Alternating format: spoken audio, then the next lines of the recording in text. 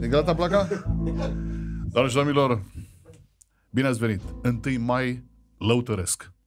Mie îmi place să cinstesc. 1 mai lăutăresc. Mie îmi place să iubesc. 1 mai lăutăresc. Bună Hello, și bine ai venit la Academie. bine v-am găsit. Hai bordei, hei, hei, hei, bordei, aș bordei, bordei, mai. Hai după mine, da. Pe aici, prin Academie, pe unde țin copiii noștri cursurile. Suflet ca trin de papuciu, cine să-l înțeleagă? Da, așa! Un, doi, trei!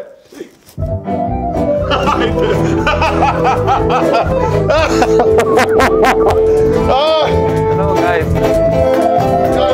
Salutare!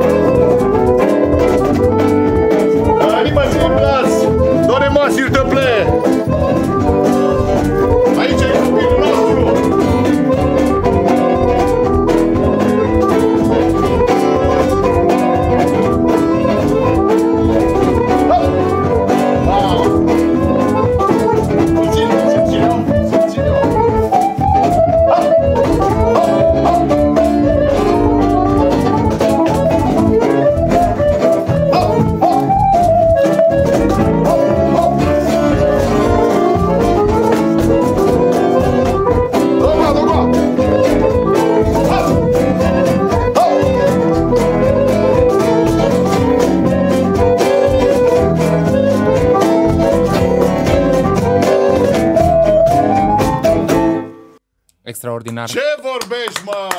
Sper că aveți POS, pentru că cash nu am, dar uh, uh, vă mulțumesc foarte mult pentru intrare. Mă simt absolut uh, privilegiat uh, să aud uh, horicica asta din Vlașca, care înțeleg că e la mare modă. Se cântă și la sârbi și la români. Da, Excelent. Dar, uh, da, gândește-te că uh, al, Cristi vrea să te întâmpine cu piesa asta. Deci asta era piesa. Ia, nu, ca, cum vrei tu să-l întâmpini pe Bogdan? Ia dai, de vrea să întâmpini așa. Marșul.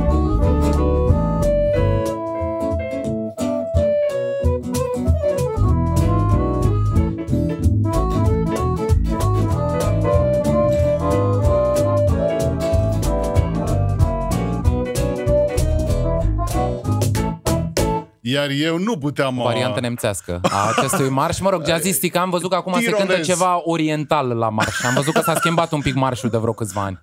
Deci asta vreau să spun, Bogdane, bine ai venit la Nebunie. Uh, Bine v-am găsit. Astăzi este 1 mai și am făcut câteva versuri, dacă îmi permiți. Sigur? 1 mai muncitoresc, mie îmi place să iubesc. Atât, asta am... uh, asta, Ce drăguț e în metru popular, ne- am rămas în 8 silabe, e nemaipomenit.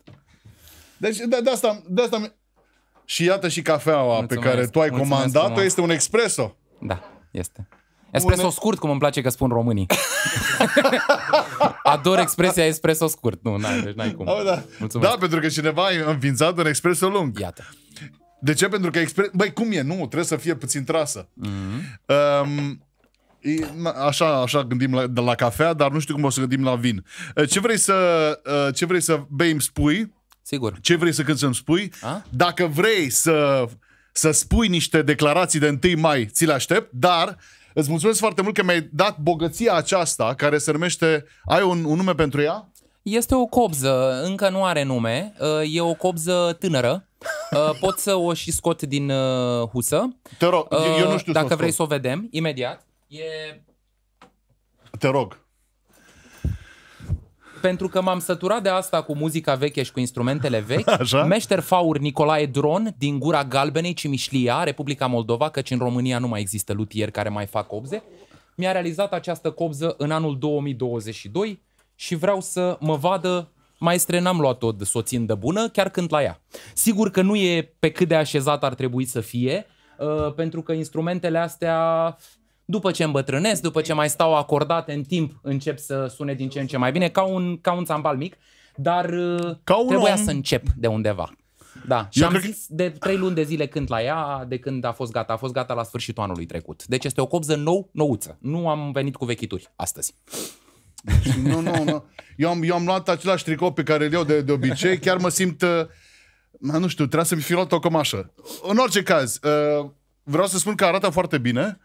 Uh, dă un nume, pentru că știu din experiența mea de, de muzician de, de Brașov că și B.B. King avea o chitară pe nume Lucille și tu trebuie să-i dai și tu un nume. Păi dacă Nicolae Dron din uh, sudul Basarabiei a realizat-o, o să, nu, nu i-aș zice Nicoleta, i-aș zice Nicolevna. Poftim.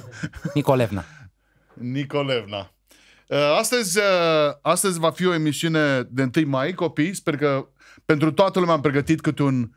ca să nu îmi cere și ca să nu faceți grevă, pentru că oricând în asemenea circumstanțe, uh, muzicanții, instrumentiștii, artiștii de astăzi pot să facă imediat o grevă. Deci dacă faceți grevă, nu o faceți pentru că eu vă dau și astăzi apă, pâine, sare. Așa cum mi-aș cerut. De obicei. De fapt, cred că singurul lucru pe care nu vi-l poate garanta e ziua de 8 ore de muncă. Pentru ce s-a și luptat de unul mai muncitoresc, așadar e posibil să se, să se întindă pe mai mult de 8 ore. Asta E, nu cred că putem garanta. Eu, eu înainte, să, înainte să spun două, trei cuvinte despre tine, vreau să vă spun dacă știe cineva de unde vine 1 mai. Țara de proveniență a zilei de 1 mai. Asta vreau să vă aud. Bineînțeles că am și studiat ca să fac Eu am acest. voie? Te rog, uh, United States of America, uh, Haymarket Square, Chicago. da, eu uh, știam de la cine va veni răspunsul pentru că mi s-a atras atenția dacă ai vreo nebuloasă, vreo semn de întrebare în viața ta, Bogdan Simion este omul care îți poate răspunde.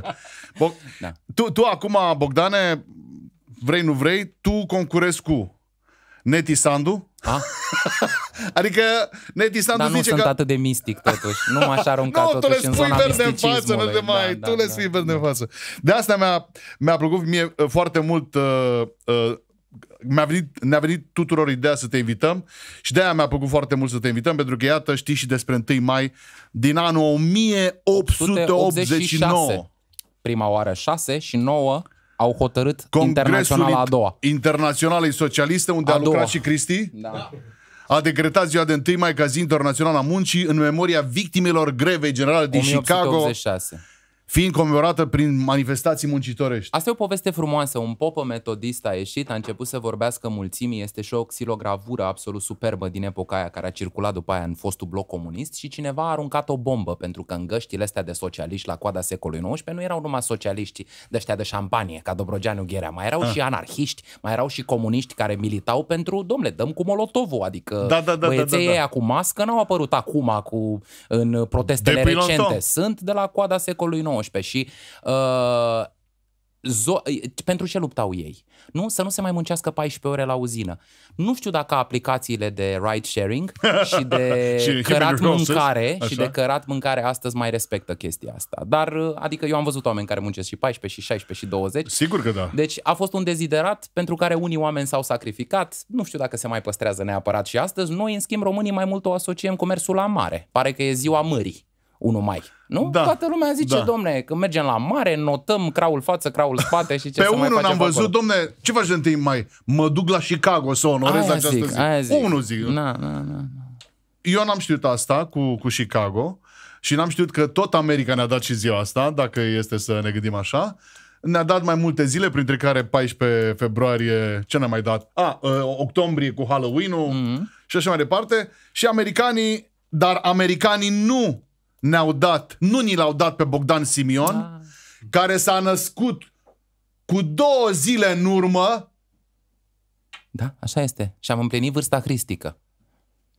Drai un straiții, iară. Ia, ia. Iară, iară, iară. ia, genau. Genau. Deci, a- deci, astăzi, Bogdan mi-a zis, băi, eu vin la tine la podcast, dar cu o singură condiție. Să fac petrecere aici de ziua mea de naștere. I-am zis, Bogdane, ai încredere, aduc numai fete și iată, fetele au venit. Așadar, la Râmnicu Vâlcea, Da, da, acolo s-a, da. Uite, parcă te descoperi acum. Uite, oh, oh, oh. Da, uh, uh, rugămintea mea când faceți chestiile astea, să nu faceți mai proeminente. S-a născut la Râmnicu Vâlcea. Oh! Incredibil, dar acolo să Trebuie să spun că uh, sunt oltean pe mamă. Mama mea se trage din sudul județului Vâlcea, dintr-o comună minunată care se cheamă Tetoiu. Uh, în perioada interbelică se chema Țepești Crăpăturile și îmi place foarte mult că deja parcă vezi pământul ăla în care intră scorpioni, acolo unde e atât de puțină apă cum e prea multă apă în părțile Moldovei. Așa. Iar tăticul meu este din uh, partea de nord a județului Argeș, de la Boteni, originar, uh, fostul județ Mușcel. Adică eu sunt jumate oltean cum ar veni, dar am crescut și am copilărit la Râmnicu Vâlcea, deci mă simt oltean uh, total. în Mă felul simt ăsta. nevoit să spun și eu, uh, cu toate că nu întreb, dar mă simt nevoit să spun. Uh, Eu știu că ești de la Kronstadt, de la Brașov. Kronstadt e adevărat, dar la Kronstadt uh, uh, tata uh, venea după o linie furtunoasă, aș putea spune, de, de câteva sute de ani. Din, noi suntem din, uh, din Polonia, am venit la 1600 în, uh, în, uh, în zona uh, Ardealului, mm-hmm. ne-am stabilit la Săcele, acolo în 1700 unul dintre străbunii mei era preot și după aceea am venit către Brașov. Iar mama, Uh, Bunica mea s-a născut în Covasna, în Harghita și iată că astăzi suntem practic toată țara. Aici Cristian s-a născut în Craiova, Vali s-a născut în Târgu Mureș. Târgu Mureș, da? Maroș Vașar, hei. Așa e Genteșec. Așa? Uh, Slatina. Slatina. Ador. Acolo, la Slatina Alin și Târgoviște. Nu nu știu dacă te uiți bine la, la Marius, Vampirii noștri. dar el este, chiar vreau să zic, el este veri- verișor cu Vlad Țepeș. E extraordinar, din familia Drăculeștilor, deci înseamnă că ești neam cu regele Angliei. Că și el își trage descendența de neamul Drăculeștilor. Da, are, A lui Drăculea, da. are la Viscri una dintre, una dintre camerele pe care le-a cumpărat The King Charles. Că în, în, la ora în care se difuzează această frumosă, frumoasă emisie, cred că s-a și încoro, încoronat, nu? Încornorat sau încor... Nu urmăresc uh, familiile astea, nu, nu știu. Eh, Dragă, devine rege. Se Ok, face... înțeleg, înțeleg, înțeleg. E, și ne-a rugat și el, că acum suntem în legătură directă, ne-a rugat și el în, coronare, în coronare. Își dă, e un difuzoraș mic așa, cu podcastul nostru și o să asculte muzica pe care o vom da astăzi de aici. Um, dragul meu, uh, Wikipedia spune că ești culegător de muzică tradițională și lăutar, unul dintre... Fii atent aici. Deci te duce pe cale de dispariție, mm-hmm. așa cum ai spus și tu mm-hmm. despre Cobză, unul dintre ultimii cântăreți la Cobză din România. Așa este, după cunoștințele mele mai sunt vreo 15 și peste jumătate dintre ei sunt bine trecuți de 60 de ani. Putem exagera puțin și să spunem că e uh, dispărută, dar hai să spunem că e pe cale de dispariție, că niciodată nu știi ce puști de 22 de ani răsare care o frige bine și cu dreapta și cu stânga.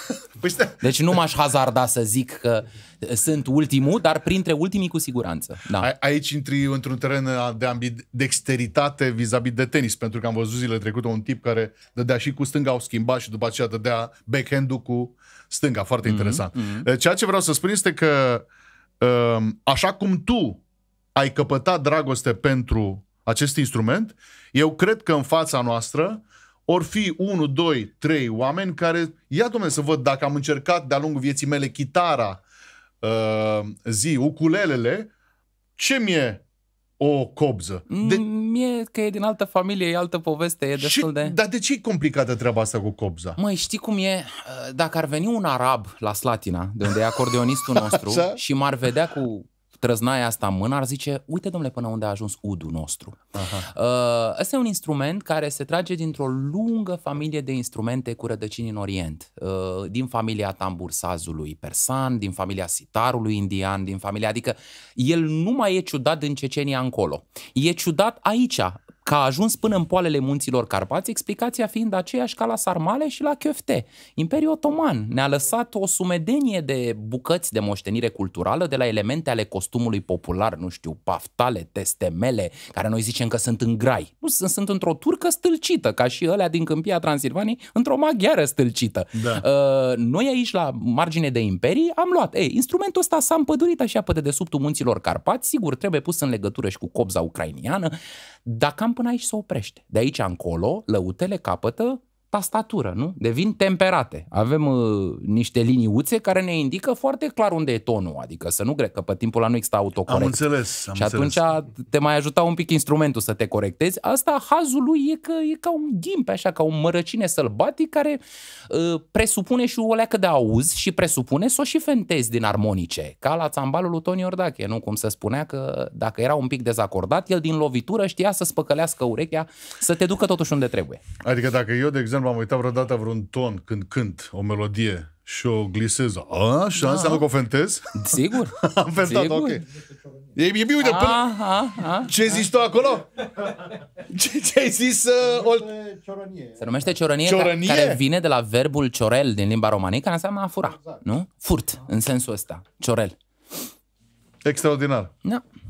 Eu credeam că vine de la filmul lui Hitchcock. Dumnezeule! Nu, nu. De pe ce planetă sunt, pe Nu bune? are nicio legătură cu ornitologia. discuția, de niciun fel.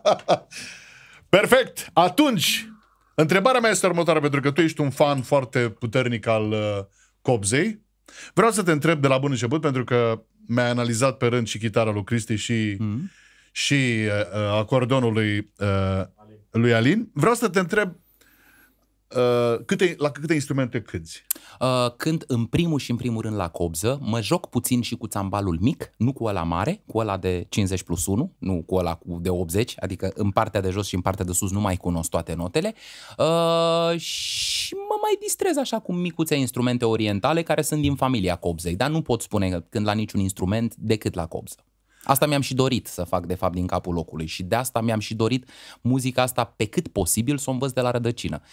Eu n-am mai avut posibilitățile, că nu m-am născut totuși, apropo de ce spune prietenul meu Charlie Otley, că sunt născut mm-hmm. în 1786, nu sunt născut în 1786 și atunci pentru mine a fost un pic mai greu. Nu imposibil, am avut oportunitatea să întâlnesc niște bătrâni minunați, de la care am învățat una alta, mă refer aici la cântat, la cântat în general, nu doar la cântatul la instrument.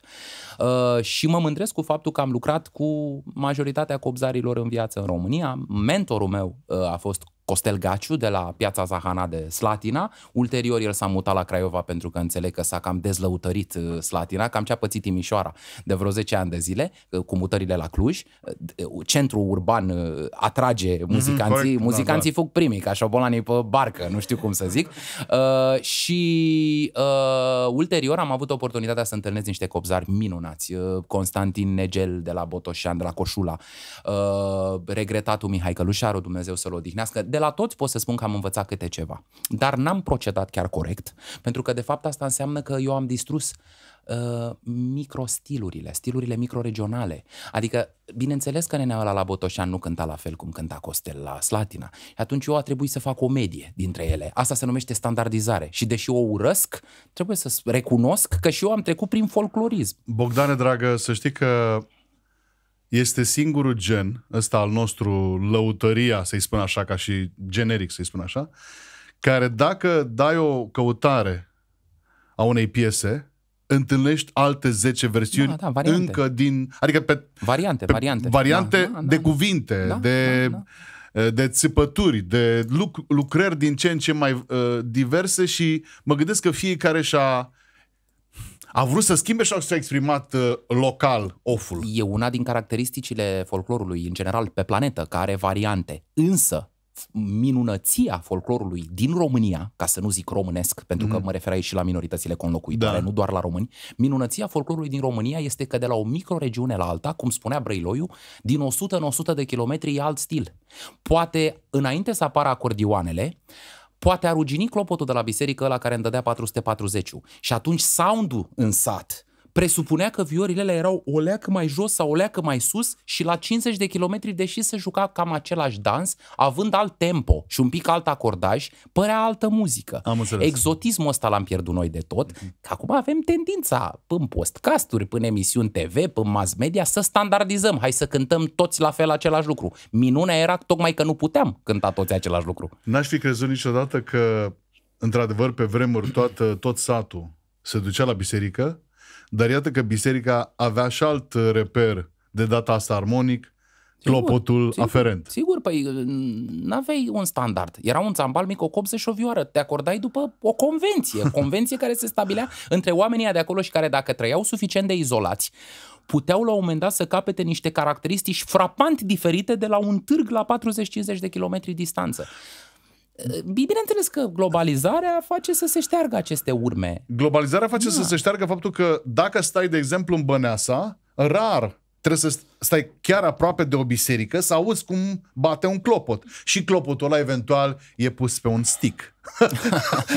da, da, asta da, este asta ironia zărzii, înțelegi? Ce băgăm astăzi? Băgăm o slujbă. Ba, mă, pe stick, o bag acolo și a, ai difuzor? A, cred că asta e întrebarea. Ai difuzor să se audă peste tot? Am. Și așa mai departe. Dragul meu, eu zic să începem 1 mai mm? foarte calm și glorios în același timp. E ca și când am fi sigur de victoria noastră.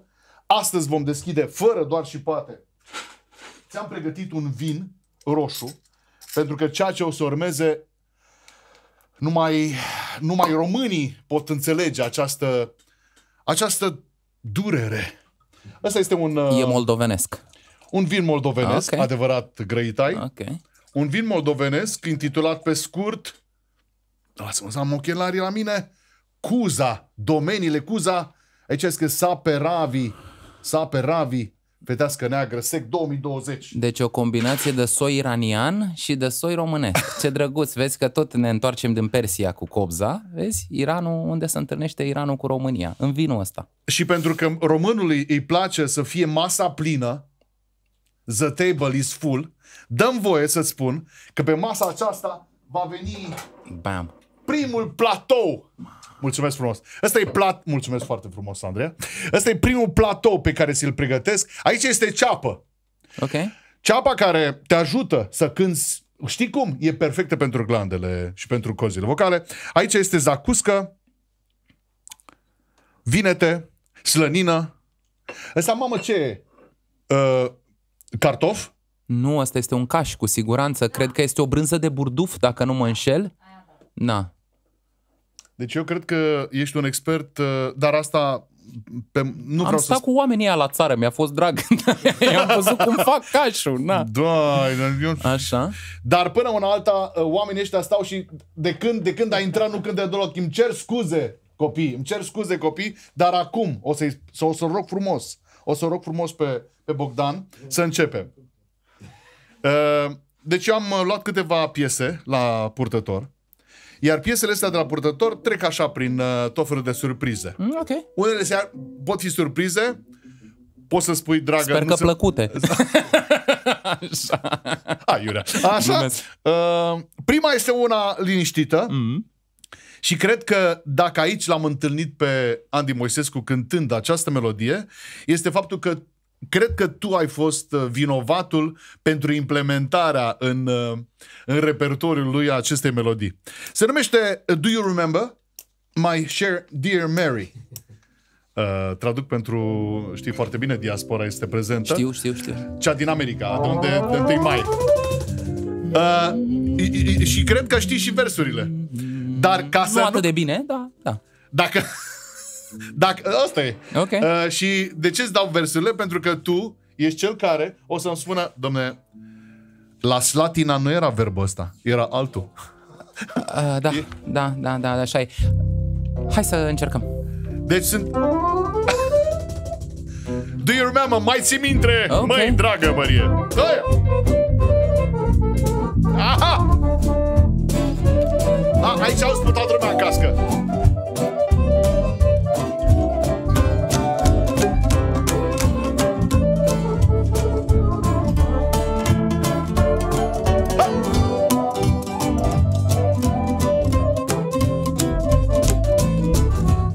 Minte, măi, dragă Mărie. Că nu era strucuri copți în vie. Și tu erai mică, măriuță. Nu știai să-i dai nenicuriță Și tu erai mică, măriuță. Nu știai să-i dai nenicuriță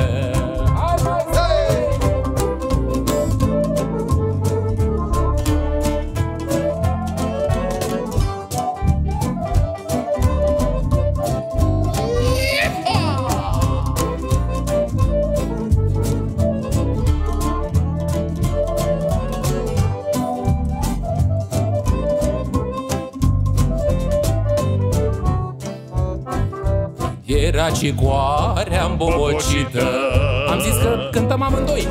Tu erai mică și îmbrobotită Aveai băsmăluță roșioară. Mm, Mirosea flor de primăvară. Aveai băsmăluță roșioară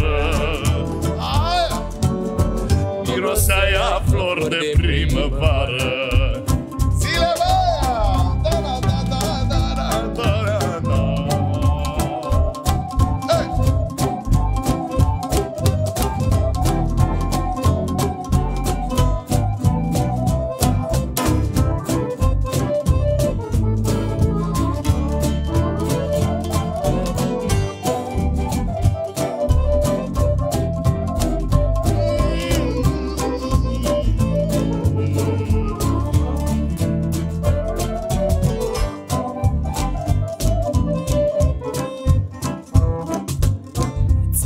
Ți-am luat băsmăluța, uite așa.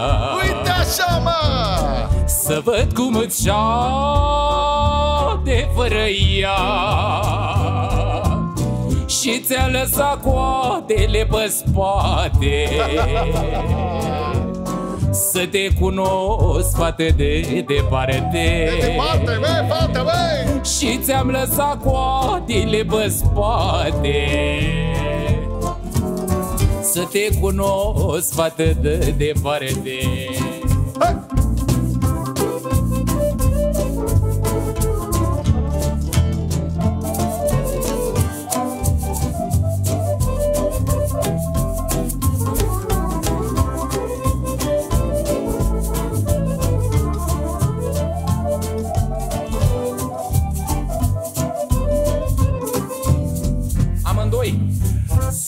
crezi, neicuță, că am uitat. Am uitat Că Erai frumos și erai înalt.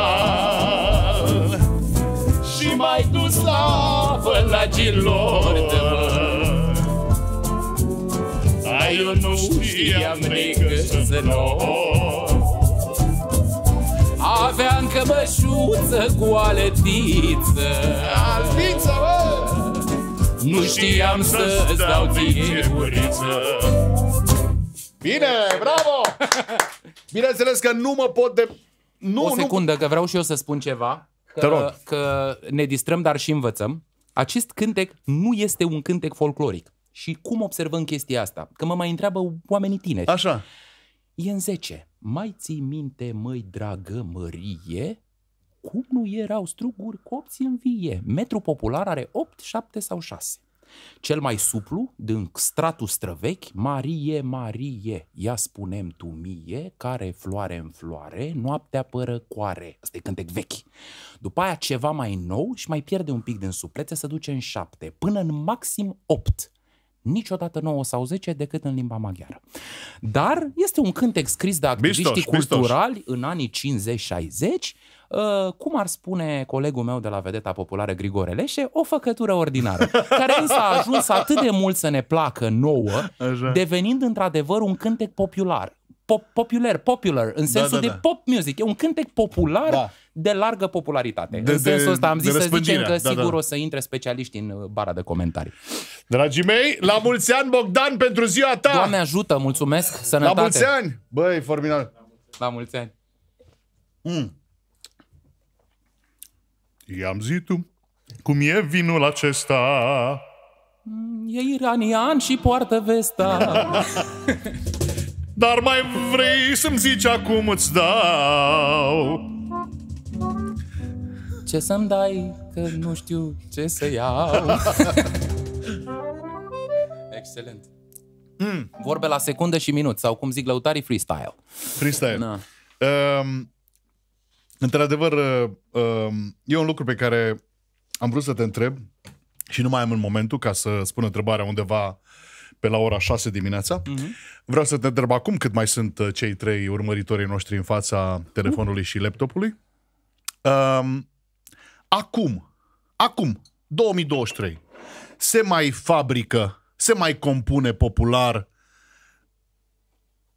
elegant, frumos, nu doar uh, de dragul rimei sau de dragul faptului că uite, lele sut în deal să spun ce am făcut la plan. Bal. Uh, din ce în ce mai puțin convingător. De fapt, muzicile de tradiție de pe teritoriul României au au început să-și piardă trăsăturile țărănești, trăsăturile țărănești care la un moment dat erau frapante. Muzica asta era zgrunțuroasă, era războinică, era pe alocuri imperfectă. Imperfecțiunea ei era cea frumoasă, că noi nu suntem aici la tata Bach, care e tatăl da, nostru da, da, al da, tuturor. Da, Așadar, Uh, majoritatea muzicanților de sat s-au mutat la oraș. Ăsta este un fenomen care se întâmplă de 30 de ani. Uh, noi spunem lăutarii din Clejan, dar în realitate pe ulița lăutarilor mai sunt șapte. Majoritatea stau ori la Alexandria, ori de-a dreptul în București, prin cartierele mărginașe ale acestui oraș minunat pe care îl adorăm amândoi, sunt sigur. Mm. Uh, muzicanții de la 10 Prăjini, o parte din ei s-au mutat la Iași, muzicanții de la Fizeșu Gherli, o parte s-au mutat la Cluj și așa mai departe, adică ca să dau exemplu pe zonele mari ale țării. Și atunci, muzicile așa zis muzici populare, poporane, cum vreți, ale poporului, da. în sensul ăsta, uh, au devenit mai degrabă ieșind dintr-un uh, Roland, un sax, uh, o vioară în formă de dolar, uh, într-o garsonieră, unde o domnișoară se străduie să sune a țărancă și nu mai poate suna pentru că nu mai este. Eu de oamenii care fac pe țăranii m-am săturat atât de tare încât am hotărât ca niciodată pe scenă să nu port costum popular. Am înțeles. Uh, îl port pe stradă. N-am nicio problemă să iau o cămașă țărănească pe mine, să mă duc să beau o cafea. Dar pe scenă simt că încă nu e momentul. Poate o fi când o îmbătrâni eu, nu știu, poate când o fi la 70 de ani, uh, o ajunge și în direcția respectivă. Mi se pare că noi am avut niște politici culturale strâmbe în zona asta și asta nu de ieri, N-am de susținut azi. deja, da, da, da, ai Și a trecut atât de mult timp încât, uite, iată, mai ții minte, mai dragă Marie, un cântec care a apărut în anii 50-60, care nu e, nu e țărănesc, dar a devenit, într-un sens. Adică, eu nu Crezi pot că... să mă supăr pe bunica mea că ascultă trăznăile la Favorit TV. Da, Despre da, asta da, e vorba. Da, nu da, pot da. să o cer, că femeia atâta simte și chiar o văd uneori cu ochii în lacrimi la emisiunile alea uh, de gust îndoielnic. Să știi că, să știi că senzația ta am uh, avut-o și eu, pentru că nu e muzică populară, e muzică populistă. muzică populistă, da. E adevărat și eu cred că muzica asta populistă a apărut imediat după al doilea război mondial. Sigur, poate chiar în timpul regatului României erau manifestările alea când trebuia să mângâie regele Carol al II-lea un copilaș pe cap și trebuia să fie îmbrăcat în țăranul curat și ei săraci erau bolnavi de dezinterie și de muriseră 11 copii, doi pe front și trei cu mințile rătăcite s-au întors și vorbeau singuri, ca în romanele noastre din perioada interbelică. Mm-hmm. Tot timpul folclorul a fost un mobil Uh, politic. Uh, nu e o chestie pe care au inventat-o comuniștii. Noi ne-am folosit de folclor cum ne-a convenit nouă, cum ni s-a părut nouă că e mai bine. Dacă folclorul demonstra uh, uh, veșnicia țăranului român sau că suntem de 2000 de ani uh, aici, foarte bine. În perioada interbelică, uh, folclorul românesc trebuia să reprezinte uh, ceva ce el nu reprezenta. Au apărut solistele, uh, care erau nerome se făceau castinguri la radio, domne, să cânte Maria Tănase, Ioana Radu, Mia Braia, să nu mai cânte romii aceste muzici. Aceste muzici, o spun tot timpul, au fost cântate îndeoseb de romii de sex masculin. Deci asta este o muzică bărbați. și se vorbe bărbați, obligatoriu bărbați, nu din misoginism, ci dintr-o formă de protecție. Măi, nu-mi las femeia să își ia scuipați și palme după cap. Femeia asta Aha. acasă mă ajută, adică nu era vorba de că sunt misogin. Nu duc femeia, asta e o meserie bărbătească. Aud maneliși până astăzi spunând treaba asta și ei înțeleg mai bine uh, chestiunea asta. Uh, dintr-un punct încolo era nevoie însă de voci cristaline, de soprane, Rodica Bujor. Sărsărea, sărsărea, sărsărica, mândra mea, care trebuia să sune triumfalist regatul României. Pe urmă, trebuia să-i dăm cu poporul, cu hora păcii, cu sârba păcii, cu tractoare, și atunci cu era bine să vezi și bărbați și femei. Iar după 90, hai să o dăm pe bani. Nu mai era ideologia da. politică motorul, ci era vorba de cântecele facile care au succes. Cu cât ai mai mult succes, deci, cum, cum spun eu tot timpul, succesul unui eveniment se măsoară în litri de transpirație vărsați. Cu cât să joacă mai aștept Domnule, ea bătrâni mai ascultau și o doină și un cântec bătrânesc, exista și muzică de masă mare, exista muzică de pahar. Nu se țopăia că la un moment dat și dansul ăsta poate deveni drăcesc. El e de la Dumnezeu, dansul în cerc. Dar eu zic că totuși cântecul e de la Dumnezeu, dansul uneori poate fi de la dracu. Așa cred eu, așa o simt eu. uh, Spuneau cum și pastorii metodiști în America. Da, cum ăia. era, uh, There are rhythm and blues. ritmuri îndrăcite. Exact. Um, da, e adevărat că eu zic că un spectacol trebuie să fie, indiferent că e la sala Palatului sau la, la o nuntă în Negrești Oaș, Da, iată. sănătate la Negrești Oaș, Da. indiferent cum e chestia asta, evenimentul respectiv, spectacolul respectiv trebuie să fie o, o mixtură elegantă și isteață între dinamic, între horă, uh, inima albastră și nostalgie. Și stare, evident. N-ai, n-ai cum să... Nu, a, a o ține într-o horă întreagă, da capul al fine este o greșeală. Exact așa Și să cum... n-ai de- preludiu. Adică stai un pic, ai nevoie de preludiu. Nu se poate direct să dăm drumul la sârbele alea. Cântăm două sârbe la sfârșit. Nu e o problemă, dar nu numai da, da, aia. Da, da, da. Na. Uh, da, mă, mă gândeam la... Mă gândeam la uh, un film, că exact așa începe și un film, mă gândeam la o piesă, mă gândeam peste tot în lumea asta există uh, există scenariile care uh, reproduc același lucru. Ipoteză, dezvoltare, punct culminant și după aceea un, uh, un final fericit, fără îndoială. Sigur. Dar uh, în afară de Titanic, pe care încă o dată îl spun, ea trebuie să schimbe, eu cred că trebuie să schimbe puțin. Ei, Nu tot fericit e totuși pentru că iubirea învinge. Nu? Iată, Peste iubirea ani și e ani. cel mai frumos lucru. După ani și ani, așa cum zice și melodia populară. Uh, ți-ai acordat copza înainte să intri? Uh, nu am acordat-o acasă. Pentru că am fost preluat încă din curte. Hai că eu te filmez pe tot parcursul până intri în studio. Uh, și când să mă acordez? Nu știu, nu m-am, nu m-am putut ascunde Eu în baie să știu încep că să trag de ea. tatăl tău eu știu că tatăl tău te ceartă când nu ai strunetele, Și, strunele și eu îl cer acordate. pe el pentru că el la vioară are fixuri, eu n-am.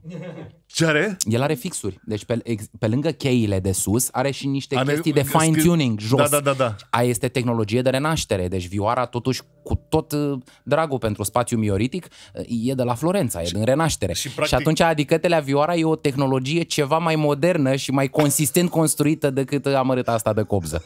Și Da. de, de fiecare dată când voi vă pregătiți pentru două evenimente, e o ceartă pacifistă între voi doi. Noi nu cântăm la evenimente împreună. Uh, Tatăl meu uh, a lăsat, a pus vioara în cui uh, undeva pe la jumătatea anilor 90. Eu foarte puțin timp l-am prins pe el activând efectiv. înțeles. Sigur a făcut o excepție anul trecut la nunta mea, unde a făcut un set de o oră minunat alături de colegii mei. A fost o rara viscol. Uh, da, și mai mult decât atât, mama l-a și dat în fapt că a repetat un pic, că nu se putea. La vioară n-ai cum, la vioară n-ai cum, să mi-am adus eu aminte. ok, e ca mersul pe bicicletă, dar a studiat vreo două săptămâni asidu, sunt sigur. Pentru că a început cu menuetul de Boccherini și a terminat cu niște hori de la Florea Cioacă, nu foarte ușor de uh, uh, executat, ca să zic așa.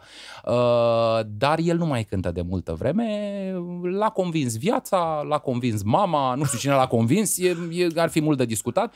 Uh, el a trecut printr-o perioadă de tranziție în care Uh, unii lăutari deveneau maneliști, alții lăutari simțeau că poate ar trebui să pună vioara în cui. El a fost mai degrabă din a doua categorie, uh, pentru că nu mai mergeau nunțile pe sate în același fel. Lumea după 90 a început să asculte alte muzici, să se apropie de Azur de la Brăila, de Odeon de la Galați, de Generic de la Târgoviște, de trupa lui Dan Armeanca, care e prima care îmi place din această enumerație. Uh, și apropiindu-se de aceste muzici străine în caracter muzical, de muzicile pe care el le uh, zbenguia uh, pe linia Argeșului și Vâlcii, uh, oamenii au început să se înstrăineze de ele. Iartă-mă, dar trebuie să, uh, să adresez o întrebare destul de intimă. Da, nu? Uh, Mi-ai spus de anul trecut. Mhm. Mi-ai spus de nunta ta de anul Da, trecut. da, anul trecut m-am căsătorit. E, să fie într-un ceas bun. Mulțumesc. Uh, O să ți-am pregătit și o surpriză imediat. Uh, Sunt niște ecouri în sensul acesta, dar vreau să te tu care ești un uh, fin povestitor al, uh, al muzicii de gen din România.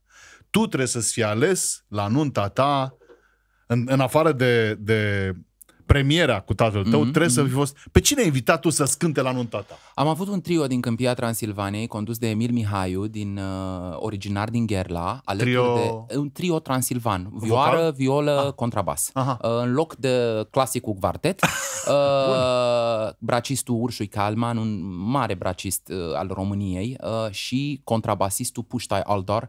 Uh, ei au cântat la început muzică din Câmpia Transilvaniei, pe urmă au cântat uh, colegii mei, uh, adică Telea ca să-i și numesc Nelu Răducanu la țambal, Cornel Neacșu la acordeon, uh, Mandy Pană la vioară. Artiștii de mătase. Și, exact, lăutarii de mătase și Robert Adam Zoltan la contrabas.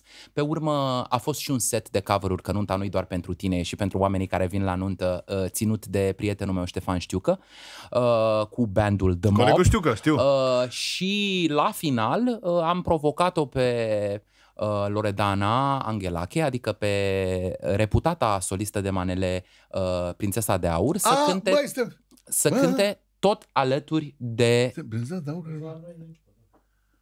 uh, să cânte tot alături de colegii mei, pentru că mi-am dorit o nuntă cu toată dragostea, fără clape. Și uh, am zis, bă, oare putem, Da. oare putem să Oare- facem o nuntă fără clapă? Oare poate exista de la Dumnezeu? Pentru Eu că tu nu mărturisesc vrei, ai ceva sintetic, că de digital o... Eu mărturisesc că fac nunți de 14 ani de zile când la nunți și cred că am văzut trei nunți fără clapă. Deci Bă, bă. cred că răspunsul ar fi că nu prea se poate. Dar putem încerca cu mare Marius, du-te eforturi. și vezi ce, cum e grătar afară, te rog. frumos. Hai, nu, nu, am glumit, am glumit, am glumit, stai jos acolo, stai. mă. Uh, și uh, Loredana a fost încântată, a avut emoții, s-a descurcat minunat. Bineînțeles că a fost și prietenul meu Cosmo, Cosmin Mirea, cu uh, un instrument de percuție, pentru că fără tobă nu funcționează, dar am ales o darbucă uh, pentru că cu tobelele semi-automate eu personal nu mai Nu, pot. nu, Nu, nu, nu. mai pot. Dar îmi doream în același timp ca oamenii să danseze și a trebuit să găsim genul ăsta de uh, echilibru, nu știu cum să zic, negociere fină. Eu cred că am face o echipă foarte bună. Tu te lupți pentru toba adevărată și percuțiile adevărate, eu mă lupt de fiecare dată și le-am zis de fiecare dată, domnule frumos, când vă, mergem la televiziune, fiecare om care se numește artist, care are view-uri, like-uri, mic-uri, psych-uri, Mm. să cânte live. Mm? Vocea, ok, uh, uh, orchestra ta a fost răpită de extraterestru, dar ai un negativ. Atunci cânti cu vocea live. Deci asta e să fie lege. Eu, eu aș Înțeleg. da o lege în sensul ăsta. Uh, uh, uh, ziceai la început de, de faptul că nu e perfect. Nici vocea noastră nu e perfectă, chiar Bineînțeles dacă că nu. suntem la Metropolitan nu e perfectă. Deci nu-ți mai pune problema așa. Mhm. Dar dorința mea este să văd umanitate, nu uh, digital. Sigur, ăsta este motivul pentru care eu niciodată nu intervin asupra înregistrărilor mele. Am uh, lansat un disc și urmează să mai apară încă unul, nu mai în format vinil, nu le-am lansat în alt format și uh, n-am corectat absolut nimic și am tras toți odată. Am făcut câte două take-uri din fiecare cântec Aha. și domnul producător, adică Adi Despot, a ales take-urile care i-au plăcut lui. Atenție! În pofida unor proteste din partea instrumentiștilor cu care lucrez, le-am spus, băi, dacă Billy Jean-ul Nea Michael e sub ton, hai să ne calmăm. și e sub ton, pentru o ureche profi e sub ton, dar a rupt planeta în două. Cred că, și mai ales acum când se promovează atonalul, nici măcar muzica hip-hop nu mai are rădăcină în jazz sau în rhythm and blues. Am Deloc. Uh, mi se pare că să ne certăm de la un semiton nu suntem sănătoși la cap, efectiv, pur și simplu. Adică în, în lumea asta acaparată de non-muzici, noi să, stai domne că erau, era, vezi că era un diez acolo. Pe Problema bune? cea mare a lor de fiecare dată este că atunci când omul zice hai să mai facem o dată, el nu se gândește la el. El știe că a făcut bine și poate că a greșit și toate, toate, toate greșelile dau un uh, outcome, un rezultat foarte bun. Numai că acea echipă de cârcotași care stă la colț, de-aia e frică lui.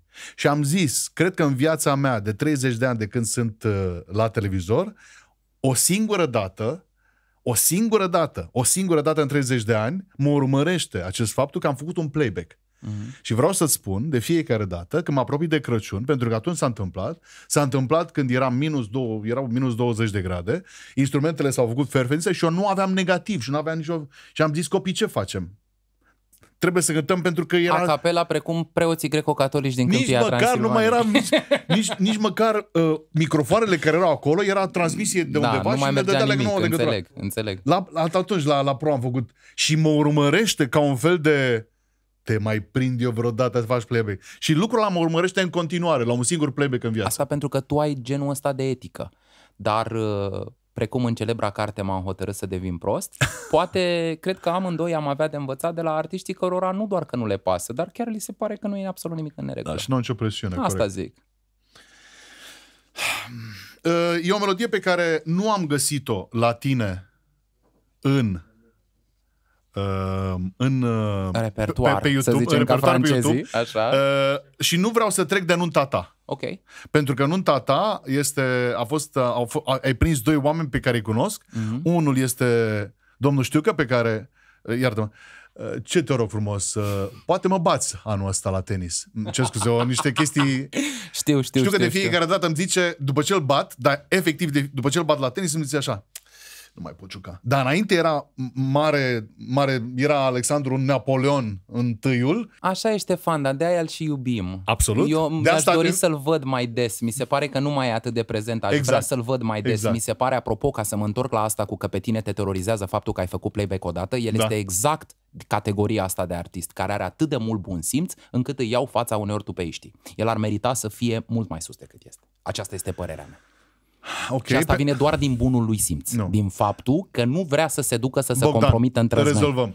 Așa. Uh, Șt- Ștefan, mamă, te las să mă bați anul ăsta, fapt care îți va da un nou imbold ca să devin mai puternic. Și Loredana, dacă v- v- îți vine să crezi, Loredana a fost în echipa mea la, la X Factor. Ce drăguț, ce drăguț. Mi, mi se pare formidabil pentru că atunci eu încercam, pe, uh, potrivit veleităților ei muzicale, hai să o cotesc de la muzică de gen la altele ca să surprindem atmosfera.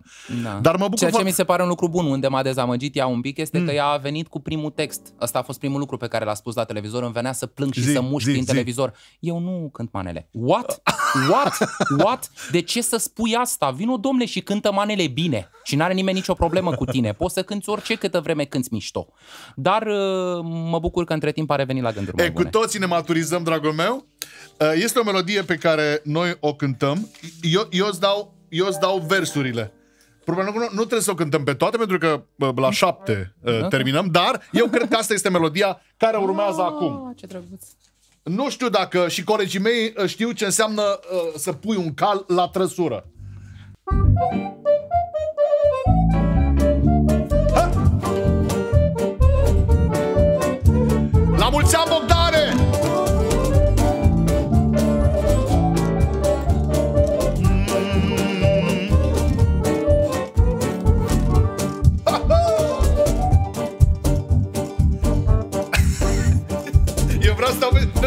Nu te-am auzit niciodată cântând. Oabule cu caii buni, mă.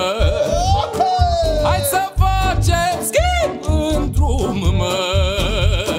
Că și caii mei sunt buni, mă Dar sunt obosiți de drum, mă. Că și caii mei sunt buni, mă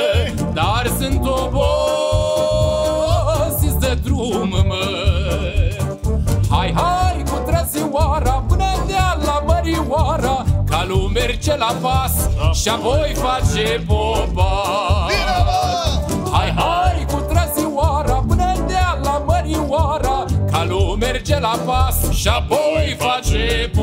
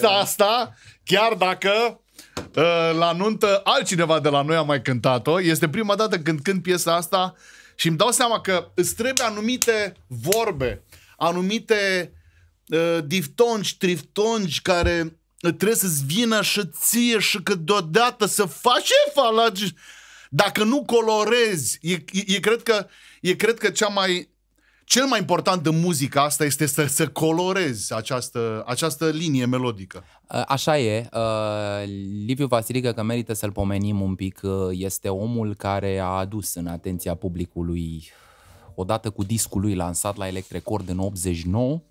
Uh, De ce spun 89? Pentru că a pățit ce a pățit filmul Mircea al lui Sergiu Nicolaescu. Dacă ar fi ieșit cu câțiva ani înainte, le-ar fi păsat la mai mulți oameni. Nu le-a păsat la prea mulți oameni atunci când a ieșit, dar după câțiva ani, odată cu lucrurile care au apărut după 90, oamenii au început să simtă că, băi, stai un pic, că omul ăsta cântă niște cântece de dragoste, pe care nu prea multă lume le cunoștea, pe care le cântau tot lăutarii, acolo în părțile Telorman Giurgiu. da.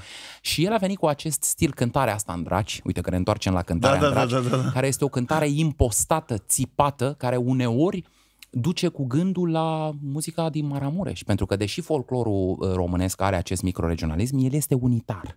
Și atunci, uh, sigur, în Telorman există și uh, un alt fel de a interpreta merismatic, dulce, duios. I- Telormanul e mare. Pădurea aia nebună, Deliorman, cum spun turcii, da. apropo de, uite unde a ajuns udul nostru, Da, da, în da, Deliorman, în pădurea nebună, uh, unde te legau de mâini și de picioare și te lăsau dezbrăcat legat de pom uh, și dacă n-aveai norocul să treacă niște pescari pe acolo, nu te mai dezlega nimeni niciodată, că nu luai Pacifiști oamenii, pieptiști pacifiști. pe drumul hoților pe acolo. Așa. Uh, mi se pare că e o zonă extrem de interesantă dacă te duci spre Olt, se cântă un pic altfel, dacă te duci înspre uh, partea Munteniei, se cântă un pic altfel și e zona unde zona care a produs de fapt cel mai interesant proiect de export cultural al României, Giurgiu Telorman, e vorba de Taraftiu Haidux, care sunt din Clejan de Giurgiu, dar a căror muzică ce a cucerit pentru prima dată publicul în Occident este fix această muzică țărănească uh, din Vlașca, că ea a fost brânduită ca gypsy music, ah. va fi fost de către agenți și de către impresari, dar Să bătrânii, bătrânii cântau niște muzici țărănești exact din partea aia de țară, care au rupt planeta asta în două. Eu te-am văzut pe tine cântând și uh, cred eu că o faci uh, uh, neinteresându-te de un lucru și o faci foarte bine în sensul ăsta. Și anume, când eu cânt o melodie de genul ăsta, corpul meu cântă alături de mine. Fața mea, ochii mei, gura mea, ce să mai zic de gură, care reprezintă o, toată cutia aia de rezonanță, e, e alături de mine. Uh, Probabil că unii Hai, hai, cu trăsioara, Da, da, da, până da, da, da, da, da. mai, mai, mai șăgalnic, așa mai manger, qu'est-ce que tu fais? Dar, de fapt, hai, hai, Da, e da, da, plină de... Adică trebuie să particip constructiv cu tot aportul uh, fizic, uh, psihic, uh, bineînțeles și de experiență muzicală. Și o stilistică aparte. Stilistica țărănească presupune, cum spuneam, o chestie așa mai zgrunțuroasă, mai abrazivă, pe alocuri războinică. Pare că se ceartă cu tine, nu pare da, că da, da, da. este un entertainer care își dorește să-ți intre în grații. Nu cauți neapărat captați o benevolenție Da, da, da, al da. publicului, ci din potrivă. Bă, vă ia mama dracu dacă nu mă ascultați. Alo, vă rog să dați atenție și ascultare, că dacă nu poate mor mâine, Da, da, poi da, mâine da, și da. nu mai aveți unde dracu Nu să ca mai în auziți anumite cântările lucrări astea. Ale lui Haydn. uh, mai ții minte că a venit aici Romica Țociu și Romica are, el a făcut la Te cunosc de undeva, ni- niște ță- țăpături mm. foarte mișto. Și zic, și bineînțeles că l-am pus să, și, uh, să cânte și vin foarte ușor, numai că este una dintre posibilitățile lui. El, ca și primă vioara a existenței lui, este actor și dar oricând el poate să înceapă o, o lucrare populară. Pentru că el vine din generația aia de actori pentru care un pic de cântat era absolut obligatoriu. Nu, eu nu mai găsesc asta la generația de actori tineri, cu mici excepții absolut punctuale, cum e prietenul meu Adrian Nicolae.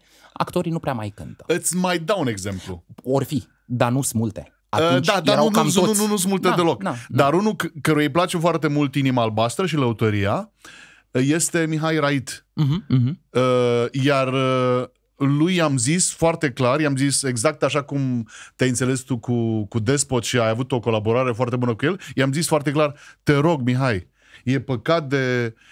E, a bătut vântul și ploaia, pe că, că e, e piesa lui preferată și i-am zis, te rog, e păcat de tine. Și e, ce e interesant este că, apropo de timing, uh, domne, e un moment în care prielnic în care poți face așa ceva. În care tu, actor, poți să zici, da, domnule, îmi închin puțin timp unei, uh, uh, unui uh, talent al meu și care, atenție, place și oamenilor. Era absolut obligatoriu. Unul din uh, cântăreții mei preferați din uh, România all time este Constantin Tănase, care nu avea voce. Uh, pentru că reușea să sensibilizeze prin felul în care recita muzical. Rămânea în tonalitate, deseori ieșea din tonalitate, nu Eu prea n-l-am știa auzit cu pe ritmica. Constant. Constantin Tănase are înregistrări pe discuri Shellac, Odeon, Columbia și His Master's Voice, începând cu 1925, terminând cu 1932, niște cântece absolut minunate, cu măscări, cu porcării, unele cu cuvinte Da, vulgare. știu, știu că era... Uh, Nu era închis la minunate, el nu cânta, mai mult uh, țipa, dar țipa acordat. uh, și uh, totul venea din exuberanța lui, din personalitatea lui, din faptul că se vedea că se jucase cu racii când era mic uh, și uh, la el la Vaslui acolo de îl prindeau racii de nas ca pe Dar de Chaplin. fiecare dată mă gândesc că așa am început și eu. E 1 mai. Ah, Întâi mai muncitoresc, mie îmi place să iubesc. De fapt, e întâi mai, dragul meu, dacă ai stat până acum, e momentul să-ți schimbi... Mama, ăstea sunt... Și mai am. Mai vin un pic. O, Doamne! Aoleu! Dumnezeule mare, să fie plină! Uh, Să se știe, Bogdan a luat prima dată din murături. Uh, pentru, pentru Cârcotaș o să înceapă o serie de articole despre tine. Uh, cum Că murături... sunt acru? Nu cred. Nu mănâncă și băieții Da, ăștia. că sunt ai... eu, mă gândesc, eu mă gândesc tot timpul, adică e Nu, defect nu, nu, profesional. nu, nu. Colegii mei astăzi au prins niște covrigi, au prins niște câini Da, cu covrigi înțeleg, în coadă Înțeleg, înțeleg. și vor... Uh, uh, te, te rog frumos să guști. Sigur. Uh, te, te rog frumos să guști din mici. Pentru că i-a făcut... Uh, cine i-a făcut? Cine a făcut micii? Sunt modești. Eu am făcut micii, chiar dacă nu am fost.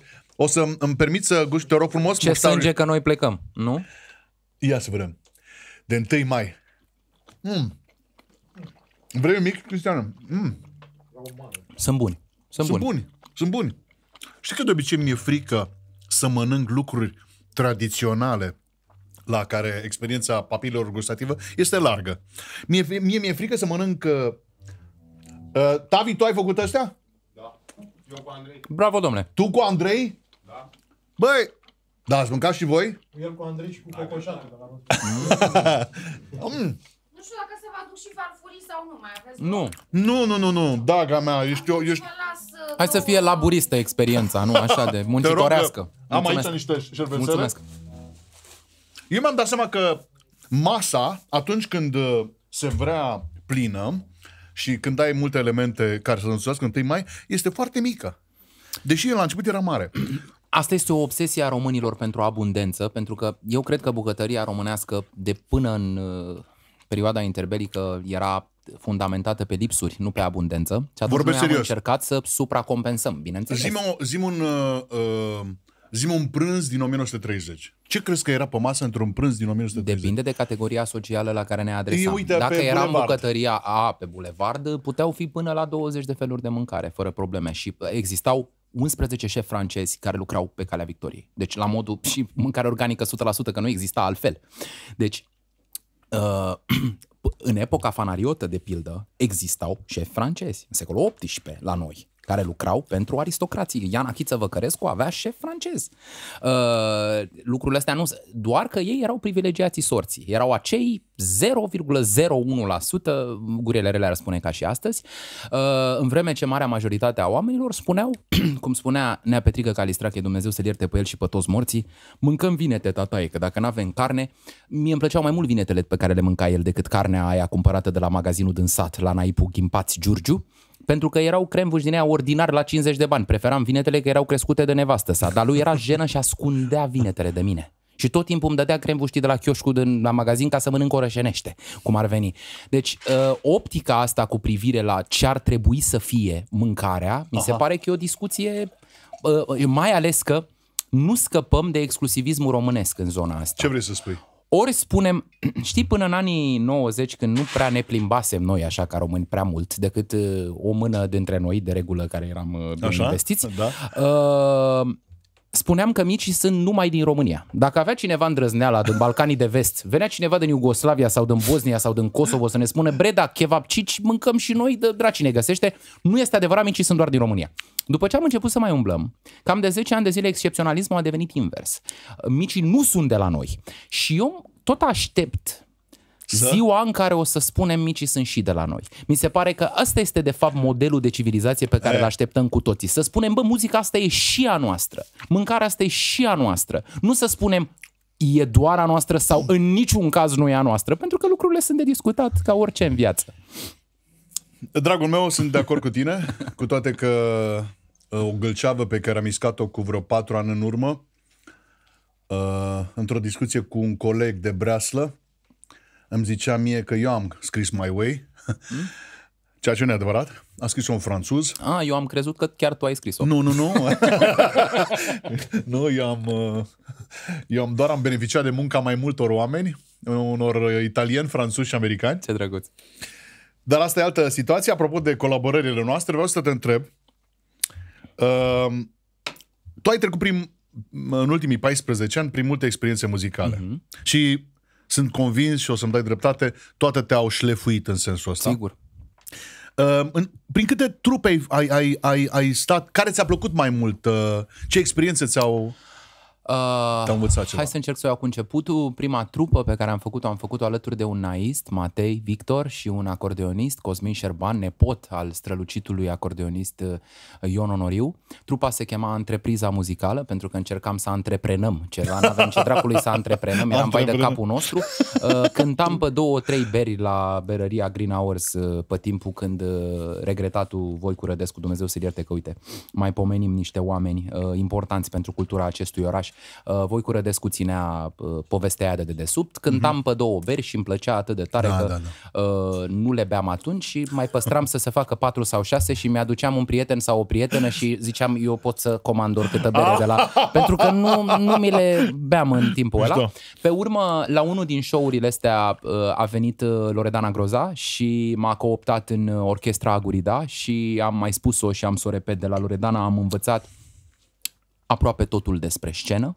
Nu mă refer aici la muzică, mă refer mm. la cum trebuie să stai, la cum trebuie să fii, la faptul că trebuie să înțelegi că nu poți avea niciodată concediu medical, la faptul că trebuie să înțelegi că indiferent cât de tare îți plânge sufletul, tu trebuie să fii exact cum trebuie să fii pe scenă în momentul ăla uh, și am să-i rămân uh, adânc recunoscător Câți pentru ani ai lucrul stat- ăsta. stat alături de- Uh, șapte ani de zile. Șapte am ani. cântat împreună, timp în care, bineînțeles, am colaborat cu Taraf de Haidux, că i-am pomenit, mm-hmm. am colaborat cu uh, Chimie, cu Samurai, cu El Nino, uh, artiști din zona de hip-hop. Mm-hmm. Uh, cu Mihai Mărgineanu am colaborat la coloana sonoră Michael de la Diege. Știe toată celebrul, uh, de la celebrul serial Las Fierbinți. Da, da, da, da. Uh, în principiu am alergat în toate zonele muzicale și ce mi-a plăcut mie cel mai mult mm. să fac este să nu-mi rătăcesc personalitatea mea. Eu în orice proiect eram, că era rock, că era hip-hop, că era pop, că era dance, eu eram cu copza în brațe și țipam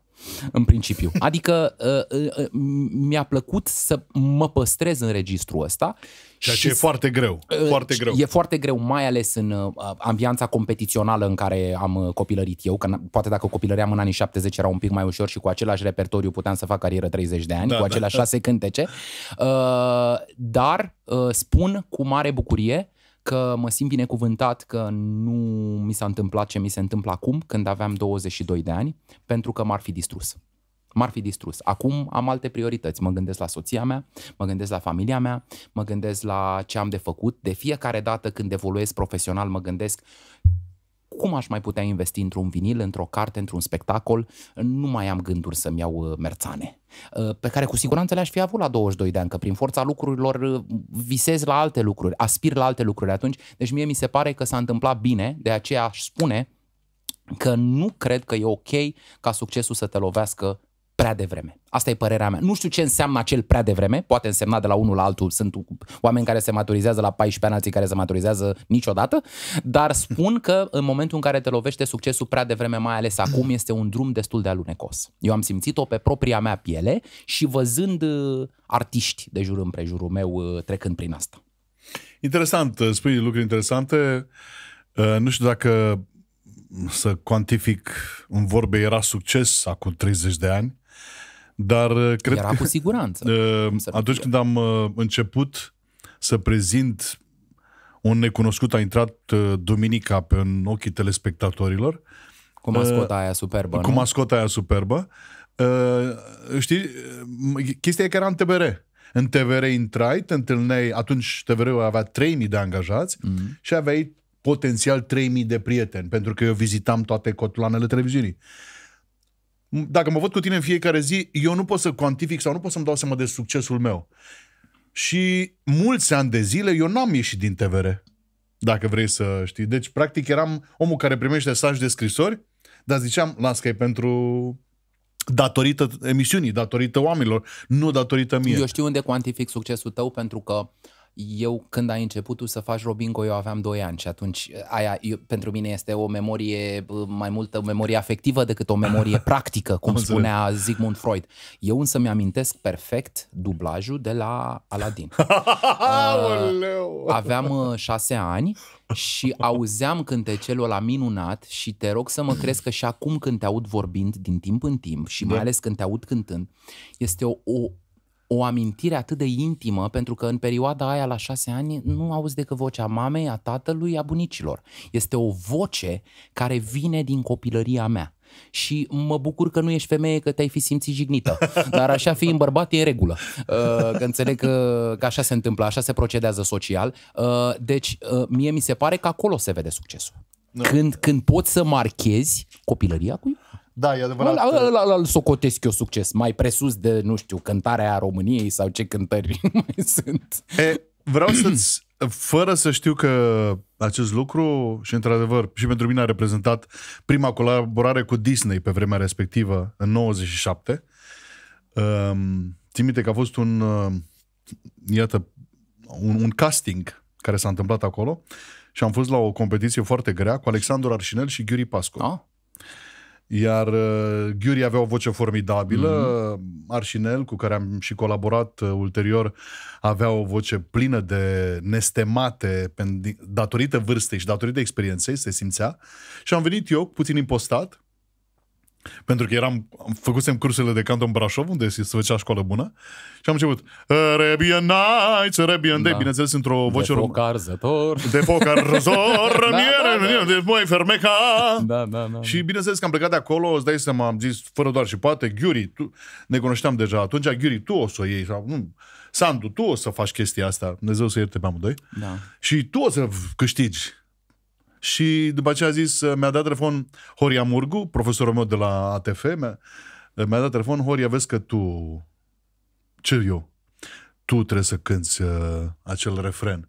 Și într-adevăr uh, reprezintă și pentru mine una dintre punctele de intrare în industria asta frumoasă și plină de critici câteodată a dublajelor. Uh, în imaginarul colectiv, mai frumos spus. Ca să nu zicem în imaginarul, pentru că uh, atunci au început aceste dublaje. Eu mi-amintesc că atât VHS-urile pe care mi le aducea tatăl meu de la magazinul Pirat, care era un magazin oficial, dar pirat. Pirata oia de dracii găsea VHS-uri și tata le, îl cumpăra, bineînțeles că nu primea bon fiscal, eventual cred că doar semna de creion. Venea cu niște casete furate de la corporația Disney și mi le punea acasă cam cum am piratat noi ulterior prin anii 2000 muzică. Uh, exact. Și mi-am amintesc de acele VHS-uri și îmi amintesc că eu, într-adevăr, am fost generația, ultima generație, pentru că fac comparația cu soția mea. Soția mea uh, are 28 de ani. Mădălina. Uh, Mădălina, da. Uh, și uh, soția mea deja a prins Cartoon Network-ul ăla uh, dublat în limba română. Deci noi suntem uh, uh, generația, eu, Gennadie Tartakovsky, care a făcut uh, laboratorul Dexter, care a făcut Samurai Jack, da, da, care a da, făcut da, toate da, da. minunile alea contraculturale de la începutul anilor 90, de-a dreptul, Cow and Chicken, toate, uh, minunate toate, uh, evreu rus, mutat în Statele Unite, o poveste fantastică, uh, noi le auzeam în limba engleză. Probabil că era și o formă de propaganda a partenerului strategic, nu știu, încă nu m-am hotărât, dar uh, e clar că noi ne-am americanizat fără să vrem fără să vrem. Adică am, am, am adoptat o serie de valori de aceeași manieră în care bunicii noștri au adoptat niște valori în anii 50, care poate nu erau ale lor, dar au venit cu holdele de grâu, cu țițeiul și cu ce s-a aplaudat pe tancuri. Țin minte că asta discutam cu Gigi Vinică acum mulți ani, pentru că cel care era, cel care era jos la, la Teatrul Național și, se, și dublam, eh, dublam alături de o echipă, printre care și Gigi Dinică, și Gigi Dinică, cine credeți că era? Unchiul Scrooge. Mm. Și atitudine... Superb, îi se potrivea. De, atitudinea Era perfect acolo. Iar el uh, dubla cu vocea lui naturală, convins de aceeași echipă condusă de Horia Murgu. Iar uh, acolo mai erau încă doi uh, actori, Dinu Manolache, care făcea papagalul din uh, Aladdin, Iago. Iago, și mai era uh, Șerban Celea, cel care făcea chiar pe Duh. Duhul este de departe una dintre pietrele de încercare ale fiecărei voci pe lumea asta. E exact Duhul ăla pe care l-a făcut ulterior Will Smith, da? Ce, tipul cu palma. Tipul cu palma. La albastru. Ăla Ăla așa. așa din lampă, da. Așa. E, el, el a făcut, uh, ce- Șerban Celea a făcut, uh, a fost, cred că Dream Team. Mm, Atunci s-a întâmplat. Și apropo de a, amintiri și apropo de lucruri de genul ăsta, și îți mulțumesc foarte mult pentru amintirea cu Aradin, vreau să spun că și eu am o amintire din copilărie. Exista un domn pe care îl venerez și acum. Noi ne-am auzit doar de la telefon, nu ne-am întâlnit niciodată, niciodată, față a față. Un domn cu o piesă.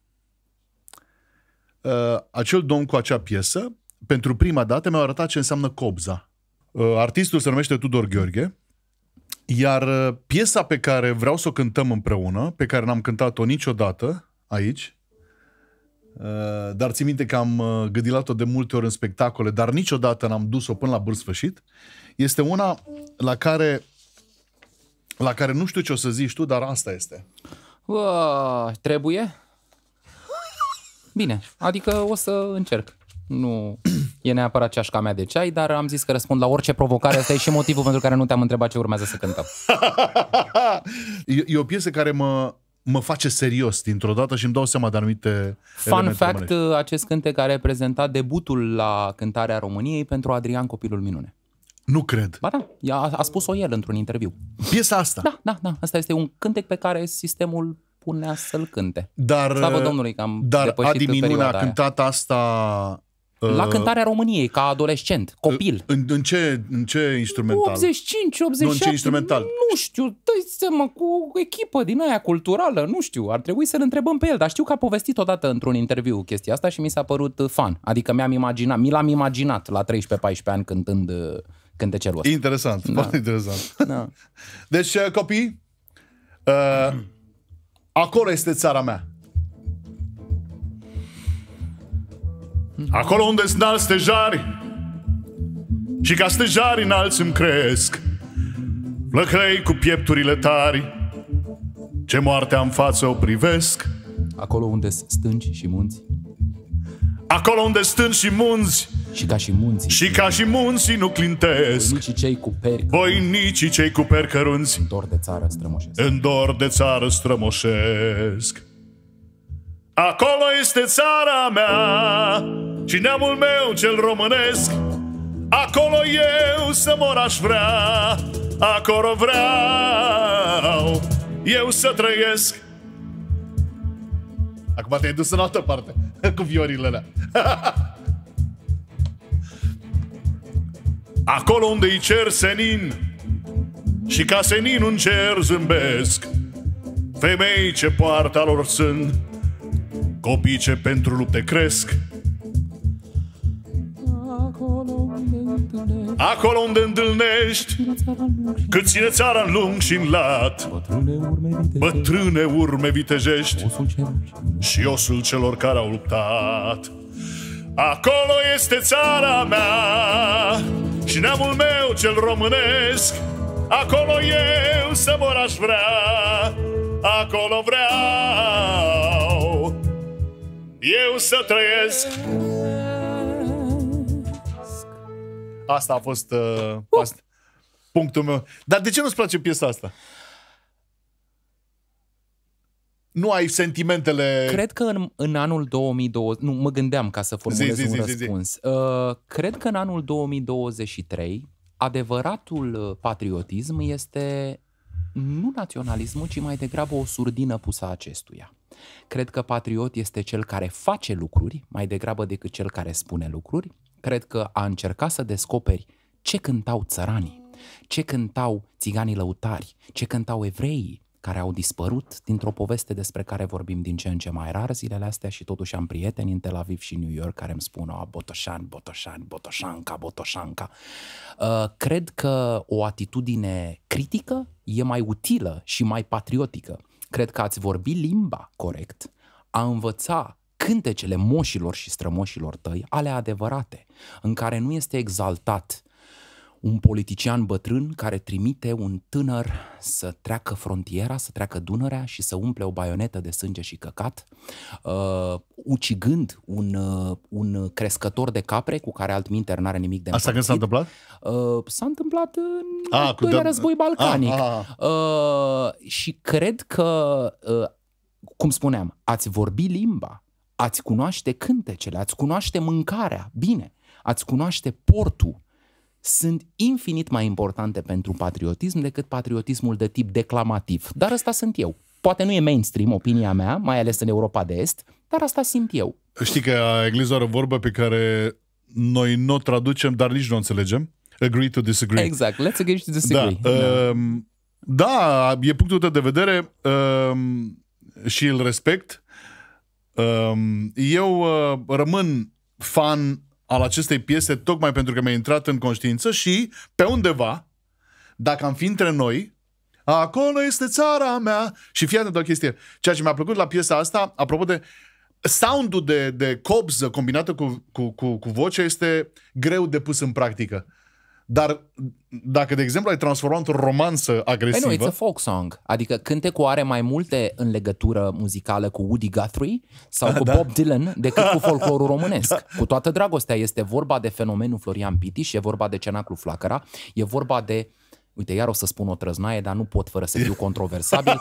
uh, în momentul în care un corifeu al culturii românești, pe care n-am să-l numesc, uh, amesteca pervers pe pământ idioții au arme, cântece despre John Lennon și Beatles Așa. și Rolling Stones cu uh, Crăișorul Munților și cu Acolo este țara mea, uh, a făcut uh, multe pentru imaginarul colectiv generației părinților mei, care se bucurau de ginși și cântau și le cântau și palea. Deci înțeleg bucuria. Mă întorc ca la mai ții minte, mai dragă Mărie, ca să nu fiu foarte acru, mai mănânc o murătură. Da? Dacă mai mănânc și un mic, pa? Uh, este, este vorba pur și simplu de niște amintiri, care amintirile, știi cum când te îndrăgostești de o fată pe un cântec de 2 lei și cântecul ăla devine cântecul vostru?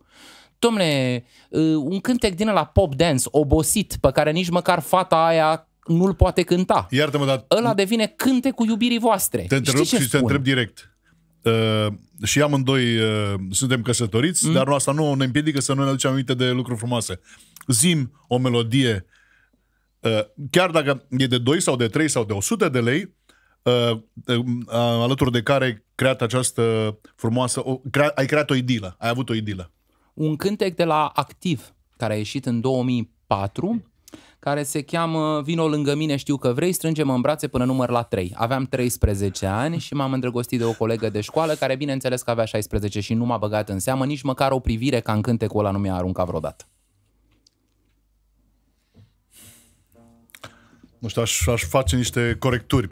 Asta D- e- Domnișoară dragă, eu, de exemplu, am avut o idilă în Brașov și țin minte și acum, dragii mei colegi, uite, cu micul ăsta în mână, 1 mai, e pentru...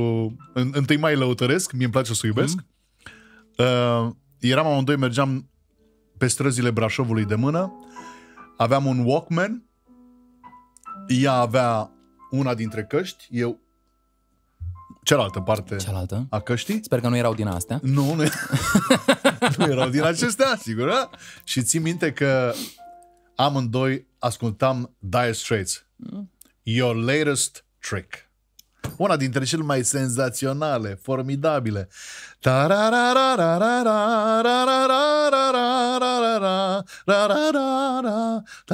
Un intro de saxofon pe care niciodată, nicio altă trupă de suprafața acestui pământ n-a mai avut-o. Pe La vremea mulți când ani. saxofoanele nu aveau uh, doze care le făceau să sune ca alarmele de mașină. Iată. Așa cum zice și melodia, râde iarăși primăvara. Nu te mai întreb de piesa asta de 1 mai, dar îți, uh, îți spun un singur lucru, apropo de la la la la la la la la la. Era o piesă preferată în barurile dinainte de 89 în Europa. pentru că aveau o chestie foarte catchy. Dar râdem acum de cântecele de stânga când toată lumea, toți străzniții cântă Bela Ciao, care e mare marș stângist. Adică toată lumea am impresia că se vor scoate niște drapele roșii și că vor începe să înfiereze burghezomoșierii. Dar mă rog, e bine că nu, nu nemai știindu-se, că asta Da, vreau da, să da, spun. da, da. Când îți lipsește Baza. contextul și e cu la la la, este happy, toată lumea e happy. Care era piesa populară preferată a Loredanei? Uh, cu siguranță Trandafir de la Moldova. Cântecul pe care l-am cântat, n-aș vrea să greșesc, de fiecare dată în cei șapte ani, nu cred că am avut, poate am avut două sau trei concerte în șapte ani de zile, în care n-am cântat Trandafir de la Moldova. Tare. Vedeta populară a fost prima ta experiență ca jurat? Ca jurat, uh, prima și singura. Nu am mai fost jurat niciodată în nimic. Um, a fost uh, un lucru, cred că, cred că un cuvânt se impune uh, din capul locului vis-a-vis de participarea ta în acel, acel juriu. Cred că ai fost n- cum- uh, briza, freshul, uh, punctul care a reechilibrat, să spun așa, acel, acel juriu, pentru că de fiecare dată ziceam, băi, lucrurile astea nu mai au niciun, nu mai au uh, avocați tineri care pot să spună cu alt, un alt aplomb uh, ceva despre muzica populară. La mine a fost cu atât mai complicat cu cât eu a trebuit să împlinesc, să, să umplu scaunul unui poet. Și atunci pentru mine a fost cu atât mai greu pentru că îți trebuie o oareșcare anvergură ca să poți să te așezi pe scaunul ăla. Da. Uh, vreau să spun că pentru mine este un proiect pe care absolutamente îl ador și mă bucur că televiziunea română și-a asumat prin producătoarea noastră Iuliana Tudor și mm-hmm. la insistențele doamnei Elize Stan, uh, alături de Grigore Leșe și alături de colegele mele Cornelia Rednic și Niculina Stoican, încercăm să-i ajutăm pe oameni să discearnă între aceste lucruri. Noi nu suntem de acord în totalitate cu privire la tot. Asta e de fapt și mișto, cum e mișto în orice juriu. Când ai patru jurați, nu Foarte trebuie bine, să da. fie toți de acord. Noi cinci, și ăsta este meritul Iulianei pentru că ne-a adunat pe Da. toți cinci, uh, facem ce cred eu că ar trebui să facă mai des televiziunea română. În uh, cele 252 de posturi câte sunt în pachetul de bază, uh, sunt cel puțin 50 de lai lai la, țurai țurai. Uh, cineva două ore pe săptămână, duminica seara în prime time, poate să spună Măi, țurai, țurai, dar totuși tu cânti că a murit un om acolo. Hai să încercăm să ne compunem sau să Da, recompunem da, da, lucrurile da, da. astea. Întotdeauna ne mândrim, ne fălim că folclorul e vast. O fi vast. Dar eu în afară de Constantine, Constantine eu nu mai aud altceva.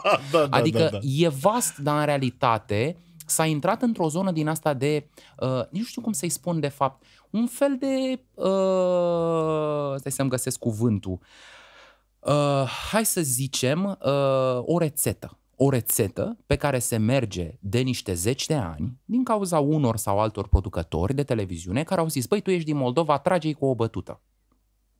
Ok, uh, ne înviorăm, ne veselim. Dar eu la centru Vasilea Dăscăliței, în anii 60, din peste 3000 de cântece de acolo, eu am găsit 8 bătute. A le asocia cu moldovenii, eu nu spun că ele nu existau, Înțeles. dar proporția era mult mai mare a cântecelor lirice, a cântecelor melancolice. Trebuie să înțelegem două lucruri importante despre folclorul românesc. Toate textele sunt cu off. De ce? Pentru că numai muzica tristă era vocală. Nu există cântece vesele, mă mai cheamă pe la corporații, discurs motivațional. Eu sunt dis- speaker demotivațional. Eu vă spun că se alege Asta e tare. praful de aceste lucruri. Eu vă spun că vor muri ultimii care mai țin minte și nu vom mai avea reperele.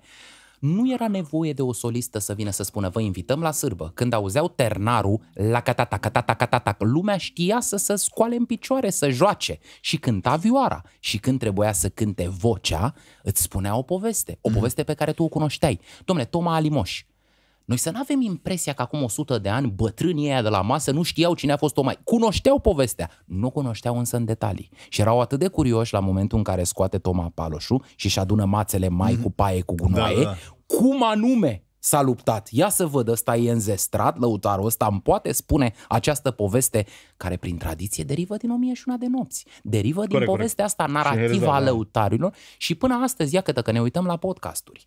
Uh, oamenii sunt interesați de povești. Uh, ci că lumea nu mai crede în zmei. Băi, uite-te pe Netflix, că sunt numai cu zmei, Nu. toate. Și numai... Oamenii vor în continuare zmei și CF-uri. balauri, dar important este cum le împachetezi. Adică să nu îți lase totuși un gust ieftin la final. Ceea ce cred că acum e mai greu ca niciodată. Din niște motive mai degrabă amestecate, care, cum spuneam, țin de politicile educaționale, țin de țară, țin de neam, țin de... E adevărat. Și mă gândesc la, la, la ce spui tu. Există, un, uh, există un, o dorință intrinsecă a colectivului de a auzi piese, exact cum ai zis tu, nostalgice, romantice, cu, cu un, un iz de părere de rău și așa mai departe. Nu știu de ce, pentru că atunci inima se topește sau ești dispus atunci să lași mai multe sentimente, să, să iasă la suprafață, habar n-am. Dar și acum, Asta cred că vine mai degrabă din uh, The Bessarabian Invasion. Știi de British Invasion? adevărat, British Invasion a fost un fenomen, ca să le spunem și celor Adevărat. care ne urmăresc, în anii 60, când toate trupele alea din Marea Britanie s-au cățărat în topurile americane și spuneau oamenii de radio din America, bă, ce facem cu toți englezoi ăștia, că avem și noi artiștii noștri. Este un fenomen, Da, ai dreptate. Bessarabian Invasion, care vine cu o sensibilitate Uh, Vezi tu, artiștii din Republica Moldova, pe lângă faptul, și o spun cu tot respectul, fetele din Republica Moldova mediocre, totuși mâna o bagă în pian, spre deosebire de fetele mediocre din România. Este vorba de o școală de muzică Da, da, despre da, da, care da. nu mai vorbim atât de, de zilele astea, pentru că înțeleg că suntem în conflict cu partea aia de uh, cultură, mă refer aici la cultura rusă. am înțeles. Dar e vorba de un sistem de școlarizare și de niște referințe culturale pe care Mai noi trainice. aici nu le căptăm. Adică cine știe în România cine a fost Victor Krum sau cine a fost uh, uh, Victor Țoi, formația Victor Țoi. Kino. Uh, trupele de punk rusesc, de rock rusesc, încă din anii 70 sunt niște referințe acolo care ele încă mai există. Da. Există niște oameni în vârstă pe la Chișinău, pe la Bălți, care țin minte niște trupe fabuloase care un pic dacă ciupești de acolo și pui un sound modern și vii cu el la Radio București, bă, ăștia sunt altfel. Ăștia sunt altfel. Mă, nu, ei sunt la fel dacă ne raportăm la Cecenia, Uzbekistan, Georgia. Dar pentru că suntem în blocul occidental, că o dăm în războiul rece, uh, cred că de acolo. Și atunci, de la acest filon pe care eu îl ador la Basarabeni, by the way, de a rămâne sensibili. Uh, e luna mai și tot amurgui în văpăi Și toate trec și peste lume, peste voi Dar cât de bine, ta ta ta e lângă tine Ce se cânta după al doilea război mondial? Muzica Antifa Muzica care unea brigade rusești cu brigade americane Care cântau cu saxofoanele că nu mai este Hitler noi nu trebuie să uităm de lucrurile astea. La un moment dat a existat un front comun între stânga, că suntem de unul mai muncitori, Da. da. să zicem și de Erau stânga. niște imagini, mi-aduc aminte de Asta spun. Domne, uh, băieții ăia de la Tătar Bunar, care cântau cu saxofoanele cu privirea înspre cer, așteptau uh, ceva ce n-a venit. Dar emoția aia nu le poate lua nimeni. Da, momentul nu, acela a fost, Emoția e emoție, e pură, nu mai începe să facă abstracție de politică, de istorie, de toate celelalte rahaturi, în definitiv. Dacă, dacă ar fi să alegi un cuvânt pentru fiecare dintre colegii tăi de la Vedeta Populară, Uh, uh, îți, îți spun da, numele da, da. și tu îmi zici cuvântul. Un cuvânt care poate să însemne Orice, înțeleg, orice, înțeleg. dar din punctul tău de vedere. În primul rând, uh, o persoană și pe care și eu o cunosc, încă de când am intrat în televiziune, de cu 30 de ani, Elize Stan. Seriozitate. Bun. o persoană cu care ne-am întâlnit chiar anul trecut și am avut niște momente formidabile chiar uh, în uh, la Craiova. Niculina Stoican. Impetuozitate. Așa. Uh, cineva pe care personal nu l-am cunoscut până acum. Grigore Leșe. Profunzime. Uh, cineva care e plin, plin de zâmbet și uh, are o voce foarte bună. Cornelia Lupu Rednic. Elveția. Asta de unde vine? Nu, trebuie să vă explici De la, de, la, de la felul e extrem de diplomatic de a fi și de la faptul că este singura persoană pe care am întâlnit-o vreodată în media Așa? care are un talent extraordinar de a nu fi în conflict cu nimeni. Este un dar de la Dumnezeu ăsta pe care eu, eu nu l-am. E destul de limpede. Eu de fiecare dată când, eu de fiecare dată când ajung undeva, cineva mă adoră, altcineva mă urăște. Cu o putere greu de imaginat. Mi se pare că trebuie să ai într-adevăr un dar extraordinar de a nu intra în conflict cu nimeni. Interesant. Și eu, eu cred că pe lumea asta deseori e mai importantă pacea decât dreptatea. Uh, Switzerland, dar și o părere de, sănătoasă, uh, așa cum ai tu, este binevenită. Și, bineînțeles, uh, fosta mea colegă, prietena mea, Iuliana Tudor. Uh, aș zice discret? Că nu, de discreție. Dis, di, discreție. Uite, o să folosesc Să știi că și substantivul. Iulianei Tudor nu i-a fost ușor, apropo de cele 252 de posturi, să-și creeze un nume, pentru că oricine, zice, pune pe cine, iar acum urmează formația 10 prăjini. Oricine putea spune lucrul ăsta. Dar ea și-a, și-a, și-a șlefuit personalitatea ei ca prezentator, ca om de televiziune de-a lungul anilor, uh, prin dicție, prin putere, prin zâmbet, prin, uh, prin coloana ei vertebrală, prin imaginea pe și care prin și-a faptul făcut-o. că a fost alături de doamna Elize Stan, care la rândul ei este una dintre cele mai frumoase relații mentor-discipol pe care am văzut-o în viața mea și aș mai spune un lucru mm. din muzică de data asta, nu din lumea prezentatorilor pe care mărturisesc că nu o cunosc. Da. În muzică eu nu cred că e important cine e bun, cred că e important cine rezistă. De asta mă aflu la această masă cu tine. Eu asta cred. Cred că numai după cel puțin 10 ani de zile putem, indiferent cine și indiferent ce faci, publicul e mai deștept decât noi toți de aici din cameră. Dacă reziști, înseamnă că e ceva acolo, că nu ne place nouă, că e de la trap, că e de la rap. Da. Asta nu înseamnă că publicul greșește. Publicul are dreptate întotdeauna, așa spune Maria Tănase. Voi sunteți de vină, ăla de la machiaj, orchestra, ăștia de jur împrejurul meu, stafful. Niciodată publicul. Dacă publicul a strâmbat din bot, n-am învățat eu și un cântec în limba turcă. Să-l îndulcesc. A pățit asta la Istanbul, unde a fost huiduită, Maria Tănase. Și a doua zi s-a dus furioasă într-o mahala, l-a plătit pe un nenic cu tambura și l-a pus să-i repete de 200 de ori cântecelul și a doua zi a început cu cântecelul în limba turcă, după care a dat-o în ale ei. Și a fost bine. Da. Niciodată nu greșește publicul, niciodată, nici măcar o dată. Și cine spune, mai ales din rândul muzicienilor, că publicul greșește, din punctul meu de vedere nu este decât frustrat. Și pentru că ai pomenit de Maria Tănasă și pentru că vreau neapărat să faci un mic efort de imaginație, mm-hmm. să-ți imaginezi că acum deschizi televizorul și la vedeta populară este un panel de artiști români ai tuturor vremurilor. Mm-hmm. Și aș vrea să îmi pui pe fiecare scaun pachetul ideal de cântăreți, instrumentiști, oameni de folclor din România care ar putea să fie acolo. Foarte greu. Este foarte grea întrebarea pentru că cred că fiecare are plusuri și minusuri. De asta zic eu că e un dar aparte să fii producător. Uh, Cu siguranță mi-ar plăcea să-l văd acolo pe Constantin Brăiloiu. Cred însă că ar fi fost un pic prea pedant pentru cerințele pop de astăzi. da, eu le da, spun da, da, copiilor, măi copii, se cheamă vedeta populară, voi trebuie să fiți staruri. Lăsând la o parte că promovați niște cântece care vin din străvechime, tu nu mai poți fi ca muma bătrână de la Tu trebuie să Bistrița.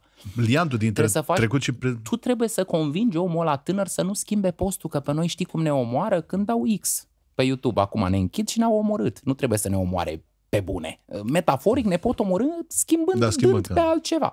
Uh, deci, uh, sigur că mi-ar fi plăcut să-l văd pe Harry Browner acolo. Întrebarea este care Harry Browner? Harry Browner dinainte să facă 12 ani de temniță grea sau după? Pentru că Harry Browner de după este o stafie. A cine a fost Harry Browner înainte?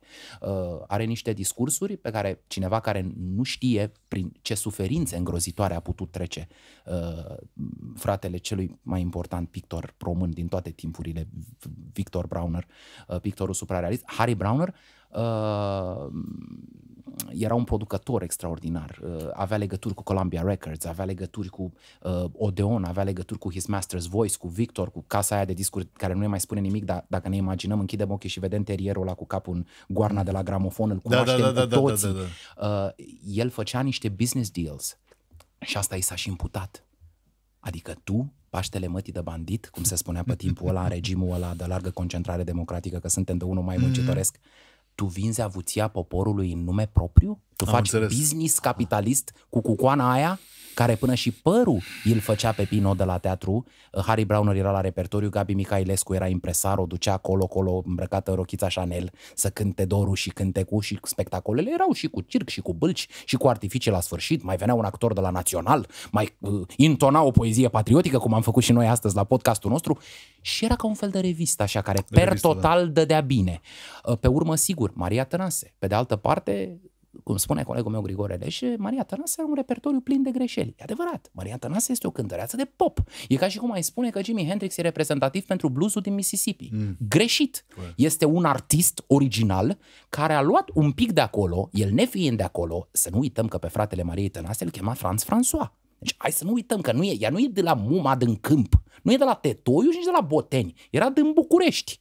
Și în București Primul ei, uh, ne povestește profesorul Stejere Lolaru, primul ei iubit, Alfred Paximade, era comisarul șef de poliție, intra la Carol al doilea fără să bată, era decorat, fusese decorat de Ferdinand. Când aveai un asemenea iubit, ajungeai pe niște scene, uh, te ajuta cumva să fii acolo, ei o personalitate aparte, ea ar fi fost, de fapt, poate popul ăla care îi lipsea Am lui înțeles, Constantin am înțeles, Brăiloiu. da. Pe urmă, mă gândesc la Maria Lătărețu, probabil prima cântăreață româncă, femeie de etnie romă din Godinești Gorjului uh, cu 14 frați. Au crescut 15 în 4 metri pătrați. În caselele albe, cu borduri turcoaz de pe malurile Novaciului, în Gorj, și-a pus mâna pe chitară și trăgea cu chitara ca o zeiță și cânta numai La cântece chitară. erotice, până când au venit comuniștii și a căpătat cămășuță cu altiță și nu mai avea voie să mai spună ce spunea lătăreața, nei că dacă ești viteaz, fă grădină cu pârleaz și în grădină fă fântână să-ți vie mândra la mână, bai eu nu, bai eu dacă mă vede mai ta. A, a- eu cam asta caut, pentru că erau vii, nu erau, uh, uh, cum să zic, în, înțepenite într-un proiect care nu era al lor. Că n-au cântat personalitatea- niciodată țăranii de marxism-leninism, decât puși. Da. Cum și astăzi sunt vieții de ei, încearcă tot felul de soluții și de variante ca să fie pe placul lumii. E bine să fii pe placul lumii, dar uneori trebuie să te gândești și la cum e să fii pe placul tău. Și atenție, nu judec, pentru că epoca a fost de așa natură. Toată lumea, uneori avem tendința să judecăm prea aspru. Văd comentarii pe YouTube care mă șochează vis-a-vis de Gică Petrescu, de pildă, apropo că zilele trecute s-au făcut 108 ani de când s-a născut. Ce domnule ăsta care s-a dat cu toate regimurile? Ăsta care s-a dat cu toate regimurile a făcut primul lui disc pe vremea când se dădea tatăl nostru la Radio București ca probă de semnal și a făcut ultimul disc pe vremea când deja Biugi Mafia erau la al treilea album. Nu trebuie să uităm lucrul ăsta da. și nu trebuie să mai uităm un lucru. Întotdeauna tu ai de făcut niște alegeri ca artist. Poate nu sunt cele mai grozave, poate nu sunt cele mai strălucite, dar îți place să cânți. Eu întreb, Oare George Călinescu sau Tudor Arghezi trebuie iertați? Păi ei erau intelectuali, ăia știau ce fac. Noi ne, ne războim cu niște cântărețe? Înseamnă că nu mai suntem sănătoși la cap. Înseamnă că nu mai avem simțul proporției. Te super pe o fată de la Craiova, mă refer la Ioana Radu, prima motociclistă din România. De la accidentul ei de șold, de în anii 90 apărea în fotolile alea, că nu prea multă lume știe chestia asta. Care la un moment dat a trecut la romanță pentru că sora ei a plecat din țară, căsătorindu-se cu fiul lui Lucian Blaga și Corect. înțelegând că ea nu mai are loc. Și a devenit regina romanței, surioara cea mică care era de la populară, nu de la romanțe, că trebuia. A dispărut Jean Moscopol, a fost inventat Gică Petrescu. Așa au fost lucrurile în țara asta.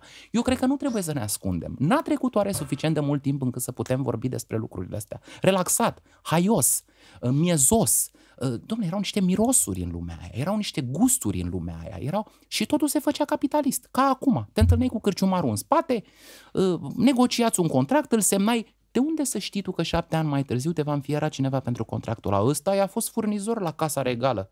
Neamul în gură de bandiți. Stai, domnule, că am cântat, Da. da. cui m-a chemat? Nu știu. Tare mă tem că în, în, în uh, degringolada asta în care trăim astăzi, e foarte posibil ca și noi să fim judecați pentru unele lucruri. Și e foarte, e foarte ușor ca tu, chiar dacă ai avut, ai avut cele mai bune intenții, e foarte ușor să fii pus la pământ. Sigur că da, sigur. Adică și, șuvoiul e atât de puternic. și am văzut asta la niște oameni minunați de astăzi. Am văzut cum s-a repezit uh, toată lumea la Andreea Esca în pandemie. Am văzut cum s-a repezit toată lumea la Florin Salam, că a făcut o greșeală, odată. Nu se poate să-l iubiți 30 de ani și dintr-o dată să nu-l mai iubiți deloc. Se pare că mă întorc la povestea aia că dacă 30 de ani ai ajuns pe cineva, ești bun și în al 31-lea dacă nu ai ajutat, înseamnă că ai făcut rău. Toți ei 30 înainte. Probabil că așa e omul, nu știu, dar eu vreau să spun că poate ar trebui să ne imaginăm că chiar în perioada aia dură, nenorocită, uite cum au fost anii 50, Domne, Urâți. Uh, cei mai urâți, obsedantul Urâți. deceniu, cum spunea Marin Preda, nu? Domne, când se auzea dimineața la aparatul ăla de radio care fâșia Ridică mândro perdeaua, să intru să-mi iau mantaua Mantaua și cu tunica, că mă apucă ziulica Domne, te duceai la uzină într-un fel Adică noi ar trebui să discredităm complet emoțiile acelor oameni Oamenii au trăit Se legau de orice Cum ca au să, trăit? sus, ca să supraviețuiască A și ca fost să gri, reziste. a fost cenușiu, cum îmi spuneau lăutarii da. cu care povesteam nea Victor Teișanu când auzeam brezele lui Ilie Budilă la radio, mă înviora, mă înveselea, mă făcea să plâng și mai uitam dracu de toate supărările.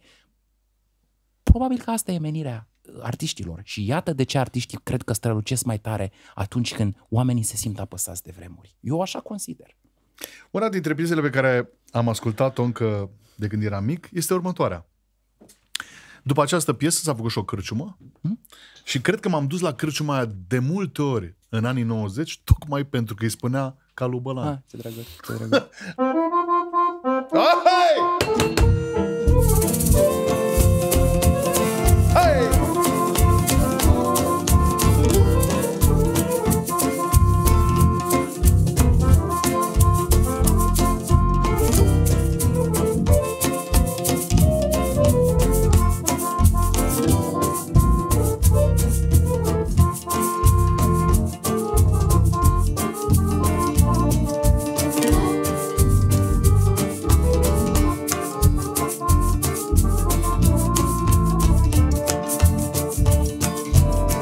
Calobălan la calobălan și jawai verde. Ține-mi-l, Doamne, ține-mi-l, Doamne, nu mi-l pierde. Calobălan la calobălan și jawai verde. Ține-mi-l, Doamne, ține-mi-l, Doamne, nu mi-l pierde. Că l-am mai dat, că l-am mai pierdut odată Și l-am cătat și l-am cătat vara toată La-ra-ra-ra-ra.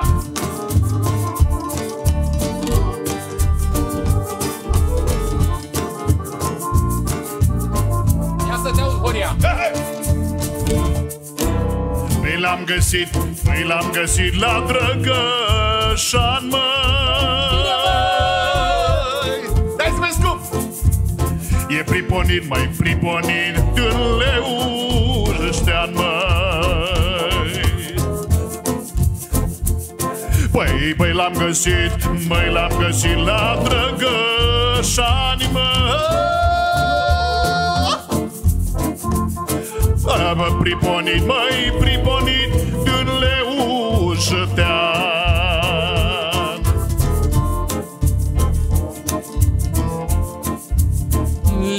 Leușteane, leușteane, cine te-a pus? Cine te-a pus, bă? Maria, păi Maria care s-a dus Leuștean, leuștean, Băi, cine te-a pus, Maria care s-a Păi n-a lăsat, nu mi-a lăsat niciun răspuns, mă Nici guriță, nici guriță de ajut. N-a lăsat, nu mi-a lăsat niciun răspuns, mă Nici guriță, nici guriță de ajut. A plecat, da, a plecat și mi-a spus mie Că-i cu gândul, că-i cu gândul tot la tine A plecat, da, a plecat și mi-a spus mie Că-i cu gândul, că-i cu gândul tot la bine, copii! Excelent! Băi, cum a fost asta, mă? Deci mi se pare cum, cum se duce... Băi, e- explicăm că sunt aici, ești expertul în materie și, și tr- trebuie, trebuie să-mi spui.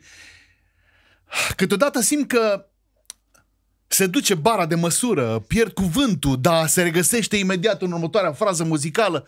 Dar de unde, de unde uh, nu știu, dă o, dă o senzație de ad hoc creativ formidabilă. Pentru că, mai ales stilul lăutăresc, pentru că e o discuție ce înseamnă muzica lăutărească. Muzica țigănească a fost vopsită în muzică lăutărească în anii 60, altminteri exista o secție la Electrecord de muzică țigănească care ca prin farmec, ca în poveștile cu cenușereasa, în 57 a devenit de muzică lăutărească. E o discuție și asta, în ce măsură se ocultează Cartea mea, Deja legi de dragoste pe Padre Bucureștiului, asta investigează mai presus ca orice. Dacă putem să-i spunem muzică lăutărească, subliniem, lăutărească țigănească sau lăutărească țigănească. Adică dacă e mai importantă ca o muzică de breaslă, adică a lăutarilor mm-hmm. sau a romilor. E, e, e, e o întrebare pe care mi-am pus-o și ce m-a șocat este că puțini specialiști s-au gândit să întrebe pe lăutarii înșiși. În general au perorat ei teze cu domnule, da să vedeți că a făcut, că s-a întors, dar nimeni nu s-a dus la ei. Bre, asta e muzica lui Matale? Asta Matale o cânti tu când pleacă românii și ai terminat cu zărzăreaua. Matale ce cânti la tine acasă? Uh, pentru că cel care uh, face muzică are și propria lui muzică, care nu e aia de pe scenă, e o muzică ascunsă. Eu am descoperit-o la oamenii ăștia în casă și eu am plecat pe modelul Acolo este țara mea, căutând cântecul românilor. Te rog, nu Și te mai lega de ajungeam- piesa asta, mă fac să gând din nou, ajungeam- pe bune. și Cristian, hai ajungeam- să... Acolo este țara, termină și mă ajungeam, ajungeam, și ajungeam Bă, nu știu, la băi, 12, compatriotă ajungeam din la mine. 12 1 noaptea Așa? să mă întâlnesc cu altă muzică pe care nu cunoșteam. Și ea, ce cântă ăștia? Ăsta ce? Nu știți dumneata. Asta e muzica noastră, e o muzică măruntă. Păi, cum adică? Dar e foarte importantă pentru mine. Ia mai ziceți o Adevărat, dată, că vreau adevărat. să... Ei, stilul lăutăresc și muzicile astea cu parfum balcanic din vechiul regat, cum este la Calul Bălani, un cântec din părțile vâlcii, să zicem așa, promovat de Fărămiță Lambru. Un celebru lăutar, că am pomenit-o Da, da, da, cu Maria da. Tănase. Maria Tănase a avut simțul ăsta să-l ia pe Fărămiță Lambru, l-a găsit dormind într-un șanț și a zis, tu iei Hohnerul la Verdi 1 fără registri lângă mine și tu stai lângă mine și să pară că suntem un fel de Beauty and the Beast. Este o chestie foarte Nu mișto, cred că foarte ai spus chestia asta interesantă. cu Beauty and the Beast, dar trec peste asta. Ai înțeles la ce mă refer? jur. Era o, era o treabă haioasă pentru Da. că era fărămiță slab, Marin Cotoanță, care era rotund așa, arăta ca un bursucel cu copza și ea care era ca o divă, lovable în mijlocul lor. Uh, Imaginea nu e rea. Imaginea e foarte bună. Crezi că era Maria smart. Tănase avea se, simțul ăsta al Gabi imaginii Micailescu. față de... Deci, Sandu Eliad, născut Vritmanson, soțul ei, Gabi Micailescu, impresarul, uh, Pepino și cu Harry Browner.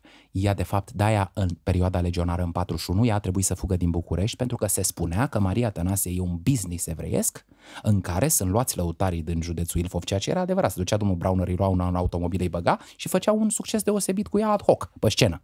Ea avea trupă când voia ea, pentru că ea avea o echipă foarte bună, un staff artistic, cum am spune noi zilele astea, înțeles. care s-au străduit să o producă ca pe o artistă serioasă, consistentă, mult mai consistentă decât puteau avea fetele alte care încercau și ele, dar n-aveau un echipaj atât de bun în spinare. Avea un staff puternic. La Fărămiță Lambru și la muzicile astea din vechiul regat, în special din partea de sud a țării, unde m, au fost toate m, invaziile asiatice, unde m, moștenirea otomană se simte mai la ea acasă, unde chiar dacă nu suntem în Balcan geografic, suntem în Balcan deseori cultural, uh, muzica e prestandardizare. Nu se număra până la 8 ca la, sau până la 4 ca la școală, nu se acorda, nu, nu, nu exista un standard tuning, nu existau uh, terțe, gvinte și lucrurile astea de care vorbim, toată lumea cânta după niște instrumente netemperate care le ziceau chemane, ca un fel de viuri dezacordate care se țineau pe genunchi, la care cânta chemanist. Cine a fost celebru chemanist? Dimitrie Cantemiroglu, Cantemir, domnul Moldovei, cânta la niște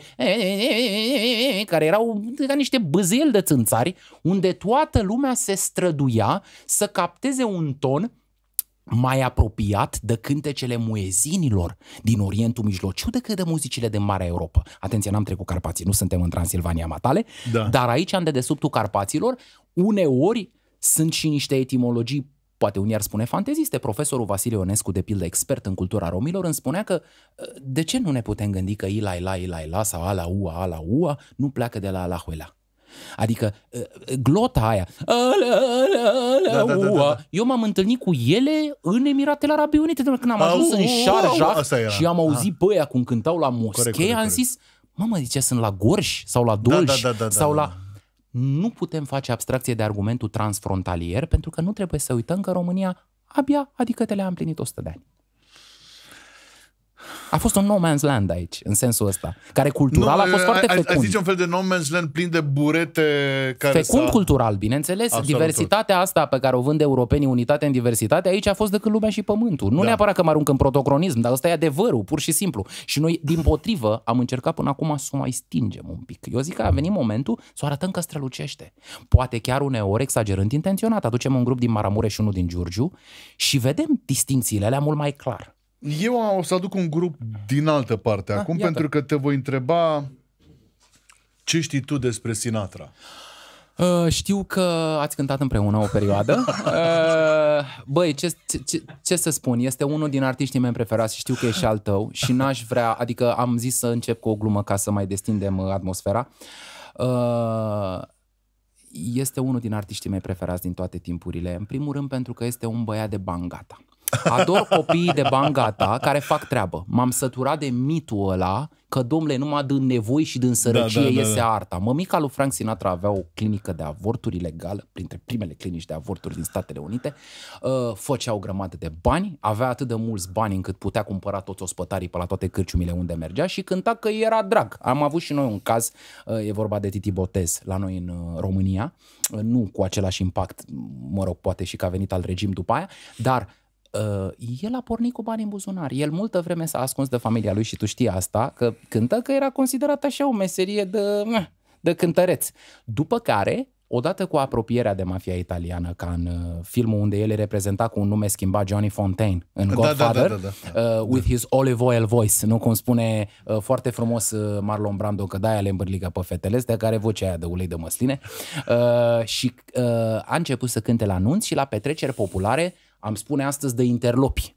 Pe timpul ăla se spunea de oameni de afaceri ai uh, Statelor Unite uh, și albumul In the Wee Small Hours din 1950, la cu coperta albastră, uh-huh. în care fumează trist sub un uh, felinar, Așa. consider că este primul LP, primul album conceptual, cum vrem noi acum să facem albume, adică să aibă legătură de la primul la ultimul cântec, totul. Uh, era săracul răgușit, uh, avea sângerări uh, laringiene mm-hmm. îngrozitoare, uh, a trecut printr-o perioadă de tocătură de casino care nu l-a ucis ca pe Elvis Presley, dar mai avea un pic și lucidea și a reușit urăsc cuvântul ăsta, reinventeze, dar în cazul ăsta e bun de fiecare dată. In the wee small hours, pe urmă la albumul vesel, la Orange cu You Make Me Feel So Young, după aia uh, sigur, și până la finalul vieții, când a mai făcut și niște trăznăi, că la bătrânețe s-a acceptat. A făcut și un album de disco absolut Da, ridicol da, da, în da, da, da. 76, dar Da. na, na. Deci, pentru mine, Harry James Orchestra cu Frank Sinatra, Harry James, care, atenție, a fost colaborator al lui Grigoraș Dinicu, că nu e nimic întâmplător. Ciocârlia, spectacolul lui Sinatra, mm. în 39, așa începea. Parapapa, parapapa, Hora staccato. In a gypsy cafe somewhere in Eastern Europe, Mr. Harry James discovered uh, the Hora staccato. Iașa Haifetz în Grigoraș Dinicu. Sigur, Haifetz doar a scris-o pe o partitură, da, da, da. era compusă de Grigoraș Dinicu toate lucrurile astea se leagă crunării ăștia din perioada interbelică, cum avem noi atâția, că l-am pomenit pe Gică Petrescu, mm-hmm, mm-hmm. sunt, uh, cred că niciunul dintre ei n-a strălucit mai tare decât Sinatra și explicația cred că ar fi ca să fiu un pic răutăcios pentru că avea în spate și o cultură care investea milioane de dolari în asta. A să avut fim noroc și a le-a avut pe cinstiți. toate, Da, într-adevăr. da, da, da. E foarte interesant și lucrul ăsta l-am punctat în, acum 8 ani de zile, Ehm, când am, am împlinit 100 de ani de la naștere. Mhm. El, și ca să vezi că nu e nimic întâmplător, Sinatra și și Gică Petrescu s-au născut în același an, 1915. Pf, Ce tare. Uh, iar dincolo de asta, dacă vorbești de swing, te lovești inevitabil de Gică Petrescu la noi. Sigur. Și dacă vorbești în partea cealaltă de swing, uh, uh, nu, nu poți să nu vezi o legătură între cei doi. Ai fi vrut, exact așa cum a fost făcut în 1959, celebru duet între Elvis și Sinatra la un revelion. Așa ai fi vrut să vezi Pe și... Gică cu Jean Moscopol. Din păcate Moscopol fugise din țară, i-a cumpărat Elvira Popescu două bilete în 44, i-a zis tai de aici că e belită și ca și astăzi uh, uh, șmecherii pleacă primii. Uh, noi mai rămânem puțin, așa. Uh, trebuie să spun că m-a marcat pozitiv și am zâmbit uh, cât o zi de, de post. Dacă mi-e permisă expresia, că nu mă se mai țin asupra multe zile de post, zile de post. Dar când am auzit piesa asta în, în, în, uh, în interpretarea ta, am zis că dacă o ratăm, probabil că ratăm intrarea noastră în UE cu Schengen-ul și nu-mi permit așa ceva. Um, o să-ți dau versurile. Ha? Am încercat și e doar o, o schiță. În cazul în care vrei să te arunci pe o uh, partea mea, ești liber să o faci. Uh, Este una dintre piese... Ah, ce drăguț, am primit și împărțeala. Superb! Superb, Da? superb, ador. D- Vezi că împărțeala este exact în oglindă. Ce când, ce când tu în prima parte, când eu în a Înțeleg, doua înțeleg. parte, Excelent, excelent, am văzut, am văzut, de-aia zâmbeam. uh, este una dintre piesele pe care uh, țin la ea foarte mult. Da, și pentru eu o că ador și mie nu-mi plac cântecele vesele. Dar ăsta chiar îl ador. pentru că are o Asta e melancolie pe dedesubt. Are de fapt, melan- de fapt. Da. Da.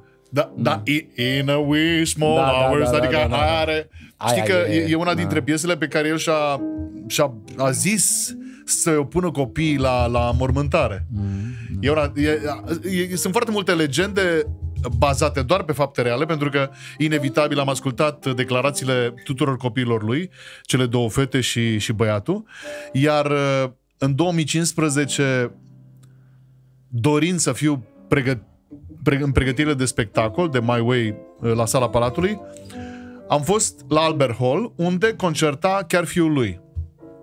Sinatra Junior, Dumnezeu să-l Exact. odihnească, colaborator al serialului de animație Family Guy, că de acolo îl știe Exact. lumea. Ultima, iar eu nu am știut că ăla va fi ultimul spectacol pe care îl va face, că după Dumnezeu aceea să-l s-a stins și el. Odihnească. Fantastic că l-ai văzut. Deci, și plus că eram singur și vreau să vă spun că îmi crăpa obrazul, român, da, născut în Brașov, îmi crăpa obrazul de rușine și am stat cu telefonul, așa, tot concertul. Cum le spunem noi oamenilor să nu facă, nu? cum le spunem la oamenilor să nu facă, am stat eu așa și numai că era Albert Hall și că erau mii de oameni acolo, sau chiar mai puțin, mai mult, nu știu exact numărul, e bine, stăteam și probabil că unii se uitau, uite și pe Este europeanul ăla, hai este să zicem europeanul așa. acesta da. din...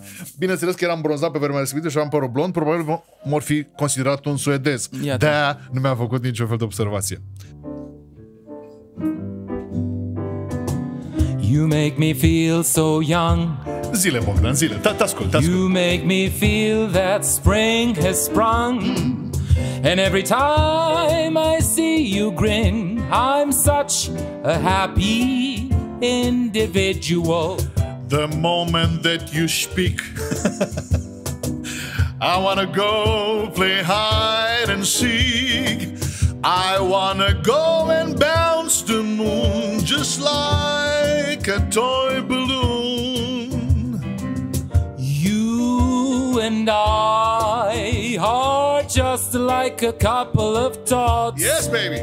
Ah, running across a meadow, picking up lots of forget-me-nots. You make me feel so young. Ascult, te ascult, Bogdan. You make me feel there are songs to be sung, bells to be rung, and a wonderful fling to be flung. And everywhere I'm old and gray, I'm gonna feel the way I feel today. Cause you make me feel so young.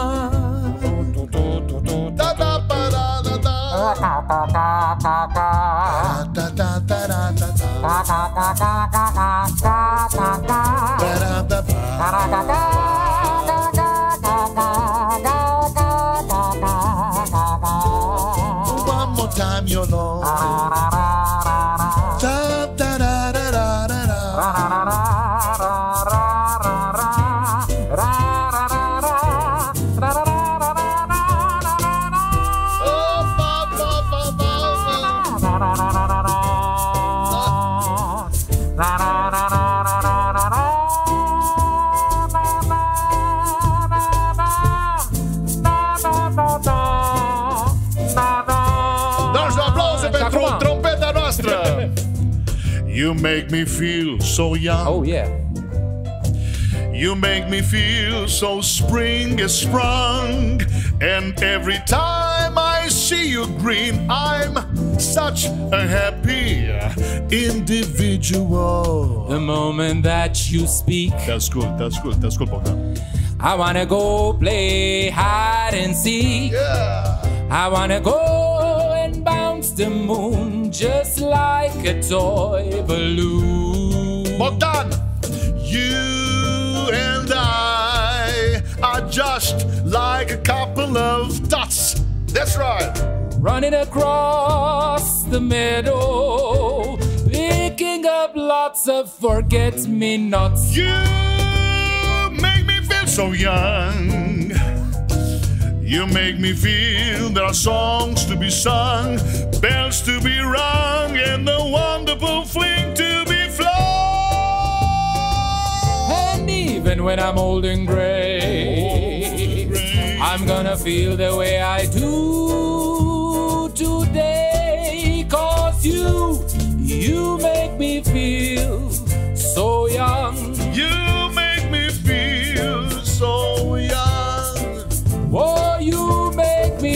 me feel so young. No, no, you make me feel so young. You make me feel so young.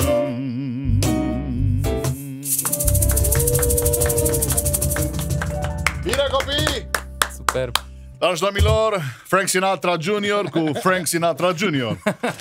Această piesă care ne va ține tineri până la dânși bătrânețe. E, acum, de dragul jocului. Uh, și vreau acum să, să-mi spui ce alte piese de lui Sinatra merg cântate, deci cred că asta mi s-a părut senzațional, la cobză. Uh, aproape orice. În principiu, swing-ul ăsta ternar poate fi o sârbuliță rară, dacă exagerăm puțin. Da, da. Adică, în principiu, aproape orice. Iată, Marea bubă, sunt milioanele de armonii și le mulțumim foarte tare acestor muzicieni extraordinar de înzestrați că au putut să ne țină o textură atât de densă, armonic pe dedesubtul nostru. Vorbesc serios. Chiar sunt niște cântece extrem de dificile, mai ales astea din anii 50-60 încoace, că a apăruse competiția. Mie îmi plac alea mai ușurele din anii 30. Uh, Sunt mai uh, drepte, mai bătrânești, cum spuneau lăutarii. Astea deja încep să capete niște sofisticări, niște șase minusuri de ne prindem degetele prin ele. Uh, Ceea ce Dar, Dar, uh, e interesant o, o piesă de-a, de-a lui uh, Cole Porter, era asta, uh, un tip foarte șarmant, uh, după care s-au făcut și niște filme. Uh, și era cu...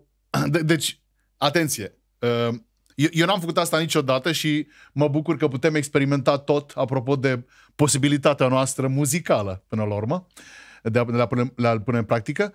Uh, era uh, I've Got You Under My Skin Mhm. care uh, cu, cu, cum e ca și da, da, da quiz, u- u- quiz de de, deci fii atent de aici.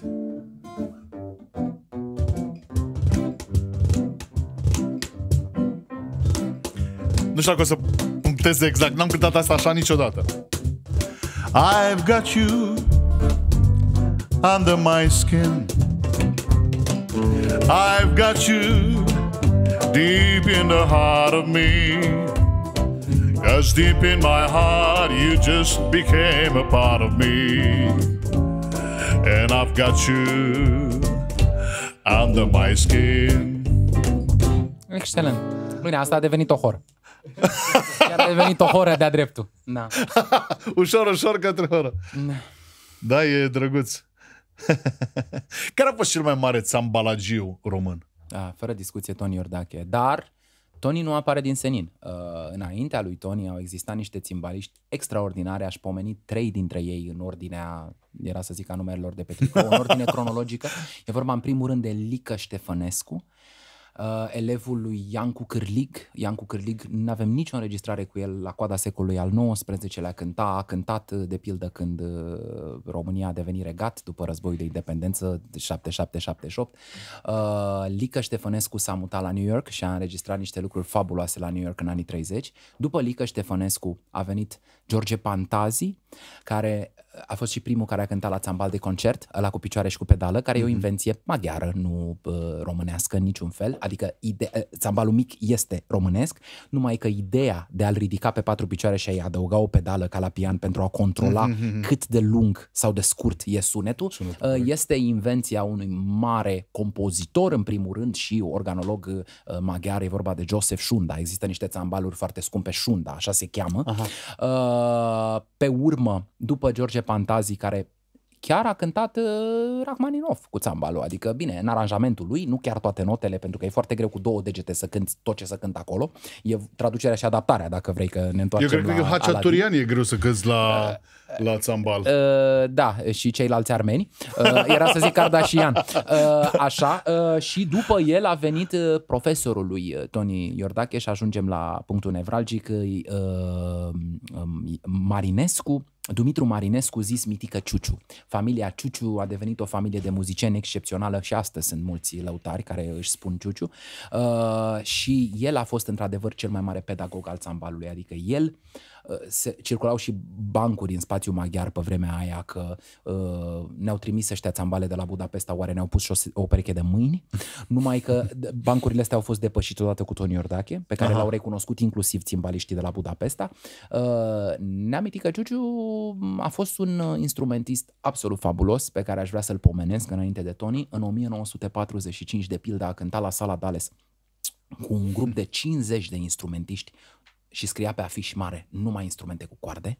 Uh, deci nu eram în epoca Clapangelii. Mm-hmm. Încă, slavă Domnului, erau multe arcușe pe scenă. Cum mi-au zis mie uh, o puștoaică la un moment dat la un concert că zici că sunteți camerată, că au văzut vioară, violă, contrabas cu arcuși și au zis ce lăutari sunteți voi de n-aveți acordioane.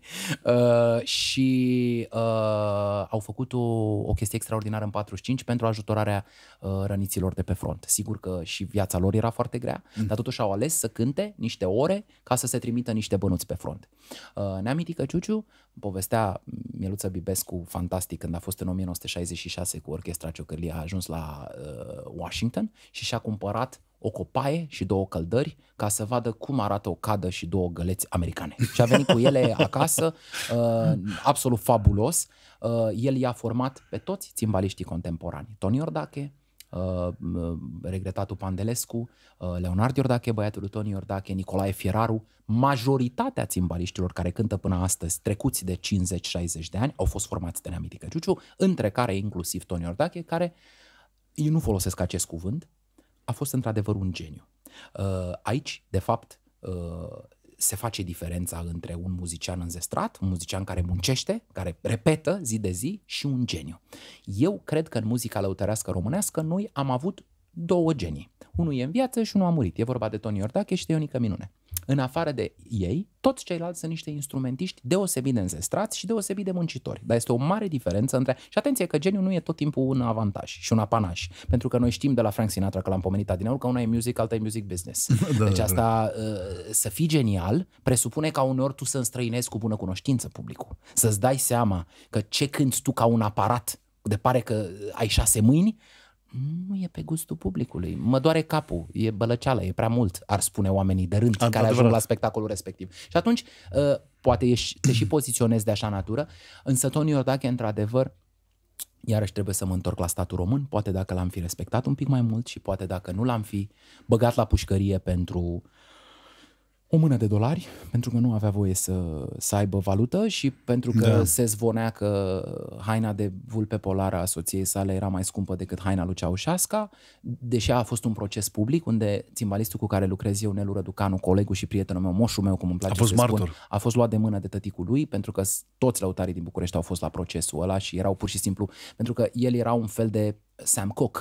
El reprezenta uh, alături de Nadia Comăne și Ilie Năstase că you can make it, că poți, dacă ești serios, dacă cânti bine, dacă ești genial, dacă ești cu minte, dacă porți sacou pe tine, dacă te mai îmbraci în costumul ăla popular de îi forțau să se îmbrace în el și cânti cu toți uh, nu o să le dau nume, cântăreții ăia și cântărețele Așa. alea pe care i-am pomenit adineauri, păi poți. Poți la un moment dat să ai un statut, poți să porți un inel, poți să-i cumperi o haină de blană lui nevastă ta, poți să ieși la un restaurant, poți să fii un om normal. De fapt, teroarea uh, României a fost uh, o categorie middle class care nu e etnic românească. Și eu spun chestia asta, a apărut în perioada interbelică, i s-a dat în cap și cum se făcea o trăznaie, stați acolo la locul vostru. Așa a fost tot timpul și asta o spun lăutarii în discuțiile mele informale cu ei.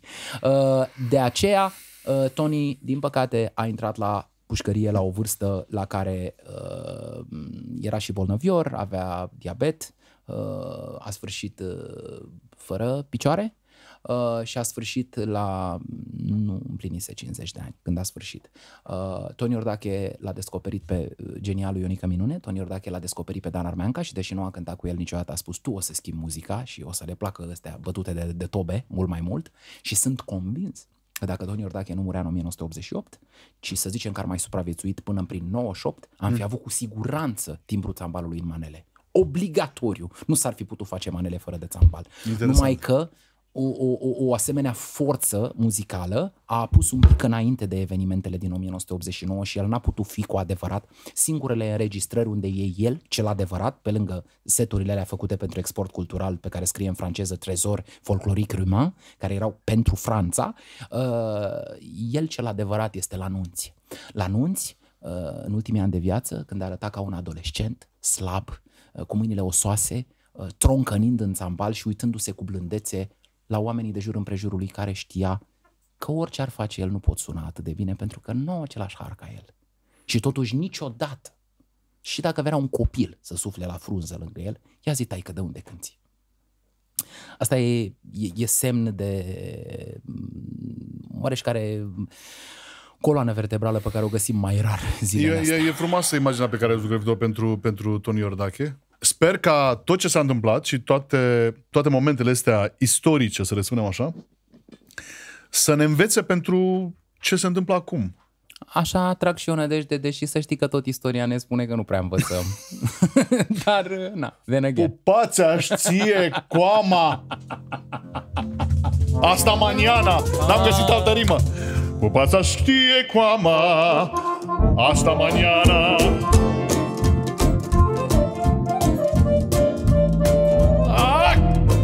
place asta ce...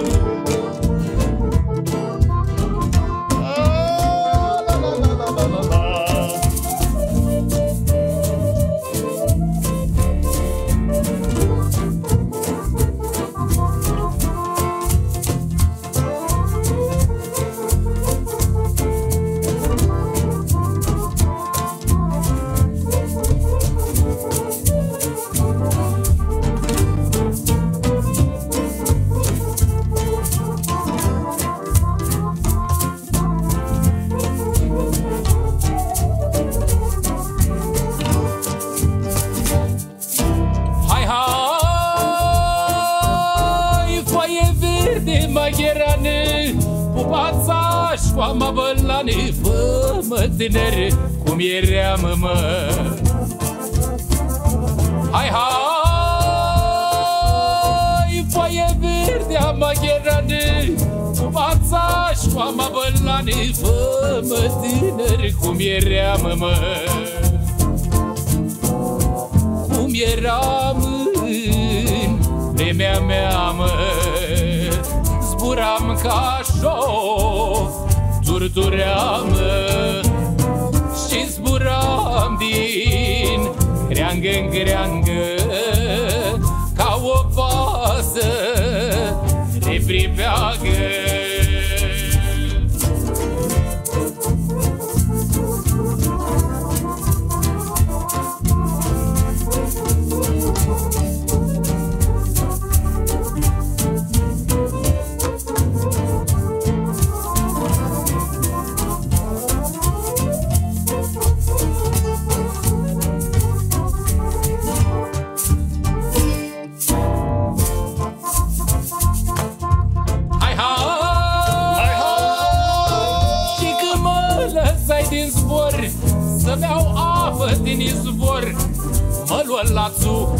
picior, mă.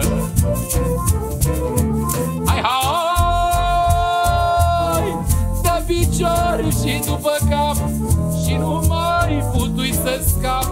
Nu știu, Doamne, să mai scapă, mă. Dar cine era vânătorul? Era puica mea cu dorul Cine era vânătorul? Era puica mea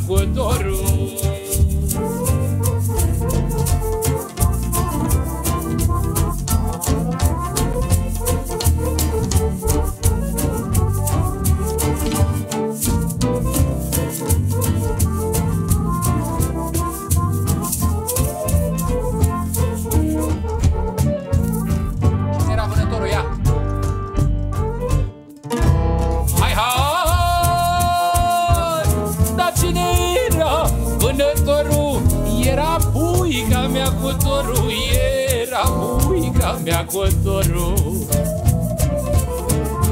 Hai, hai!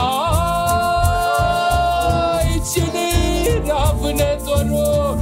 Era puica mea cu dorul Era puica mea cu dorul rupse trei fire de părmă Și făcut un lățișor mă Mă prinsete în picior mă Și nu mai pu tu să zbor mă Mi-a Deci- plăcut cum uh, am dezvoltat uh, armonic, cred că dacă mai cântam 4-5 strofe, deja ne duceam în niște trepte. Ușor, ușor ne apropiam de jazz. Ușor, ușor. Nu, dar știi care e chestia? Că eu de, uh, am luat piesa asta și am căutat-o, inevitabil.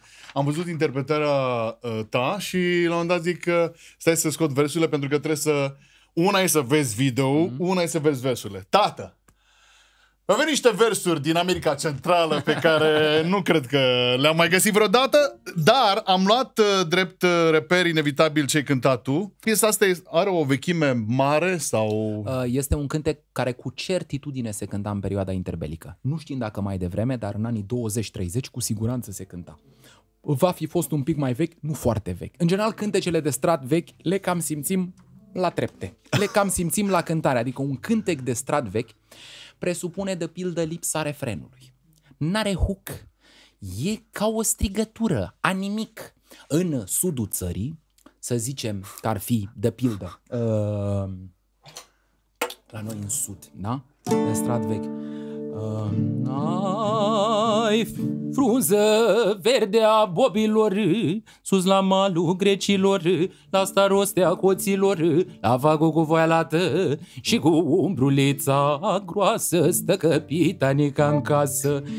Bun, asta ar fi în sud.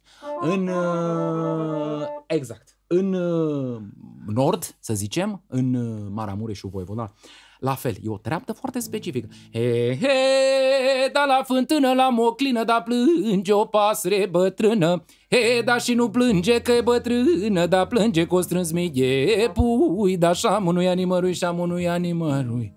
Nu, nu pare că se duce nicăieri și că vine de nicăieri, pentru Am că înțeles. uh, și liniștea și tăcerea e parte din cântare. O doină începea când s-a apucat baba de dereticat prin casă și la un moment dat să oprea, să îngătuia, că mai avea niște treabă de făcut. Și iar o continua.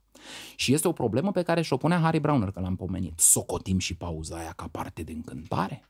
E, e interesant, dar deja intrăm în estetică, intrăm în filozofie. Corect. Și sigur că odată cu anii 20-30, odată cu comercializarea pe disc, noi să nu uităm că radio a făcut 90 de ani, lucrurile au mai căpătat și un hook S-au și un restrâns. refren. Leano Lenuțo, eh, la București deja spunea Brăiloiu în anii 30, au cam început să-i treagă cu Leano Lenuța mea, nu? M-a jurat de mii de ori, hai, hai, Lenuța mea, m-a jurat de mii de ori, hai, hai, Lenuța mea, că n-am să-ți mai scriu scrisori, hai, hai, Lenuța mea. E o căutare de hook, care nu e proprie, nu e specifică Am spațiului înțeles ce zici. ăsta, dar deja sunt 90 de ani de atunci, 100. Vreau, vreau să vă spun o chestie foarte interesantă pentru aceia dintre voi care știu filmul. Uh, Noi avem un sound specific uh, de bucium. Alpenhorn, cum au elvețienii, da. Fraților, vreau să vă spun că acest sound, exact, exact cum cânt eu acum, se regăsește într-un film care nu are nicio treabă cu România, care nu are nicio treabă cu prezentul, care nu are nicio treabă cu America sau Asia sau Europa. Mandalorian. Dacă vă vine să credeți. În Mandalorian, de fiecare dată când se spune ceva de Mandalorian și de ceva special. Deci Mandalorian e- este cu, cu, cu tipul Pedro Pascal, da? care are o mască deasupra. Mm-hmm. Cel care l-a prins pe Escobar în filmul cu același mm-hmm. titlu. E bine, el are o mască, el Mandalorian și Mandalorian sunt niște oameni speciali care ei știu să se lupte și sunt un fel de oameni care aduc dreptatea de fiecare dată. Dar nu le vezi fața. Unii și-au scos masca. Dreptate Dar în și momentul în frăție. care se vorbește ceva de Mandalorian, ceva esențial pentru cultul Mandalorian, într-un viitor foarte îndepărtat, se aude sensibil light motivul și știu că știi exact despre ceea ce vorbesc. Băi frate, zic, asta nu-i de la ei. Aceste instrumente, uh, care în general țin de vârfurile munților, există pe toată planeta. Noi, de fapt, avem două forme, tulnic, bucium. Tulnic îi zicem într-o parte Mhm. de țară, bucium îi zicem în altă parte de țară. În Africa Centrală există. Uh, Alpenhornul elvețian Alpenhornul, da. dispăruse aproape de tot în preajma primului război mondial și sub influxul naționalismului din al doilea război mondial, unul din puținele momente în care naționalismul deșanțat a făcut ceva bun, din uh, 20 de alpenhorniști, uh, peste noapte au apărut vreo 2000. Și au început să facă chestia asta că, domnule, asta ne reprezintă pe noi ca elvețieni. Treabă absolut uh, recentă, adică în anii 40. Didgeridoo australian este tot un bucium australian, putem să-i spunem. Alea pictate, lungi, care suflă flăcăii aia după canguri pe acolo. La noi, în tradiția românească, aceste tulnicărese în general erau femeile. Ca să o lămurim și pe asta. Și suflau în aceste buciumuri, era un fel de pager, de semnal. În ce sens? Bărbații, după ce ieșeau de la biserică, o luau ușurel către cârciumă. Mm-hmm. Uh, Mai așa, ele fuga acasă după ce se termina slujba, poate chiar ratau ultimele uh, cuvinte ale preotului paroh Da. ajungeau acasă, când era gata masa, sunau în tulnic și tu o cunoșteai pe muierea soție- ta. După semnalul pe care îl dădea. Semnalele aveau același schelet, dar nu erau identice. Apropo de stânga 1 dreapta noi, că așa e hora pe la noi. Păi nu e hora pe la noi așa. Că la noi eu joc mai bine, tu joci mai puțin bine, ăla joacă cel mai bine. Da. E- În, în cultura țărănească, este, competiția e esențială. De-aia pe unele costume se puneau bani. De-aia țăranii munții apuseni care erau din zona auriferă la clop puneau și o bandă de aur. De aur adevărat, de aur adevărat, ca să arate că, domnule, noi suntem din țara aurului. Adică noi nu suntem prăpădiții aia de la câmpie, de unde mă trag eu. Uh, și în, în lumea asta, femeile sunau și o cunoșteai. Era un semnal uh, care odată cu apariția pagerului și a SMS-ului a dispărut. Hai la masă se răcește, termină cu băutura aia, hai că te aștept. Și zici, asta e muierea mea, o cunosc, asta e Vitoria, asta e ailaltă. Da, Trebuie să-i spun nevastă mea. să-și pregătească tulnicul, nu? Oare ce o să-mi spună prin tulnic? Da, a fost să și vikingii aveau sunetul ăla, doar că era un corn. Da, Să e un da. corn, nu neapărat. Ei, ei, să știi, la masă nu, de la atac, toți aveau t- tulnicele. Uh, o întrebare uh, profesională, apropo de imagine și apropo de tot ce am vorbit până acum. Cum îți îngrijești mustața? În, în niciun fel, doar păstrând-o de la 18 ani. Nu mi-am schimbat lucrul niciodată, ceea ce pentru soția mea este absolut de neînțeles. Ea își schimbă lucrul lunar. Deci astăzi este oranj, mâine este portocalie, răspoi mâine are părul scurt, apoi are dintr-o dată o perucă imensă, cenușie. Cum poți să rămâi în același look consecvent atâția ani de zile? Uh, felul în care îmi crește este prin faptul că fac tot timpul așa. A devenit uh, un tic și a început să crească așa la un moment dat. Sunt sigur că dacă aș tăia-o și aș lua-o de la capăt, n-aș mai putea obține același efect. Dacă în continuare o să faci așa... În continuare o să fac așa, așa să mă țină minte lumea. Ce să zic? E, știi că e foarte interesant. Toată imaginea ta are și acest accesoriu foarte important uh, peste care nu poți să trec. Are o poveste și mustața asta. Mustățile astea au fost văzute, sunt întâlnirea noastră cu Occidentul. Care întâlnirea noastră cu Occidentul a fost prin armata rusă. În secolul al XIX-lea am avut niște reformatori ruși, între care un uh, ge- important general de armată care poartă numele unui bulevard de vorba Da, de Kiselev, Amiral da. Kiselev. Uh, ofițerii ruși școliți uh, de pe timpul lui Petru cel Mare până în buza secolului al XIX-lea, treceau prin școala militară franceză. Adică deprindeau uniformele alea cu bumbi aurii, uh, jocul de cărți, mustățile răsucite și toate lucrurile astea care țineau de Occident. Noi din Occident ne-am întâlnit prin Orient. Așa a fost la noi. Și acești ofițeri ruși reprezentau până la începutul secolului 20, idealul oricărei femei. Adică nu e un mârland ăsta de stă la oi și mă bate. Ăsta este vestic, adică vorbește franceza, joacă cărți, vorbește frumos cu mine. Și primii care au furat aceste mustăți ca să se deghizeze în ofițeri ruși au fost lăutarii țigani, care au zis, hai să părem și noi e western, cum să Păi spune stai acum, puțin, occidental. Vreau să te opresc. Da. Eu până acum, uite, îmi zugărvește altă imagine a ofițerilor ruși de final de secol XIX. De început de secol XIX. De început De de, început de secol secol XIX. Primul XIX. sfert al veacului al XIX-lea. Și Când de ce ne-au Cuza, ocupat rușii, prima unul oară. dintre cei mai prezentabili domnitori pe care am avut da. vreodată, de ce nu a încercat ce avea o perfectă, dincolo de poleala aferent, avea o, avea o, o Cuza îl știu pentru că l-am interpretat. Da, da, da, am văzut spotul, chiar Da, reușit. dar de ce Cuza avea asta așa? Uh, Alexandru Ioan Cuza era Freemason, farmazon, era francmason, ca majoritatea celor de la jumătatea veacului al Și XIX. vrei să-mi spui că stilurile astea estetice vis-a-vis de uh, mustăți, vis-a-vis de nu se schimbau de la unul la altul? Șocul ăla însemna ceva în loja respectivă. înțeles. Ciocul pe care el îl purta însemna toate lucrurile pe care el le făcea însemnau ceva. Omul ăsta a reușit să fie dărâmat de către presă, ceea ce goes to show că oricât de valoros ai fi, presa reușește să te dea jos prima. Uh, îi se imputau niște lucruri absolut halucinante. Eu am citit presa din epoca lui și e foarte greu de citit pentru că atrag atenția. Pe vremea aia alfabetul era de tranziție, erau și caractere chilirice și caractere latine. Am învățat că ce să fac. Dacă așa mi-a plăcut să frec ziarele alea vechi, să fac bube pe la ochi.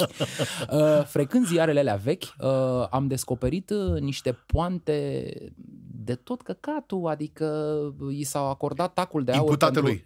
i s-a acordat tacul de aur pentru cel mai bun jucător de biliard în Europa, adică cam așa era Fonfleu, cam asta era miștou la adresa lui.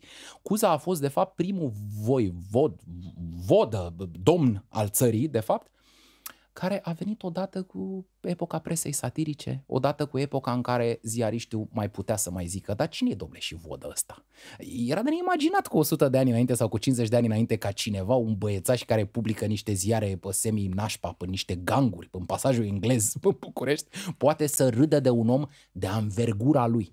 Uh, A fost tolerant, a fost drept, are Constantin Giurăscu o carte excepțională despre el, Uh, a fost bagiocorit, a fost hulit, a fost dat afară din țară și a fost singurul șef de stat, subliniez asta, care a avut curajul să se ia în piept cu Biserica Ortodoxă. Acesta este și motivul pentru care încă nu e pomenit în biserică, pentru că în scandalul proprietăților mănăstirești, mm-hmm. el a zis ce e al vostru e al statului. Um, Mănăstirile și bisericile dețineau mi-aduc aminte, da. da, da. dețineau enorm din teritoriul României. Teritoriul României era deținat nu de Biserica Ortodoxă Română, mare atenție, de Biserica Ortodoxă Greacă. Pentru că Biserica Ortodoxă a devenit autocefală pe timpul unui luteran, Carol de Hohenzollern-Sigmaringen, care a zis, bă, sunteți nebun la cap, îi lăsați banii să plece afară din țară? Hai să facem noi un beore al, al nostru. Biserica Ortodoxă Română a fost autocefală pe vremea lui Cuza. Și a venit și a zis, băi, mă interesează mai puțin acești călugărași greci și ruși hai să nu mai plece banii. Le confisc eu teritoriile. Eu sunt francmason, mai ușor cu astea pe scări, că facem un stat laic. Eu întreb, după Alexandru Ioan Cuza a mai avut cineva îndrăzneala? Hai să întrebăm pe ăștia, că suntem în 2023, în TikTok și în Instagram. Are careva îndrăzneala să se scoale în picioare să zică Bă, da, aveți cam multe proprietăți, pădurile alea până... Nu pun... Nici nu se mai pune problema, la la la la la la la. Nu, a, așa face toate. Oameni bătrâni, nu lăutărași ca mine. Oameni bătrâni, cu, în, în poziții de putere. Și de asta a ajuns unde a ajuns. Pentru că sunt unele forțe în această țară cu care pur și simplu nu te pui. Eu asta cred. Norocul nostru că între timp, noi pe lângă biserici, oamenii de bine au mai făcut niște cârciumi. Mm-hmm. Pentru că eu nu înțeleg de, de, de la biserică se duceau la cârciumă. Nu, asta vine din Orient. Mahala, mahale, înseamnă așa, moschee, tutungerie.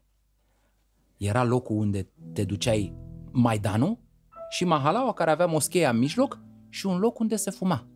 Ei, în spațiu creștinesc, Maidanul, biserica, cârciuma, că e voie și cu alcool la creștini. La musulman nu e voie. Dragă mă, e o chestie clară. Cine a pus cârciuma în drum, Ah, iată. Ăla... Nu știu, nu știu ce ziceți voi, dar n-a fost om nebun.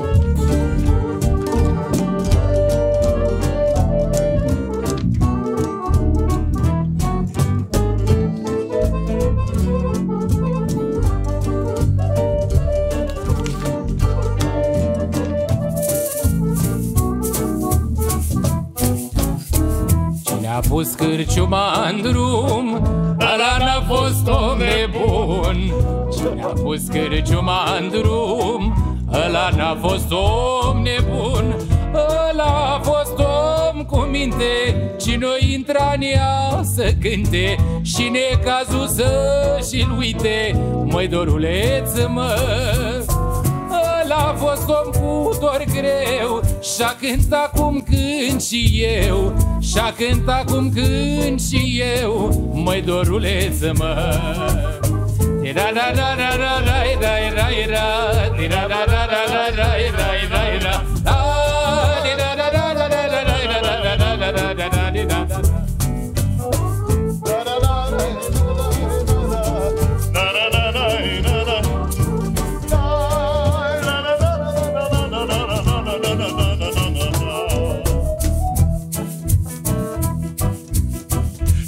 pus. Dragostea Slabă Slabă minte minte mai mai avea. avea Dragostea e mare foc Și nu scap de ea deloc. Ea nu are legământ Și te bagă în mormânt. Și te bagă în mormânt Măi doruleț măi. Căci dorul și dragostea Au nebunit lumea Au nebunit smile.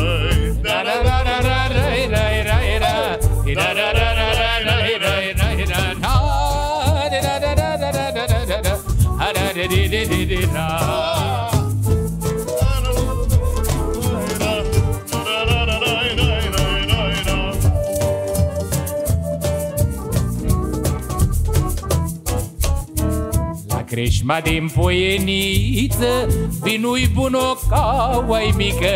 La creșma din poieniță Vinui bun o cauai mică. Creșmărița-i frumușică Înaltă și ocheșică. Să-i dea neca o guriță Măi doruleță mă.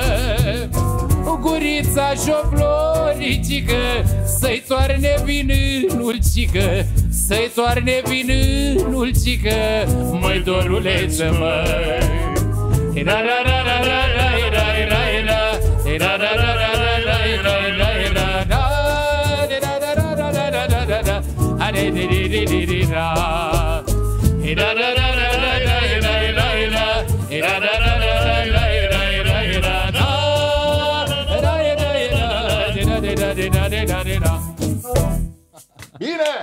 Bine, domnilor! Bine, bine, bine!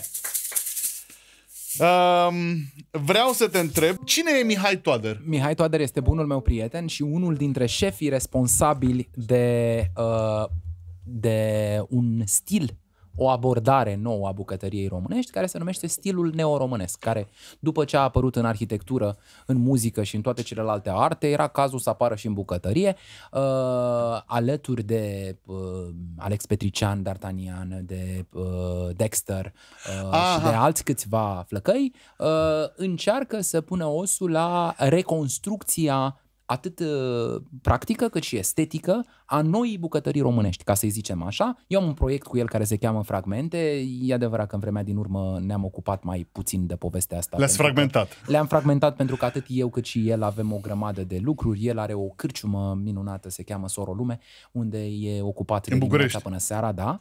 Uh, Eu, uh, la rândul meu, uh, mă vezi uh, ce fac pe aici. Uh, Așadar, uh, ne-a fost mai greu, dar când uh, reușim, uh, ne plimbăm prin țară și eu stau cu lăutarii și el stă cu babele. E încercăm să formidabil, furăm deci meseria. uh, voi vă împărțiți orice sat în două Da, sau da. de ce nu într-una singură, depinde Da, de, da, de la da, caz da. la caz. Deci voi vă duceți acolo, el strânge informații legate de partea culinară și Și mai găsim fragmente, că de-aia îi zice. fragmente, Da, da, pe- da, pentru da, că da, efectiv voi sunteți niște se- arheologi ai muzicii, da, dacă da, da. mă, pentru că și eu am făcut arheologie și știu foarte bine ce înseamnă și câtă trudă e să găsești un mic fragmentaj. Sigur, atâta. sigur, sigur. Uh, trebuie să-mi spui, pentru că eu am auzit doar povești. Eu, de fiecare dată și pe multă lume, din trecut și din prezent, am, uh, am uh, auzit că se duc să culeagă. Acum, mm-hmm. te rog frumos să-mi spui, să-mi spui o chestie clară, să-mi, spui o, să-mi dai o probă. Mhm. Când s-a întâmplat, dacă s-a întâmplat vreodată vreun eveniment, să ai o, uh, să fii extaziat de o descoperire, când efectiv ai De avut... atâtea ori. De atâtea, De atâtea ori? De atâtea ori. Mi s-a întâmplat în comuna Clejan, județul Giurgiu, pe care am pomenit-o. Mi s-a întâmplat în comuna Dagâța, sat 10 prăjini, județul Iași. Mi s-a întâmplat uh, la Fizeșu Gherli, mi s-a întâmplat în uh, Vadu Izei, în Maramureș, uh, în uh, Gratia de Telorman. Uh, Am găsit, uh, niciodată nu se potrivește ce găsești cu ce te aștepți. De cele mai multe ori ești trist, că găsești uh, niște nimicuri. Dar Poți să spui exact uneori- precis ceva, o, o, o, o, un fragment pe care l-ai găsit? când am descoperit de pildă că Gheorghe Angel Caliu, cu care am avut oportunitatea să cânt la sala Palatului anul trecut, un cunoscut violonist din uh, comuna Clejani, uh, județul Giurgiu, cunoscut internațional, uh, deși nu cântă cu vocea, uh, cântă doar la vioară, știa să recite pe din afară ciobanul care și-a pierdut oile, integral integral și să spună povestea convingător, cântând la vioară, scârțâind pe dedesubtul grumazului și povestind.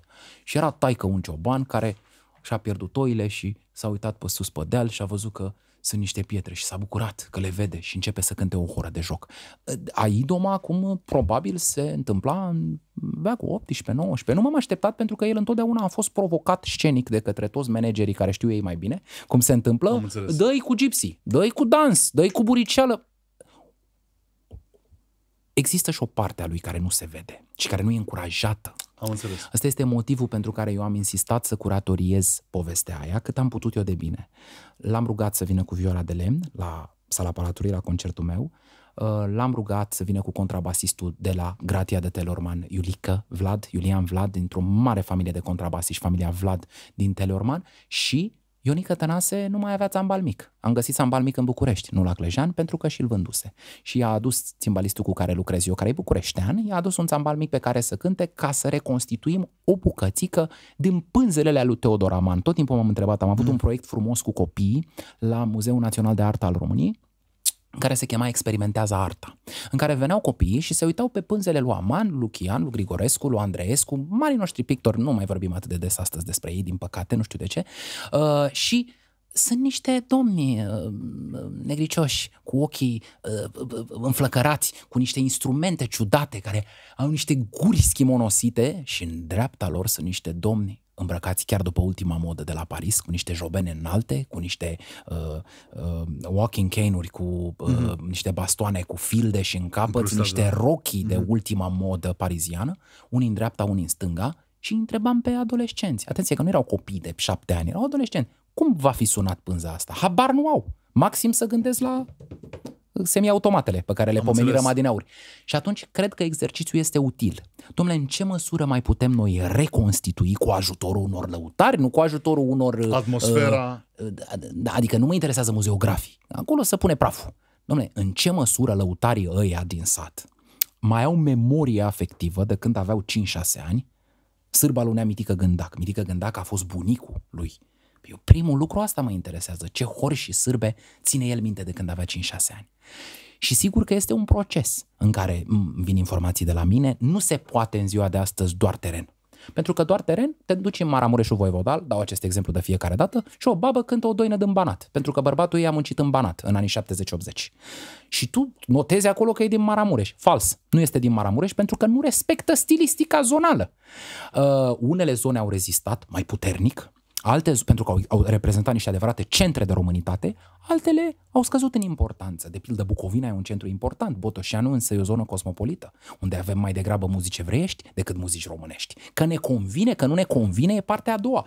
Aceste centre de românitate însă au iradiat și ne-au lăsat această memorie afectivă pe care noi întotdeauna trebuie să o dublăm, pe lângă ce facem în sat, cu biblioteca. Că nu se poate. Doar biblioteca însă e înșelătoare, că mă întorc la francmasoni. Da, Vasile da, da. Alexandrii socotea că nu poți să spui cur sau țâță în text. Că cum să publici așa ceva? Trebuie să spui fecioară, făptură, crăiasă. Că așa credeau francmasonii aia de secol XIX. Adică orice text abraziv țărănesc, textul țărănesc e din topor. Un pic chiar presupune niște realități destul de crude pe care acei domnii fasonați de salon, de curte boierească, ei nu socoteau, ei nu socoteau că e o problemă etică să modifice un pic.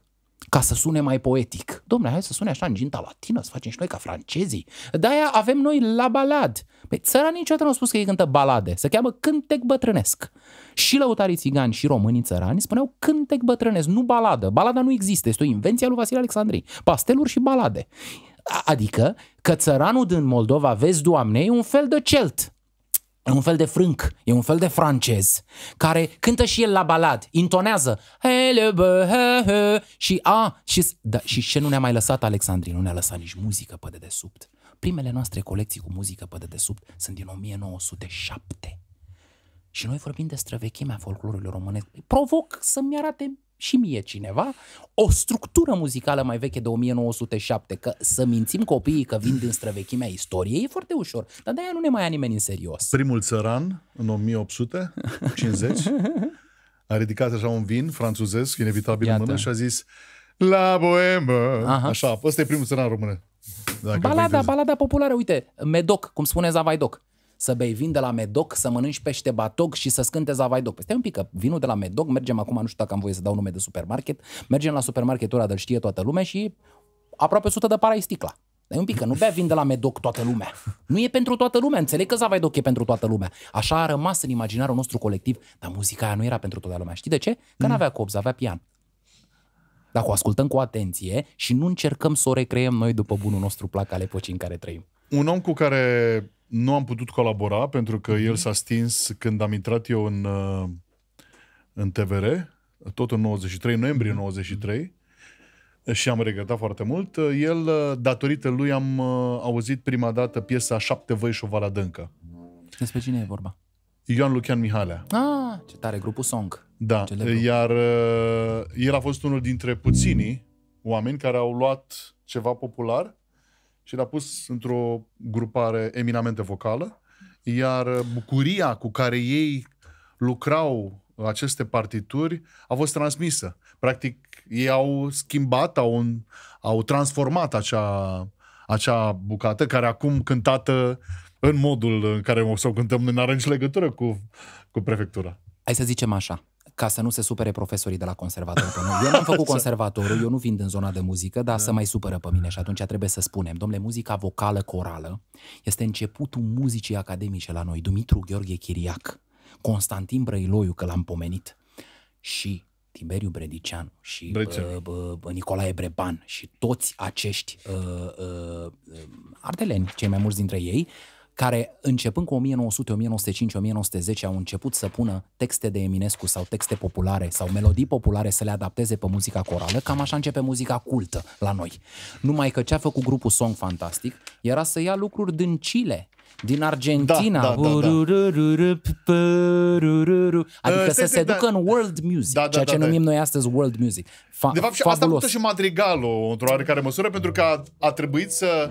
De fapt, a fost E necesitatea... tradiția lui Dumitru Gheorghe Chiriac, DG Chiriac, el la muzica națională, așa se consideră în regatul României. Muzica populară trebuie făcută doar vocal, că noi n-am avut instrumente, instrumentele sunt de la lăutari. Așa se E credea. foarte adevărat, Și e dar adevărat. dorința asta de a prinde într-unul din în grupurile românești era dorința de cosmopolitism, Sigur, știi? sigur, Dorința păi de să a... intre în world music. Asta Dar zic. și de a promova, nu așa, muzica lumii în țara noastră. Sigur, sigur. Uh, uh, copii, uh, nu Hai știu să dacă vedem. știți. Pe mine m-a frapat de fiecare dată. De ce zice șapte văi și o vale adâncă? Deci, nu știu, de ce șapte văi și un lac adânc? Adică, de ce a dublat?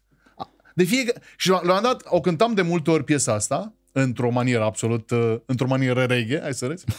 și la un moment dat ziceam, băi, am greșit eu versul. Nu, nu, nu, nu, nu, e tot, e o șapte, încă o vale mai adâncă. De, Muzică 8, că nu se putea. Nu se potrivea pe măsură. Ai, băi, eu, acum le știți voi pe toate, eu nu, eu, eu mă, eu mă retrag, eu mă retrag din combinația asta. Uh.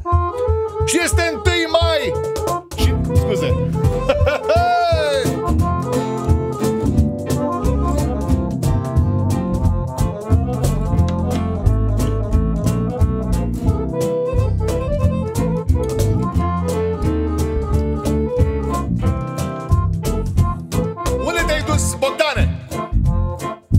Șapte văi și o vale adâncă Șapte văi și o vale adâncă Da o licăleană și o pădure mărunt frunțică Da bălică la no pe aici lupii mă mănâncă Da bălică, lică, lică, lică, dodă fă Tá Tamo liga, lica, lica, lica, lica, liga do damas.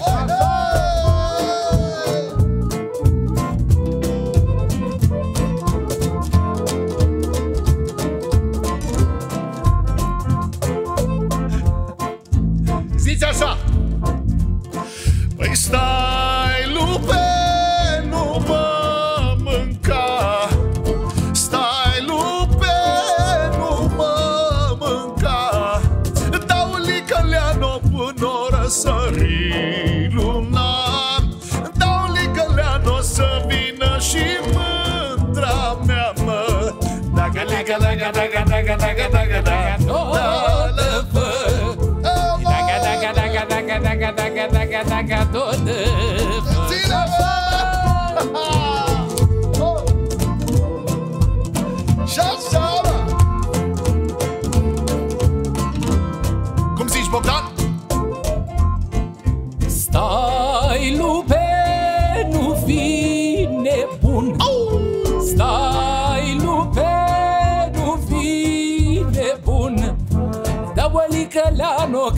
lași singur în drum. Da bălică la no că mă lași singur în drum. Da bălică, lică, lică, lică, lică, lică, dodă fă da bă, lică, lică, lică, lică, lică, lică, dodă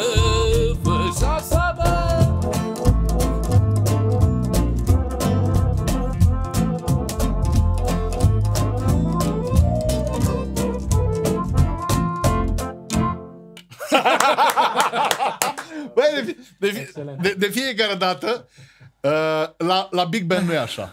La Big Ben știm foarte clar unde e finish-ul. Niciodată. Poate că niciodată nu știu.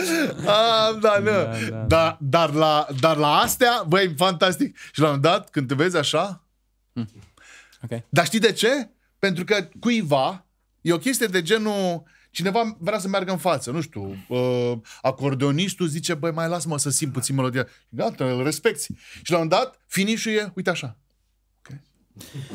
Eu cred că pleacă și din faptul că lăutarul reprezenta, de fapt, uh, ministrul culturii în lumea asta. Adică norma cultural spațiu. În ce fel? N-am să mă mai refer la lăutarii din sudul țării, că o să se supere oamenii din Câmpia Transilvania și din nordul țării, că nu-i pomenesc deloc. Domnule, în Oaș, la Ciupercă, era Vasilică Ceterașu, sau Ionică Ceterașu, să-i zicem. Domnule, Ionică Ceterașu avea o mare problemă. Toată lumea bea la turți, țuică de aia de tip horincă, destul de periculoasă din familia strohului și absintului. Acolo, la primele două, trei ești prietenos, după care apare uh, cântecul transilvan uh, Se teme Ion că moare ca băură chiu del tare. Noi nu avem în sud așa ceva, că la noi țuica, cum spun ardenenii, e o febră mai moale. Uh, însă, uh, el era cu vioara în grumaz și aștepta sub ciupercă comanda. Comanda era de la mulți. Fiecare dintre flăcăii ăia voia să se fălească un pic că el a plătit lăutarii. Și primul se ducea, cântă-mi o paia. Uh, să zicem, țăpurătura luzele. Și începea să cânte țăpurătura luzele. O cânta un minut, două, trei, după care venea alt flăcău și zicea, ia cântă în țăpurătura lulele. Țăpurătura lulele nu o știai, problemă Și atunci? fluieră-mi o la ureche. Aha. O prindeai după el, dar dacă țăpurătura lui Lele dura cu un minut mai mult decât țăpurătura lui Zele, să supăra primul, păi eu de-aia te-am plătit. Și atunci tu îți dai seama în ce fel de diplomație și negociere culturală trebuie să fii în permanență ca să reziști în genul ăsta de mediu și să normezi cultural, pentru că de fapt asta e o normale, asta e de fapt începutul standardizării. Bă, fraților, hai să ascultăm toți unul și același cântec. Înțeleg că fiecare aveți poftele voastre, dar hai că vă iau pe toți părând, cum ziceau muzicanții odată. Uh, să știi că aici tu zici niște lucruri... Tu, tu zici niște lucruri bune, numai că... Noi trebuie să înțelegem că lăutar nu și-a permis toată lumea. Până la guvernul de largă concentrare democratică, lăutarii reprezentau un produs de lux. Lăutarii în vremea robiei erau cei mai scumpi sclavi. Un lăutar făcea cam 20 de fierari. Nu-l puteai pune la muncă, doar trebuia să nu strice dizi- digitația, stătea cu mințel, își bea cafeluța și coniacul și aștepta oportunitatea de o petrecere. De asta și foarte mulți ursari sau argintari și-au dat copiii la lăutărie, în speranța că ei vor avea o viață mai bună. După un timp, odată mai ales cu dezrobirea, când am văzut mai multe filme în America, în România am văzut unul singur, Aferim, care e foarte bun, Aferim. Uh, lăutarii cei mai buni au rămas la boieri ca argați plătiți, nu foarte bine. Ăia mai așa și așa s-au nimerit pe la hanurile, pe la răscrucile de drum unde de regulă erau armenii, grecii și evrei care dominau businessul și cei mai amărâți dintre ei au luat parte la faptul folcloric, s-au așezat la marginea satelor și pe un ciur de mălai și o bucățică de carne, dacă era și aia, țineau toată nunta aia țărănească de vineri până duminică. Problema este că țăranul n-a știut cum este să fie boier. N-a știut cum este să aibă și el lăutari. Lăutarii până în anii 60-70 ai secolului al XIX-lea cântau aproape exclusiv în media aristocratice și cântau alte muzici, de sorginte greco-turcească, numai că ușor, ușor ei au coborât în sate și au trebuit să-i convingă pe țărani să le uh, lis, nu știu cum să zic, să le, să le împrumute muzica, de fapt, uh, pentru că la vioară cântai și ce cânta la cu cimpoiul și cânta la cu fluierul și ce cânta la cu cavalul. Toți cântau la instrumente de suflat agropastorale, țăranii cântau acele șireaguri, două, trei pe care le știau cu toți și ziceau, uite băi, dracu, ăștia le pot cânta pe toate și în câteva generații S-a ajuns în anumite zone ale țării, cum e sudul, de pildă, unde numai lăutarii oficiau. Astăzi eu am văzut nunți unde românii nu mai cunosc rânduiala și cunosc lăutarii. Și vine și spune și acum să întoarce mireasa cu spatele și vine ginerele și dă drumul la brad și leagă funda și... Și românii sunt consternați și ascultă toate trăznăile, poate că nici ăia nu știu, uneori și iau la mișto. Adică încep să inventeze niște obiceiuri, cum este Probabil. de pildă la dansul nașilor, la nuneasca. Eu pun rămășag, n-am nicio dovadă științifică, dar bagă mâna în buzunar, dă bacșiș la lăutar, hai nașule, nu mai sta că asta este fala ta, îl faci de căcat dacă nu plătește. Adică uh, e, o, e o chestie care uh, noi nu mai știm exact din c- cine a fost receptorul și creatorul de cultură. înțeles. Nu mai știm dacă suntem în lumea pull media, cum era odată înainte de smartphone, sau în lumea push media, în care media vine către tine că am plătit un advertisment pe Google. Acum, de dragul discuției, vreau să spun că am întâlnit o definiție a manelistului, Așa. spusă de Florian Pitiș, într-un interviu cu uh, Ștefănescu, cu Cătălin Ștefănescu. Florian Pitiș a semănat maneaua cu... Come- pentru că el a citit și a făcut comparația asta destul de, destul de bună, zic eu, între manea și comedia de arte, acei oameni din urbea de demult, uh, talentați și îndemânatici, care se interesau de toate bârfele zonei și le puteau pune imediat pe scenă în seara respectivă.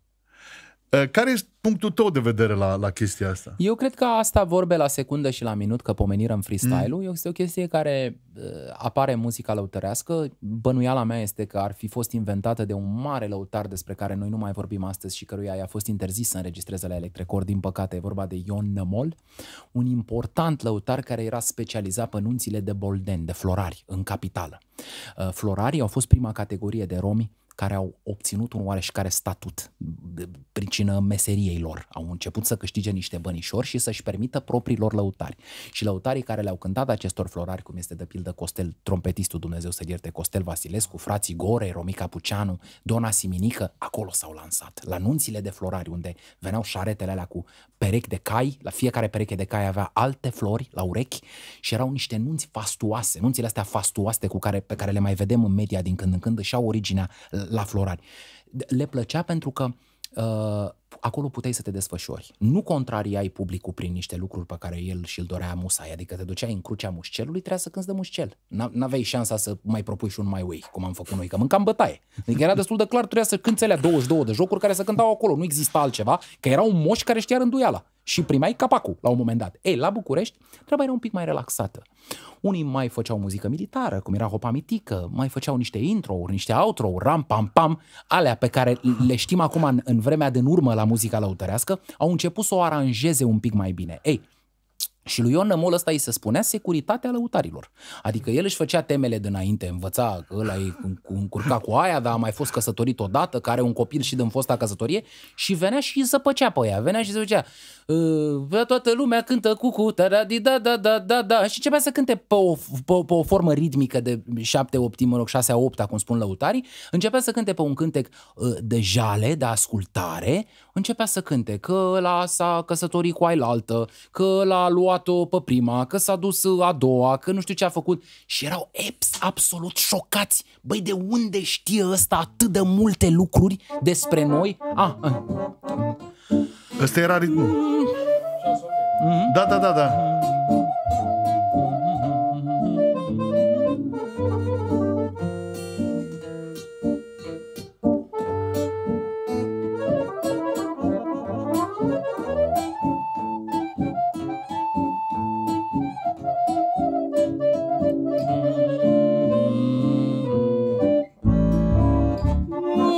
nene și-am venit la Brenciu acasă.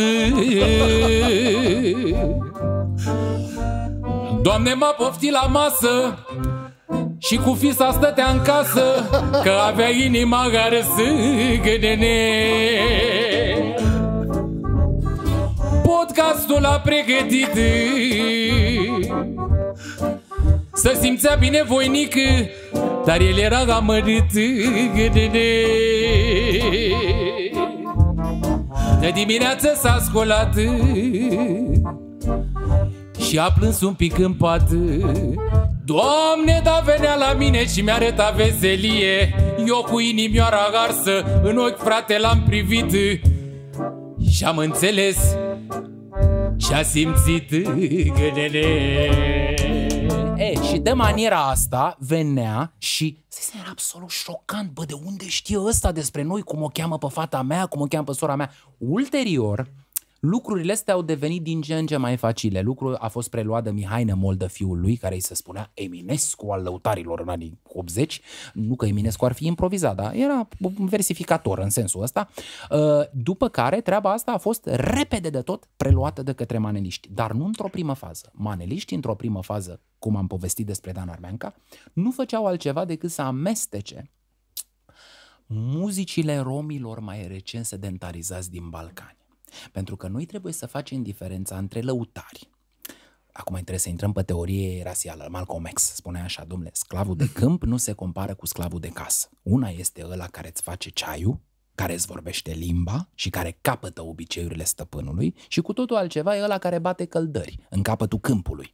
Ăla care bate căldări în capătul câmpului se presupune în teoriile rasiale, că astea sunt teorii sociologice de fapt, noi nici nu l-avem tradus nici pe Malcolm X, nici pe Martin Luther King Corect. Jr. în literatura de specialitate românească și au murit de niște zeci de ani și unul Da, și da, da. Celălalt. E, Malcolm X așa spunea, cultura adevărată a afroamericanilor trebuie căutată în câmp. La fel, cultura romilor poate trebuie căutată în câmp. Iată de ce o familie de argintari de la Fântânele sau o familie de la Ursari, de la Gratia de Telorman, sunt mai apropiați de cultura romă decât niște lăutari despre care s-ar putea spune că s-au gajicanizat, adică că au devenit mai gagi, că, că au, au, au, au renunțat un pic la cultura lor pentru a se emancipa social. Dar we're threading on dangerous ground.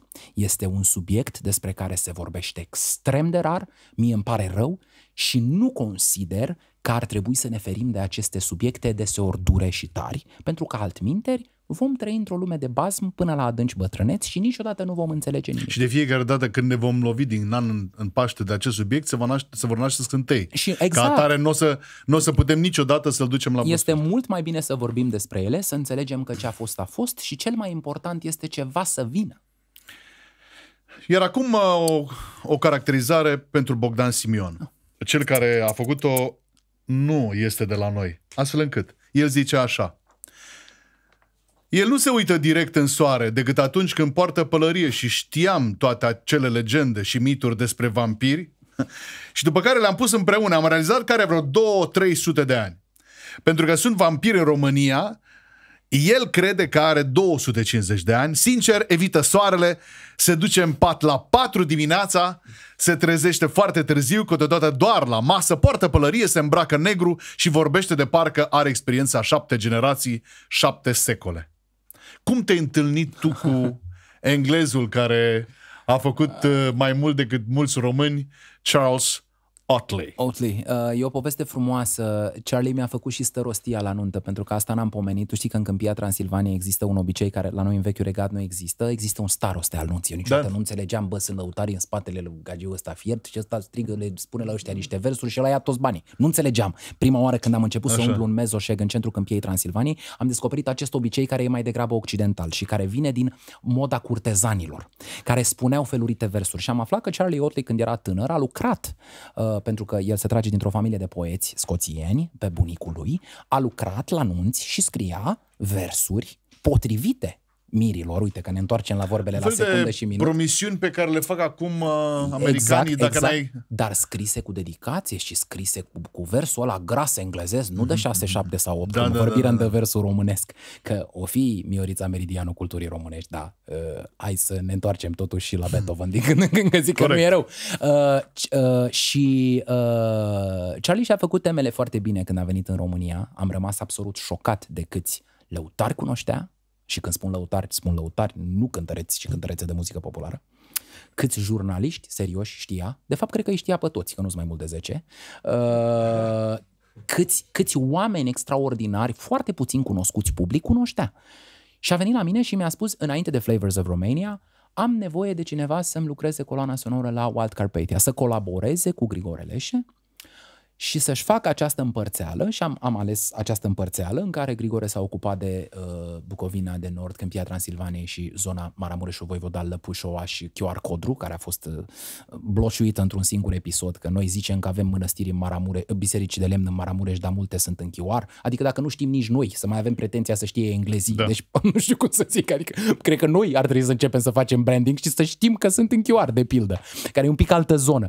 Uh, în orice caz, și eu am rămas cu vechiul regat, cu țara românească, Dobrogea și Moldova. Acolo am lucrat doar ca soundtrack, uh, consultant în zona de muzici. Da, da, După eu care, te-am văzut în film. în Flavors of Romania, care a fost următoarea serie, Așa, așa, pentru că așa, Wild așa. Carpathia au fost trei filme Aha. de sine stătătoare, au fost primele lui filme, după ce a făcut niște Flavors of niște țări în Orientul Mijlociu și Orientul Îndepărtat, a făcut și Flavors of Romania, care ăla a fost în șapte episoade și unde mi-a dat cea mai grea temă pe care mi-ar fi putut-o da vreodată cineva. Alegem trei grupuri de muzici de tradiție orală de pe teritoriul României pe care să le prezinți chiar tu. Aha, dacă îmi spuneai 10 era ușor. 3 este foarte greu.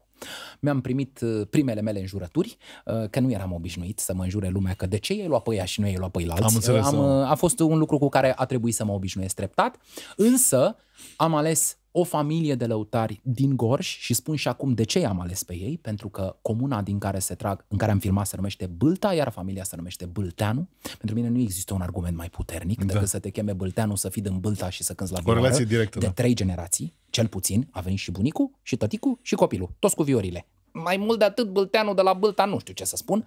I-am ales pe ei, puteam să aleg oricare alt grup. Am preferat să evit uh, Taravdiu Haiduc și chestii din astea Am super înțeles. cunoscute. Foarte bine. În partea Chiar mo- mi-a plăcut asta, decizia ta chiar mi-a plăcut. Am observat și tu îl conduceai ca să înțeleagă și cei care nu au văzut filmul. Uh, uite, gen, hai să-ți arăt niște... Da. Și chiar ai deschis-o, ai intrat în curtea Mhm, unei, mm-hmm, unei familii mm-hmm. și știu foarte bine uh, situația asta și mă gândeam, ia să văd pe cine pune la dispoziție În al doilea caz, am ales pentru Câmpia Transilvaniei, deși mă rog incorrect, în Crișana, să zicem așa. M-am dus în Bihor, la Vadul Crișului, la câțiva zeci de kilometri de Nochivorod, de Oradea, unde familia Peter Jolțe și Simini Guti am, am, am preferat să arăt niște rom de cultură maghiară uh, și felul ăla extrem de amestecat, de fapt, de stroh violin, vioara cu goarnă, Mhm, mm-hmm. care a fost descrisă prima dată științific de Dick Donovan la Londra în 1902. E un instrument mai degrabă legat de spațiu celtic în căutările Corect, corect. sonore din perioada în care nu apăruseră încă loudspeakerele. Pentru că, de fapt, asta e povestea. De ce a apărut această vioară în 1902, a fost descrisă la Londra, și Pentru nu că s-au tras în mai departe. 1922, când 22 deja apăruseră boxuțele, Corect, puteam corect. să Da, ne da, dăm da, da, viorile da, da, tare. da. Ei, Bela Bartok, de pildă, când a ajuns în uh, Maramureșul Voivodal și în Bihor, uh, spun în continuare, îi zgândere pe român treaba asta, dar n-am ce să fac. Cele mai bune studii pe folclorul din vestul și nordul Transilvaniei sunt ale lui Bera Bartok, că ne place, că nu ne place, îl așteptăm pe următorul Bartok, nu o să-l mai avem prea curând, uh, și care a discernut extrem de bine între muzicile romilor și maghiarilor, foarte bine, mă rog, cu niște note de subsol, dar vorbim de 1912, el descria și fi o babă care cântă la frunză. Faptul că el nu descrie această vioară e destul de limpede că ea nu exista în 1912, 13, 14. Când va fi ajuns în țara Crișurilor? Când uh, vor fi învățați țăranii? Că asta e mai important de fapt pentru noi. Să o construiască, nu știm. Știm doar că uh, pâlnia de gramofon e foarte importantă pentru a lega goarna militară de cadrul ăla metalic da. al viorii. Atunci se pare că tot un instrument interbelic e. Mie îmi place să-mi imaginez că vine din târgurile evreiești cosmopolite, din părțile Oradei, unde se amestecau tot felul de trincheturi și de invenții de peste tot, hărdi-gărdiuri, tot felul de ciudățenii de astea care au apărut pentru a face în buza noi, da. secolului 20. Ei ar fi vrut să-l adapteze la muzica clasică. Bineînțeles că dirijorii au spus, terminați cu rahaturile astea că nu sună a nimic, și dar la țăran mergea că suna tare și nunta fiind o chestie de fală, o dubă și o așa. Și al treilea grup pe care l-am ales, în Moldova de Sus, l-am dus la Vorona de Botoșani, unde, după cunoștințele mele, este ultima fanfară românească, atenție, nu de țigan lăutari, ci românească din Moldova, pentru că fanfara de la 10 prăjini, prietenul meu Costică Panțăru, ei sunt o familie de ursari acolo, la Valea Mare, la Vaslui la fel. La Vorona a rămas o fanfară românească, adică fanfara de amatori. Asta pentru că am vrut în, întâi de toate să mă feresc de povestea aia cu de ce arăți numai romi, în numele culturii românești, și în al doilea rând, pentru că fanfara de amatori înseamnă altceva decât fanfara de profesioniști. Lăutarii câștigă bani din asta, se duc la nuntă, cântă, sunt plătiți Tocmai. și cu asta basta. E, oamenii S-au ăștia, emancipat, ei au rămas puri. Da. oamenii ăștia de la Botoșani, prin confluența Bucovinei, pentru că Vorona nu e în Bucovina, dar e foarte aproape de centrul românității care a fost Bucovina. Când spun Bucovina, mă refer atât la Bucovina de Sud, cât și la Bucovina de Nord, actualmente pe teritoriul Ucrainei Da? Au fost încurajate aceste pachete de suflători amatori. O idee excepțională a autorităților austro-ungare. Domnule, decât să stați la băutură și să vă dați cu pari în cap unii la alții, nu socotiți că ar fi mai bine să vă adunați într-un cămin cultural și să suflați în niște țevi ca amatorii. Nu trebuie să demonstrați nimănui nimic. Învățați 10-15 cântecele de acolo de la voi ce cântă babele cu gura. Deci cântece, linii melodice lirice și cu o tubă, un helicon, un flugelhorn o- și alte instrumente dacice, cum îmi place mie să glumesc, hai să le organizăm un pic să sune ca dealurile. Să avem și niște heterofonii, să avem și cineva care aranjează lucrurile astea. Încă acolo au mai rămas șase pensionari care după ce își beau berea la uh, cârciumă, se adună și suflă. Sigur, au îmbătrânit și ei, le-au îmbătrânit și instrumentele, sunt ruginite. Un trombon cu pistoane costă multe mii de euro, un helicon costă și mai multe mii de euro, mai ales dacă vrei musai să fie acordat la mi bemol sau la si bemol. Da, corect. Uh, probabil că ar trebui o investiție de cel puțin, o spun cu toată răspunderea, cu poate 15, poate 20 de mii de euro ca să îmbraci o fanfară de 5-6 instrumentiști cu niște instrumente care să respecte normele locale. Clarineți piccolo, adică nu orice trompetă e trompetă moldovenească. Dar astea deja sunt nuanțe. Astea sunt cele trei zone pe care le-am ales, dar spun și acum, aș fi putut, bineînțeles, alege altele. Nu, nu, nu vreau să spun că sunt cele mai Ai- ai- reprezentative. ai- ai- A fost efortul meu cât am putut eu, cât m-am Sigur, priceput dar eu. varietatea oferită este, spune de la sine... Încă sau este. se- Da, da, da, da, da, sigur, sigur. Mă tot gândesc acum la, la un pas, apropo de prima noastră discuție despre copzarii care dispar Mhm. și decizia ar fi foarte ușoară. Adică o decizie la un nivel înalt pentru a spune, de exemplu, cu toate că am rezervele mele față de uh, de conservator, să spun așa, să facă, domnule, există o catedră de, de copză. Eu îți spun că majoritatea absolvenților, nu vreau să spun trăznăi și uh, îmi cer scuze din capul locului pentru ce urmează să spun, uh, îmi asum, este opinia mea, majoritatea covârșitoare a absolvenților de conservator de după 1990 au fost îndepărtați de muzică. De- Mă bucur că se numește Academia de Muzică acum, pentru că nu mai suferă de conservatorism, pentru că o instituție conservatoare care nu acceptă de pildă că muzică cultă există în Iran, în India, în China, poate cu mii de ani înainte de acele trei țări între 1700 și 1900 pe care ne tot concentrăm, Germania, Franța, Anglia, Spania, că aia e muzica care se preda acolo, da. tot ce e înainte e early music, vezi, doamne, muzică veche, adică nu contează mii de ani de istorie muzicală, contează numai aia 200 Adică tu vrei și să ce spui e că la mai nou conservator e nu se- avangardă și abstract. La conservator, foarte rar am întâlnit, să știi că cei mai interesanți muzicieni pe care i-am întâlnit eu în viața asta pe teritoriul României sunt absolvenți de conservator de dinainte de 1989 sau muzicieni care n-au făcut conservatorul. Eu n-am întâlnit, poate ori fi, o să sară în bara de comentarii să-mi spună, să mă învețe, că știu. Dar eu îți spun că foarte puțini absolvenți de după 90-2000 de conservator i-am mai simțit într-adevăr cu flacără și cu pasiune de a face un proiect artistic coerent. Toți se duc către facil. Pun gura pe saxofon, își iau vioara aia în formă de dolar, uh, așa, păi adu-mi speakerul, că tu Vioara nu, în nu, formă de nu, dolar. nu, nu te aud din aia. Aia nu se aude. Da. Da. Adu-mi boxa, eventual.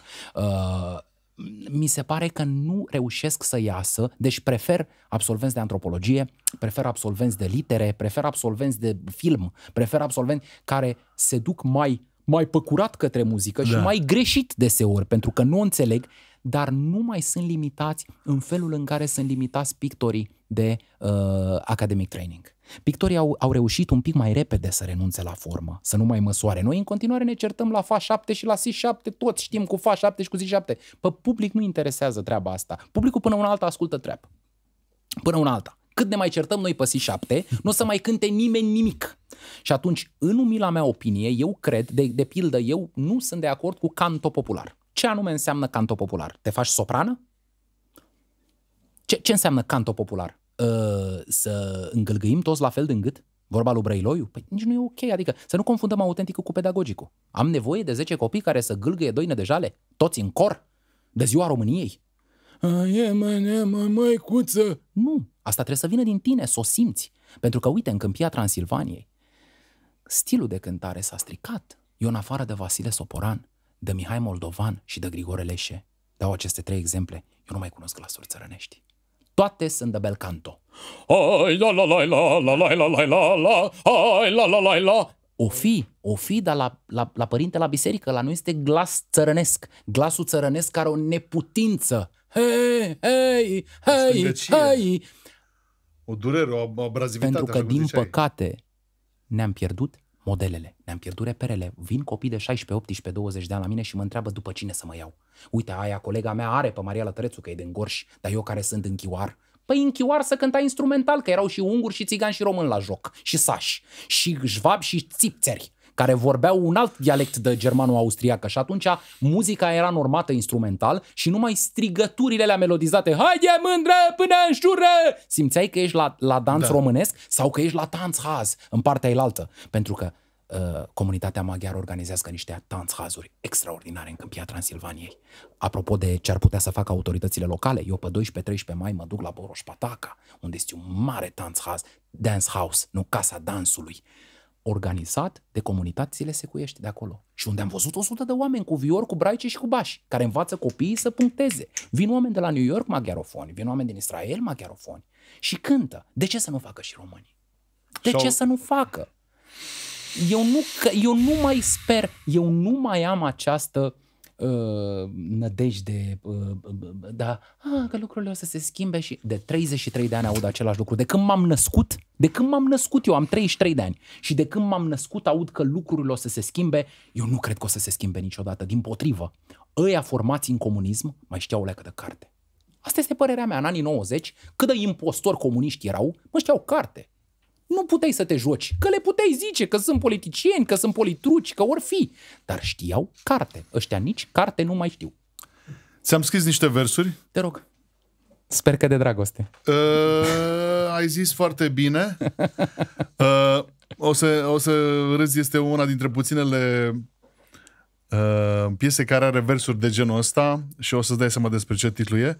Râde plângând, plânge cântând. De ce de toate? Aici ai și plâns, ai și râs în același melodie. Uh, ultima dată n-am mai cântat piesa asta. Uh, ultima dată am cântat-o uh, cu Nelu Plăișteanu și cu uh, George George Alexandru, actorul, Dumnezeu să ierte. Sper că are și strofă. Că dacă um, nu ne Um, supărăm. Este aici tot ce ai nevoie. Nu, n-are strofă. N-are strofă. Adică e, e exact uh, cea Doar mai... refrenul. Ce l-au lăsat pe gică. nu. Și fii atent, Zi, zi. cântecelul. Zi, zi, Poți zi. să-mi dai tonalitatea că nu... Da. uh, Așa. Suflet candriu, de aici e, nu Da. de papugiu, cine să-l înțeleagă, râde plângând, plânge cântând, viața o ia în șag. Ok. Eu n-am râvnit comori bogate și nici palate de cleștar și în visări naripate n-am vrut să fiu milionar. Doar o dorință minunată mă tot gândesc Vreau Vreau să găsesc o fată pe care să o iubesc. Suflet ca Andriu de babugiu Cine să-l înțeleagă? Râde plângând, Lângă plânge cântând Viața o ia. în șagă Rău la blestemat norocul e sărac lipit. Dar mereu bătular focul e îndrăgostit. Suflet ca Andriu de papugiu Cine să-l înțeleagă Încă o dată Eu n-am râvnit comori bogate Și nici palate de cleștar Și în visări naripate. Am vrut să fiu milionar. Milionar! Doar o dorință minunată, Minunată. Mă tot gândesc Vreau să găsesc o fată Pe care să o iubesc. Suflet ca Andriu. Da. De papugiu Cine? Cine să-l înțeleagă? Râde plângând Plânge cântând. Viața o ia în șagă. Te rog, Horia. Bogdan! Rău la blestema norocul e sărac lipit Dar mereu bătular focul e îndrăgostit. Suflet ca Andriu De babugiu Cine să-l înțeleagă? Cine Să-l înțeleagă? Excelent! Bravo, bravo pentru... Deci... Ăsta, ăsta este al doilea caz după Sanie cu Zurgălăi, unde strofa a fost retezată cu foarfeca. Eu n-am râvnit comori bogate și nici palate de cleștar, dar în visări naripate am zis că sunt milionar. Doar o dorință minunată mă tot gândesc, vreau să găsesc o fată pe care o să o iubesc. Bogatul sărac, Fred Astaire. Și Johnny Tune Nu era Pazanaj, voie. ce, ce strofă a avut? Sanie cu zurgălăi, unde suntem repede scăluții tăi, dar mai iuți scaii mei. Ia, hai să dăm din ce tonalitate vă e vouă confortabil. Na, na, na, na, hi, na, na.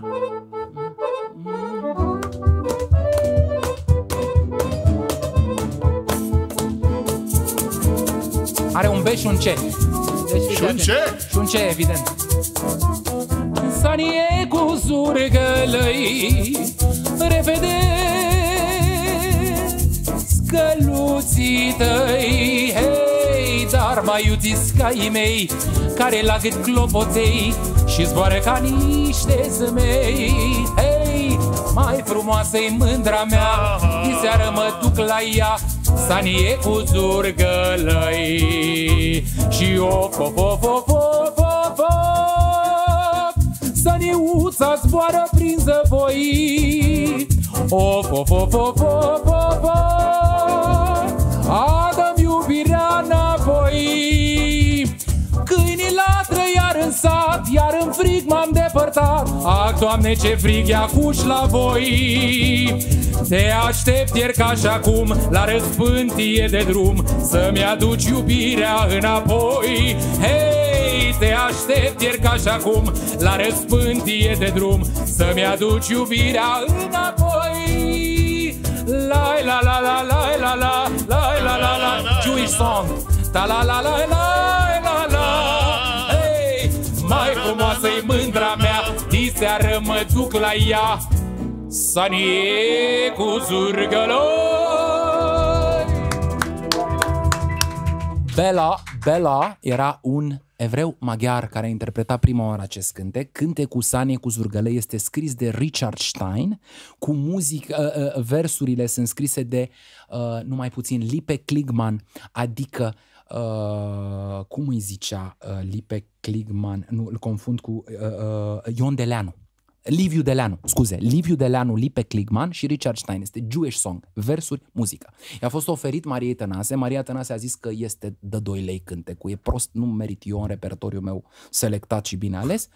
Și atunci un, uh, un evreu maghiar care a plecat în, în, în Israel în uh, anii 40, a scăpat de nenorocirea Holocaustului, a pus mâna pe chitară, l-a imprimat la Columbia, e prima variantă, a doua e imprimată de un cântăreț de care nu se mai știe aproape nimic, Silvia Florin, și a treia a fost prescurtată de Maria Lătărețu, că nu, uh, parfumul burghez omoșieresc deranja. Sania nu e Sania, e o caleașcă. E acest veritabil jingle bells românesc, nu? Clopoței de argint și de aur, mătăsuri scumpe pe nevastă și, în general, să nu te simți prost că ai bani. Problemă zilele astea. Da, dar mai e, mai e un lucru pentru care a fost tăiat și de obicei, pe măsură ce a înaintat din secolul 20, lucrurile s-au structuralizat sau sigur, redus. Sigur, sigur, sigur. Dar cântecele cântece, e păcat de ele ca la Ionel Ionelule. Eu am zis, când se duce luna la curcare, pam, pam, cine înstă beat prin cărciumioare, pam, pam. E foarte important. Când îl ducem în, în horă nesfârșită... A, tu vrei să spui că a fost... Uh... Punctat. Căsuța noastră, eu când l-am auzit pe Dorel Livianu, cântând la New York căsuța noastră, Căsuța noastră cu uibușor de nebunite așteaptă ca să vii. Căsuța noastră, la... unde întâi ne-am sărutat, plânge, plânge neîncetat. Nu plânge dorul. Ideea de a plânge dorul a fost făcută tocmai ca acest cântec să pară popular. Domnule, dacă nu-i dăm cu dorul, dorul e la țară. E în țara lăpușului, la Grigore acolo. Acolo e dorul, ăla adevărat. Uh, dorul ăsta e pus cu mâna. Îl simți. Și ultima strofă, e pus cu mâna. primele două strofe sunt coerente. Ca să mi te fac nevastă, am dus viață de nepaste și cu lumea m-am certat, suntem în urban eu cu iubita mea, ca o garofiță în glastră înflorea căsuța noastră, dar tu, dragă, ai plecat. Căsuța noastră cu ibușor de nebunii te așteaptă ca să vii, plânge, plânge neîncetat, plânge casa. Și după aia, pentru o salbă de mărgele, ea și turns to prostitution, cum e în, în poveștile mari americane. Pentru o salbă de mărgele apucași pe drumuri rele, nimeni. Nu? Da, da, da. Mi-ai lăsat ca amintire dorul care mă sfâșie și un suflet întristat. Și a treia strofă este o făcătură. Pentru că, cum zice, ai să vii, dragă fetiță, ca să-ți iau fustă pestriță, ca să crape lumea zău, o năframă mătăsoasă, tu să fii cea mai frumoasă și mai mândră în satul, satul tău. tău. Am dus-o în sat. Stai că ea nu era din sat, era de pe calea Victoriei. Asta este un cântec popular, cântecul românesc. Așa se scria pe discuri. Știi cum era pe discurile la Columbia, All Rights Reserved americane? Mm. Scria așa, tango, slow fox, foxtrot așa, așa. sau cântec românesc cântec românesc înseamnă odată pentru totdeauna acele cântece scrise de muzicienii evrei, în mare măsură, Claude Romano, Stroienacht, Richard Stein, Kligman, ăla, și în America a fost la fel, să știi. Pribeagu. Păi evident, nu, în America a fost după că au trebuit să plece oamenii ăștia, dar ne, ne mai trebuie un podcast întreg ca să povestim cine, cine a scăpat. Uh, uh, uh, toți oamenii, Ion Pribeagu, Isaac Lazaroviț de la Sulița de Botoșan, care ne-a scris textul la Zaraza. Uh, toți acești oameni care încercau să facă show business, spuneau cum spunea Ninocca în filmul ăla din 1939, minunat, cu haina de blană pe ea, Why can't we all enjoy champagne? Știi? Este o întrebare care poate părea crudă într-o țară unde bieții pensionari să scaldă în 1200 de lei pe lună. Uneori mă înfurie, dar pe de altă parte nu, nu înseamnă că trebuie să uităm, să, să visăm în felul ăla. Pentru că oamenii ăștia au visat frumos. Au scris și muzică patriotică, au scris și tot ce au vrut ăia să scrie. Au făcut tot. Dorel Livianu cânta Oiță, Mioriță, ție ți-am cântat mereu Doina sufletului meu. Doina sufletului lui cânta la Mioriță, ai înțeles? Măi frate care stai de veche cu arma în mână la hotar, măi, numai ca să nu-l trimită și tot l-au deportat. Și era star, era uriaș Dorel Livianu, era uriaș, avea uh, afiș luminos cu el pe cazinoul de la Sinaia, la bombonerie, când intrai la Lafayette să-ți iei fiorentinele alea pline de uh, ciocolată și de lichior, îl auzeai pe Livianu cântând căsuța noastră. Îmi aduc aminte uh, S-a, s-a ales praful, cum spun românii, s-a ales praful, dar noi e totul pierdut. Dar noi consider că e datoria noastră să facem în așa fel cât putem noi să îndreptăm, să îndreptăm. Așa cred eu că e bine. Deci mai mai făcut curios să, să aud prima variantă al căsuței noastre. Nu, nu mai... e vorba doar de o ritmică. Bă, și primele două strofe. A treia se simte că e pusă cu mâna. Cu năframa și cu satul și cu... primele două sunt autentice și nu plânge dorul neîncetat, plânge, plânge neîncetat. Deci plânge plânge, plânge neîncetat. Plânge, Casa noastră plânge, plânge, plânge neîncetat. noastră. Da. Casa plânge, nu Plânge, dorul. plânge, plânge neîncetat. plânge casa că a devenit spurcată, că a stricat orașul, că ei au venit puri și a ajuns la oraș și a dat peste toate, era să zic peste toate golăniile de videochat, dar nu e cazul. Dar era cazul. Cântecele astea sunt vii, sunt ale adevărului, nu sunt ale minciunii. Apropo de muzică bună și muzică proastă, eu operez în muzică falsă și muzică adevărată. Apropo de de ce ne place nouă Frank Sinatra, că era adevărat. Da, că... Era despre el, nu era despre ce au zis unii sau alții, că ar fi bine să. Pe bune. Să știi că de, de multe ori mă gândesc că și într-adevăr există multe semne de întrebare. De ce, de ce, de ce? De... Adică nu, nu-l iau ca for granted, știi? Mm, Așa sigur, degeaba. Bă, sigur, sigur. ăsta a rezistat atât, hai să, ref- să, să luăm totul din cariera Da, lui să da, ne da, punem da, nouă. Dar mă gândesc ce a făcut, ce s-a întâmplat. E adevărat uh, spațiu istoric uh, pe care l-a trăit, unul, nu se sigur. repetă nimic, dar ceva de acolo trebuie să învățăm. Sigur. Și pentru că am de, primele două versuri le cântăm, păstrăm spațiu istoric. Plânge, plânge. Dacă aud pe unul că zice plânge, doar îl dau afară. Da. Deci nu, primele, Bogdan Ah, spune să prima. Cântăm căsuța. Dorul e o persoană, nu dorul. Plânge Doru, adică Doru care avea bordelul, că era legală prostituția pe vremea aia în România. Când aud, când aud argumentul ăsta că, domne, dar cum se poate într-o țară creștină? Eram de 100 de ori mai creștini în anii 30. Practicanți. Mergeam Da, corect, la da. biserică. Și O, înțelegeam bine, eram bine catehizați, înțelegeam diferența între un chinonic și o priceasnă, înțelegeam de ce pricesnele nu trebuie cântate cu instrumente muzicale, dă cu țambal la priceasnă. Poftim? Mi se pare că nu mai știm Nu, nu, nu. aproape nu. nimic. Și atunci îi tragem și o priceasnă cu țambal că suntem la show. Hai să facem show. Două strofe de căsuța noastră! Iată. Vine băiatul!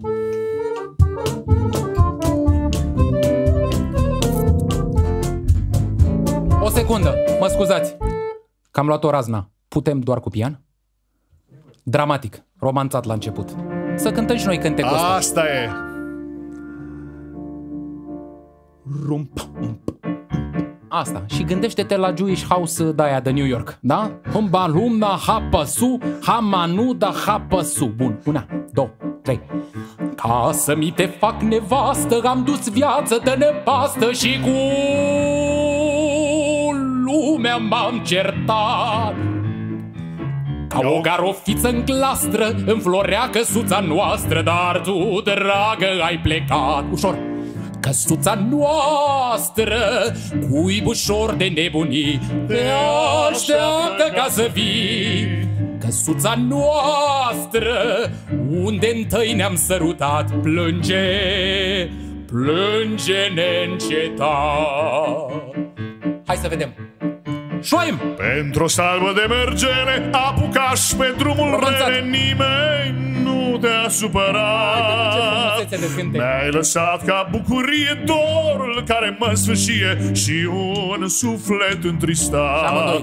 Căsuța noastră Cuibușor de nebunii Te așteaptă ca să vii Căsuța noastră Unde întâi ne-am sărutat Plânge, plânge neîncetat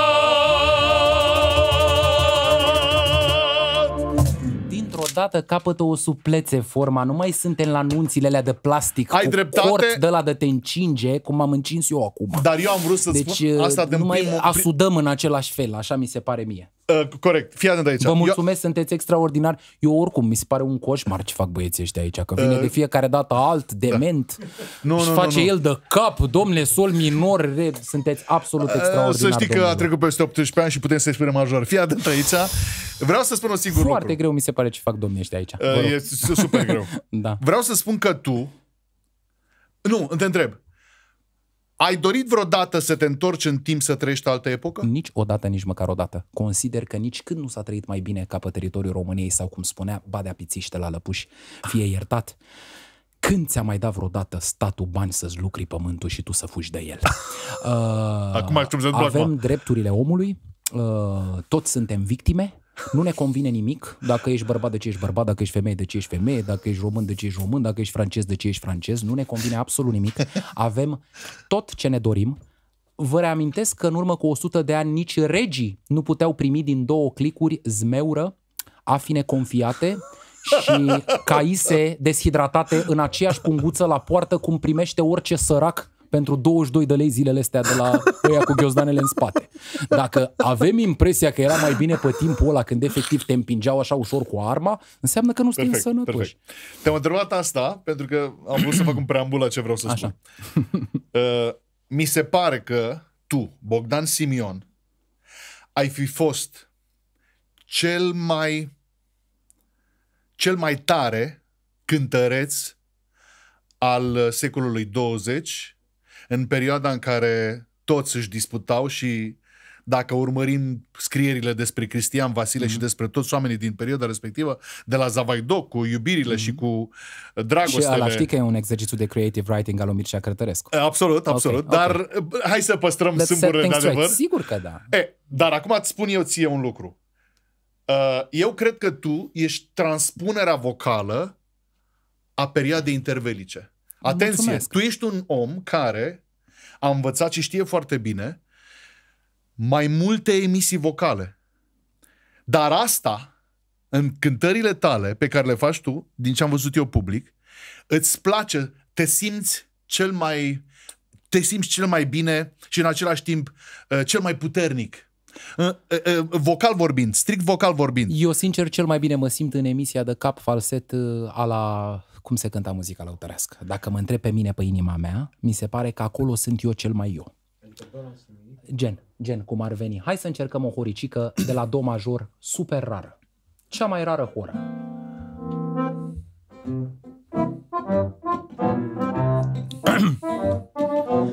Cine care fată mare Și rămânem acolo Mai nene mare supă Dragă neni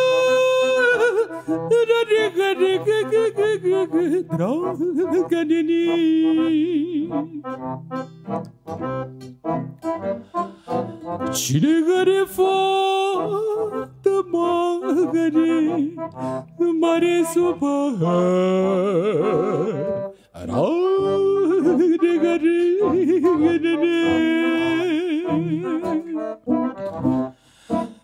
Mai nene se căsnește până o crește. Au, au, au, au, au, Mai nene șoia cinsă gă, gă, gă, gă, Nimerește mai mare Păi da e bine să ai băiat. Mai că, că ai suflet în păcat.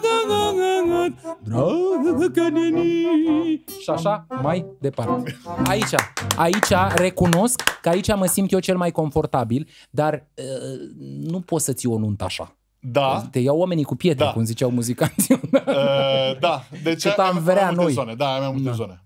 Deci de fiecare dată asta nu-și, nu-și pun problema... Nu scoți un disc așa. Uh, Pe ultimul uh, meu disc, care sper că va apărea la scurtă vreme după sau la scurtă vreme înainte de Mai. acest uh, mai, uh, cred că peste câteva săptămâni va apărea, uh, am un cântec, o variantă, un take de moșule te-aș întrega ba cu șase strofe, inclusiv strofele recuperate, cu frunzuliță de cicoare, curva curvă până moare, să dezbracă doar de haine, pentru că Siminică curva o transformă în mândra. Prin forța lucrurilor că trebuia să fie un fapt folcloric discul ăla de la faptul că l-au lăsat pe roman cu papion și cu sacou. Deja era mult că nu eram bundiță de aia muntenească, deghizat ca Ilie Udilă sau ca Marcel Budală, care numai din dinți îți dădeai seama că ei nu sunt chiar din filmul ăla, dar de acolo trebuiau să fie. Și atunci adicătelea uh, sunt niște strofe interesante în Moșule te-aș întreba, care nu au fost cântate și am pupat ce am auzit la Roșioru, ce am auzit la Siminică, ce am auzit la Ion Nămol și am făcut un fel de epopee a acestui cântec, ca un fel de mioriță a suburbiilor, pe moșule te-aș întreba, deci am, am lucrat și așa.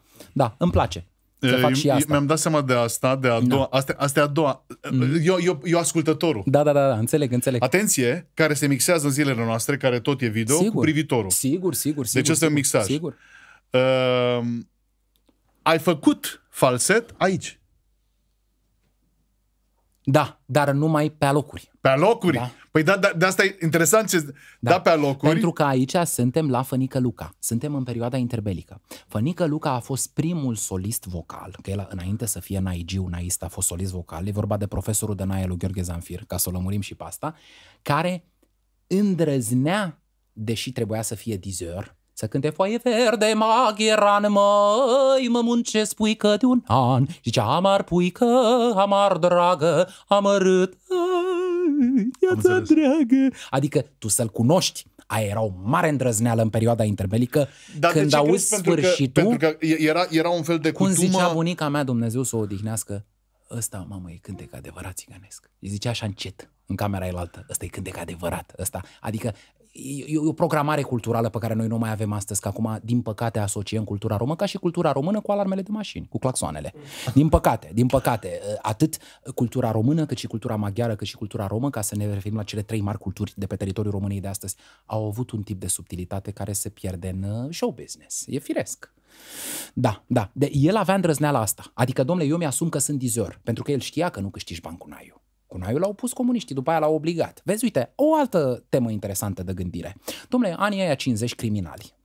L-au obligat pe bietul lăutar, Fănică Luca, care nu și-a imprimat naiul, decât de patru ori în perioada interbelică. În rest, toate discurile lui sunt doar vocale. De ce? Ca să aibă în vestă un spice la sfârșitul show-ului, ca era povestea, când cu vocea, când cu vocea și la sfârșit scot uh, fluierul lui Pan Ca și sur- sparg, să, ca, ca surpriză de show. Nu, nu-mi furați sufletul pe disc. Nu, când ce vreau eu pe disc, nu ce vreți voi. Ei, comuniștii au zis, tovarășul, dacă vrei să n-ai belele și să nu te trimitem unde i-am trimis pe alții, toate cântecele de n-ai le tragi. Dar, eu așa le aud. Eu, Bogdan Simion. Dacă nu era acel regim criminal, comunist, nu l-aș fi auzit pe Fănică Luca Cunaiu. Nu m-aș fi putut minuna, numai boierii ăia de la Trafalgar și de la Montmartre s-ar fi bucurat, care de mult sunt oale și ulcele. Și atunci eu întreb, mă, nu e etic ce au făcut, da? Îi mulțumim lui Dumnezeu. Eu să-mi fie rușine, îmi cer scuze încă o dată. Eu, nu, nu, îmi cer scuze. Îi Dacă- mulțumim nu. lui Dumnezeu că îl putem auzi. Deci vezi cum și dintr-o catastrofă, ce lecție minunată ne învață, ne arată, ne dă bunul Dumnezeu. Nu? Că și dintr-o nenorocire Mie îmi poate spui, ieși eu lumina. am început ca prezentator. Mie îmi spui, la mulți ani, sănătate și mulți bani. Uite, îți fac poze Sănătate. din spate. Felicitări domnilor. Iartă-mă, da. Acum, eu, eu te ascult. Eu te ascult pentru că pelinul ăsta, Ah, pe limbeau, pe limbi mănânc, ce drăguț. Asta urma, da, corect. pe, pelin... Deci, eu, eu cred că ar trebui începute melodiile astea printr-o oratorie pur și simplu. Stimați uh, concetățeni, acum să vă spun câteva versuri. Și foaie verde maghiran, mă căznesc puică donan, să fac pelinul Zahar. Ca asta mi-a plăcut. Știi, imediat să... Păi, a, diacriticile unde sunt? Nu, e Zahar. Da, da. Zahar Și și, el și chiar pelinul zicea- e tot amar. Și el chiar zicea să trag pe linul în zahar, ceea ce e mai mișto, că vinul se trage, nu se face. Știi? Asta e apropo de simțul limbii. Știi? Da, da, Limba da, da, da, română da, da. mă obligă să trag vinul, nu să-l fac. Deci, Știi? nu, nu, numai cântând chestia Da. asta, uh, mi-ai spus o chestie apropo de, și mi stă în cap, uh, apropo de, că acum la mine mi-ai dat mai de gândire și după aceea le, le eliberez de rând pe rând. Uh, mi-ai spus de bel canto, canto popular. Sigur, sigur, canto popular. E bine și natural să cânți cu vocea ta, dar din punctul meu de vedere, e bine să-l și știi. Adică să nu-ți fie străin. Cred că depinde. Cred că nu există o regulă. De fiecare dată când uh, îi trimit pe copilașii ăia de la Vedeta Populară Da. la studiu, la cărți și Da. le spun, măi, astea cu cântecele cu popa șapcă făcute pe timpul lui Ceaușescu, uite, uh, t- profesorul Teodor Dinu a scos o carte extraordinară pe care o recomand. Uh, Revoluția greacă din 1821 în țara românească și Moldova. Du-te și acolo și citește să vezi cine a fost popa șapcă ăla de mânca un curcan la o masă. Că nu suntem istorici, dar putem descoperi. Și de fiecare dată după ce țin această perorație, s- se nimerește cât un concurent care cântă atât de bine și nu știe nimic despre nimic, încât îmi demontează absolut toate teoriile mele. Bă, de Interesant. fapt, în definitiv, trebuie să ai harul ăla de sus și atât. Dar, pentru noi toți ăștia care nu avem harul ăla de sus, trebuie să muncim de 10 ori mai mult. Și atunci poate vom avea și noi un pic din lumina lui Dumnezeu. Eu așa cred, un pic. Un pic. Știi cum e? Numai să, să, să, să prinzi așa cu colțul ochiului. Că nu putem avea noi Da, acum depinde minunea care toată. ochi. Minunea care întreagă. colț stângul dreptul. Ah. Și foaie verde maghiran, mă căznesc, pui tădunan.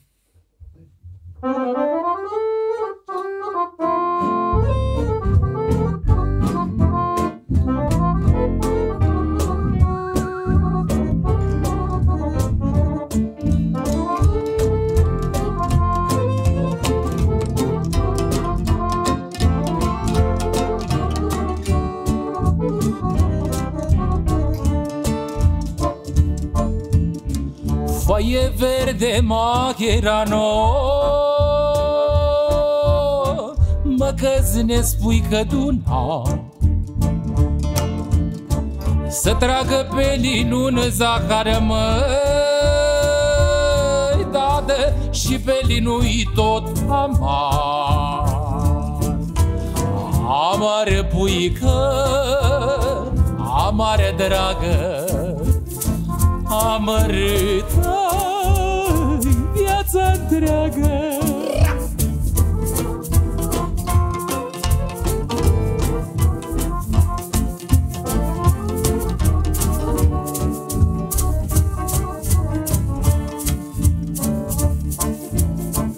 Pelin beau, pelin mănânco Noaptea pe pelin mă culc dimineața când mă scolo Cu pelin pe ochi mă spăl. Mă spălă să mă răcoresc mă N-ar mai rău mă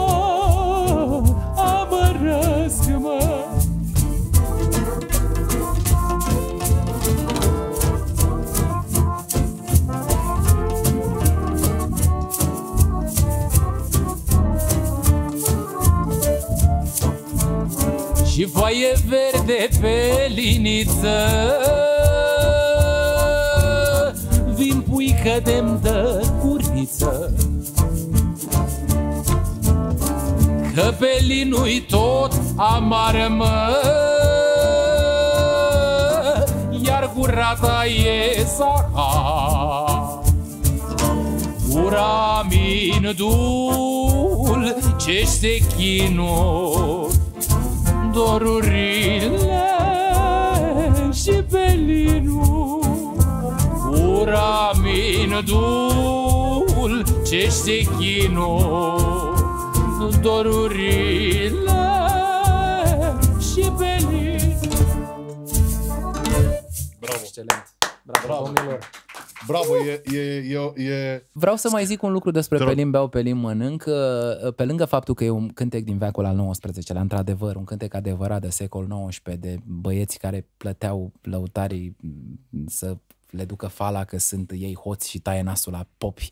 Uh, Aș zice că cea mai uh, mișto apariția cântecului ăsta este în uh, Drumul Oaselor cu Florin Piersic, ca să ne referim și la cinematografia Mamaliga Western, că spaghetti western au făcut italienii, un Mamaliga Western adevărat, în care, domnule, cât râdem noi, că s- înțeleg că să râde zilele astea, uneori pe bună dreptate, și de Sergiu Nicolescu și de trăznăile alea cu ceasul la mână și cu așa mai departe. Bă, măcar știau să frece costumele alea cu un pic de noroi. Nu mai suport să mai văd costume populare de sărbătoare și oameni cu prasa și cu coasa în mână. Înnebunesc să văd fetele alea trăgând de vaci îmbrăcate ca miresele în bistrița. Eu personal nu mai pot. Tu crezi că vreo femeie acum 100 de ani era atât de cretină să-și pună podoabe din pietre și să tragă de vacă? De vacă tragi cu o cămașă ponosită. Mă, venea Nicolaescu și le dădea cu un pic de funingine pe ei să arate un pic credibil. Eu am impresia că nu ne mai gândim la adică Nu, pur și simplu, hai, nu. producție, videoclipuri. Eu n-am făcut niciun videoclip niciodată în viața mea. Și știi de ce? De frică. Încă nu reușesc să găsesc o coerență vizuală între această muzică și imagine. De interesant ce Să zici. dea Dumnezeu să o găsesc până îmbătrânesc, dar momentan nu mă convinge nimic. Interesant Poate ce niște spui. asocieri o fată care bate la mașina de scris și văd un acordeon, poate o fată care urlă într-un câmp îmbrăcată în Yoji Yamamoto, în spatele uneia b- b- tăvălită pe jos, nu știu, ceva. O, încă nu pot vizualiza în ce fel s-ar potrivi. Mi se pare că ar trebui să avem un pic mai mare grijă de lucrurile astea. Nu-ți spun că îmi- îți împărtășesc punctul de vedere, pentru că după aceea lumea zice că suntem vorbiți. Dar uh, e o spălare a creierului populară, să spun așa, Da, prin cele da, 252 de canale. Da. Uh, Toate cântă parcă același... uh, Cântec, cu siguranță același cântă cântec. acelea, nu parcă. Chiar cântă uh, același, aceleași cântec. rime și aceleași elemente care nu au de-a face... Adică uh, chestia asta și uh, uh, uh, Da, da, această cădere nu mai este, nu mai e proprie muzicii românești actuale populare. Da, nu mai este și din păcate ți-am zis, uh, cu cât ne ducem mai în spate, cu atât descoperim o flexibilitate extraordinară a frazei muzicale. Domnule, e flexibilă, uneori se contrage, alteori se dilată, nu mai știi unde a început, cum spuneai tu, unde a început și unde s-a terminat cântecul. Numai că ăsta este un stil vechi, stilul străvechi chiar pare exotic. Pare de-a dreptul exotic, ai impresia că s-au adunat unii din triburi să cânte, lasă-ne, domnule, cu jeliturile astea, că nu asta vrem să ascultăm, că bem și noi un șpriț, că de luni la corporație înapoi. Și pot să înțeleg și fenomenul ăsta până la urmă, că ce nevoie mai ai să mai auzi pă, niște bătrâni cum să jelesc și scârție viorile. Dar Adică n-a stat nimeni în loc să plângă nici când au dispărut zimbrii, nici când au dispărut mm. vlăsiile, nici când au dispărut cetățile dacice, nici când au dispărut capelele domnești. Apropo că avem impresia că Ștefan cel Mare intra cu țărani în bisericile alea frumos pictate. Era el cu nevastă sa neamul mușatinilor și neme și voinici cu paloșele de jur împrejurul lui să-l păzească. Era chestie de clan, de familie, așa era în feudalism. Țăranii erau afară, după pridvor. Hai să ne înțelegem, au intrat de 200 de ani în acele clădiri. Însă, tot spunând aceste lucruri, eu simt că oamenii tineri care te prind odată cu o minciunică, vor crede că totul despre trecutul tău e o minciună. Drumul ăsta e Adevărat, foarte da, periculos. Dacă nu reușim să ne asumăm cu adevărat cine suntem cu bunele și cu relele, pentru că sunt atât de multe bune. Nici nu ne imaginăm cât de multe bune sunt. Sunt multe bune, adevărate, interesante. Uite, suntem de unul mai muncitoresc. Păi, ce interesantă e mișcarea ilegalistă comunistă. Mă gândeam ce filme extraordinare s-ar face cu băieții ăia de puneau bombe în Parlament sub scaunul Nicolae Iorga. Să jos uh, imperialismul regatului României, da. nu? Și băieții aia cu nume ciudate, unii cehi, unii sloveni, unii slovaci. E o lume fantastică, mai fantastică decât serialele de pe Netflix. A, uh, da, acum mă uit Mult mai la... fantastică și adevărată. Adică, De fiecare dată îi aplaud pe americani pentru faptul că orice om care a lucrat la umanitate, fie că a descoperit un, o operație nouă și era un tip de culoare, cum s-a întâmplat cu Cuba Gooding Jr., dacă nu mă, mă înșel. De exemplu, zile trecute am văzut uh, două reporterițe a unui ziar din anii 1960. Eu nu aflam niciodată de ele dacă un niște americani nu ar fi investit niște fonduri ca să facă cu uh, Kira Knightley, fata aia. Uh-huh. A făcut un film. Băi, stai puțin, dar noi avem o mie de personalități care pot fi Extraordinare. susținute prin Gândește- niște filme de Gândește-te E, la și aici- Sofia Nădejde, gândește-te la nebunele la care țipau de la 1890 să le lase să voteze. Noi nici nu știm, eu întreb oamenii, am întrebat tot timpul, domnule, când au votat femeile prima oară în România? "Ă, Cu sufragetele, cu alea, ne ducem tot timpul, mergem în Occident, cu jazz aici, cu bă, am înțeles jazz aici. Dar noi nu știm că până în 38 la noi femeile n-au votat. Noi nu știm că de fapt femeile au votat o singură dată. Că după aia 45 de ani în comunism, toată lumea vota la fel, juca ritm de sâmbă Corect. și bând vinul. Și după 90 ne mirăm de ce cântă prințesa Ardealului și cu guță, cu hai bărbate să votăm, dar ai grijă ce votezi tu și îi spune că tu știi politica bărbate și râdem de ei și zice, ia uite pe ăștia ce, ce, ce oameni înapoiați sunt. Nu sunt înapoiați. Așa e societatea. Vorba și ta- dacă nu vorbim despre Vorba ta, lucrurile barem astea- firmele au punctat un film cu, barem filme de demult, mă rog, mm, din mm, înainte regim, au punctat o Ecaterina Teodoroiu. Asta câtuși zic, de bă, puțin, măcar da. îi vedeai, îi vedeai, nu știu, că nu îi vedeai corect reprezentați. Și încă o treabă, băi, Parlamentul României. Noi să nu știm unde a fost Parlamentul înainte de Casa Poporului. Am rămas șocat, întreb oamenii și e și emblematic, pentru că Parlamentul României a fost o instituție uh, dominantă în politica acestei țări, pe timpul lui Cuza, pe timpul lui Carol I, pe timpul lui Ferdinand, pe timpul lui Mihai, până au venit tancurile sovietice. Domnule, unde era Parlamentul României? Că înțeleg, au dărâmat cartierul Uranu, s-a ales praful de casele oamenilor și au pus Casa Poporului Da. da. de ne mândrim cu ea că e mai mare decât uh, aia, cum zice, Pentagonul. Da? Pentagonul și cu aud și eu trăznaia asta, Pentagonul și cu Casa Poporului. Domnule, Parlamentul era în Palatul Patriarhiei. Wow! și asta e și interesant, e și eu, dacă vrei, e, suna banc, dar asta e adevărul, știi? Mie mi se pare că ar trebui să avem mult mai multă grijă și mi se pare că ar trebui să avem mult mai multă grijă noi de noi, pentru că altminteri după aia ne mirăm, că uite domnule, zic francezii ce le convine, zic americanii ce le convine, păi dacă noi nu zicem, dacă noi spunem că sunt în Maramureș și sunt în Chioar, ce să mai zic? Care este piesa de inimă albastră care îți aduce cea mai mare bucurie când o cânti?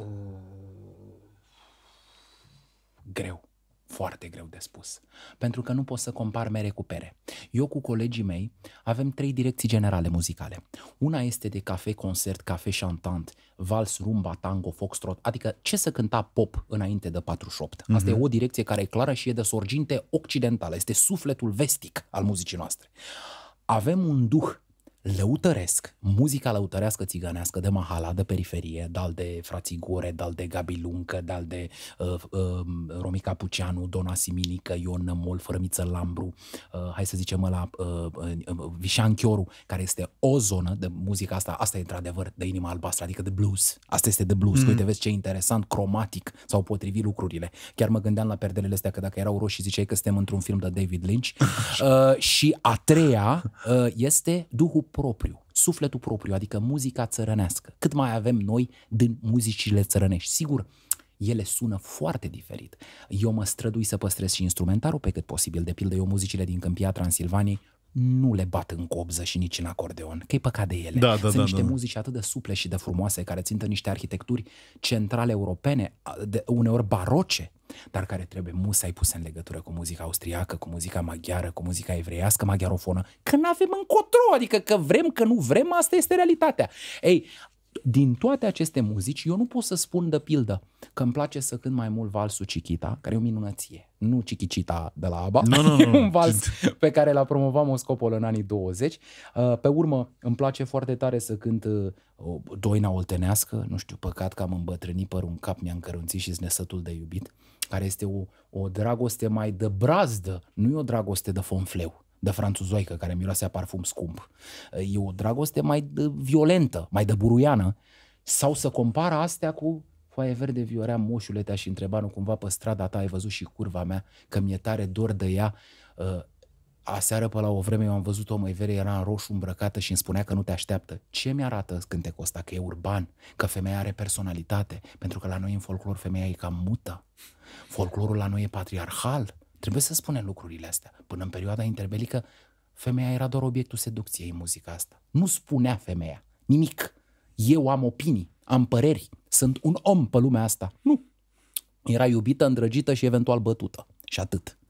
Și consider că a venit timpul să ne referim la aceste lucruri și unde găsim excepții să le punctăm. Crezi că uh, Lili Marlen Hmm? a constituit o emancipare a femeii vis-a-vis de chestia Cred asta? că cântărețele în general care s-au auzit la radio și pe discuri, Odeon, Victor, His Master's Voice, uh, Shellac, uh, uh, Pan, uite, iată, Pan Recording de la Sofia, că noi, Electrecordul la noi a apărut ultima oară, Cristal era de fapt o licență a Cristal, care era o casă de discuri germană, Electrecordul a fost deschis de domnul Nathan Mișonițchi, care a cumpărat niște aparatură veche din Germania, second hand, și a făcut studioul Electrecord. Ăla Corect. a fost confiscat de statul comunist și au venit cele mai bune aparate de la Colombia, că când s-a furat, s-a furat totul, să puneau, eu am acasă niște plăci din anii 40 care sunt superbe, pentru că scrie pe ele All Rights Reserved și peste All Rights Reserved sunt timbre cu Societatea Română a Compozitorilor și Muzicologilor Socialiști, adică dacă nu ne convine, punem timbre, peste că e al nostru, știi, nu e al vostru, dar e al nostru. Deci asta mi se pare și, și noi mai vorbim de etică și de, ar trebui să ne fie rușine. Așa ne-am comportat noi tot timpul, este ok,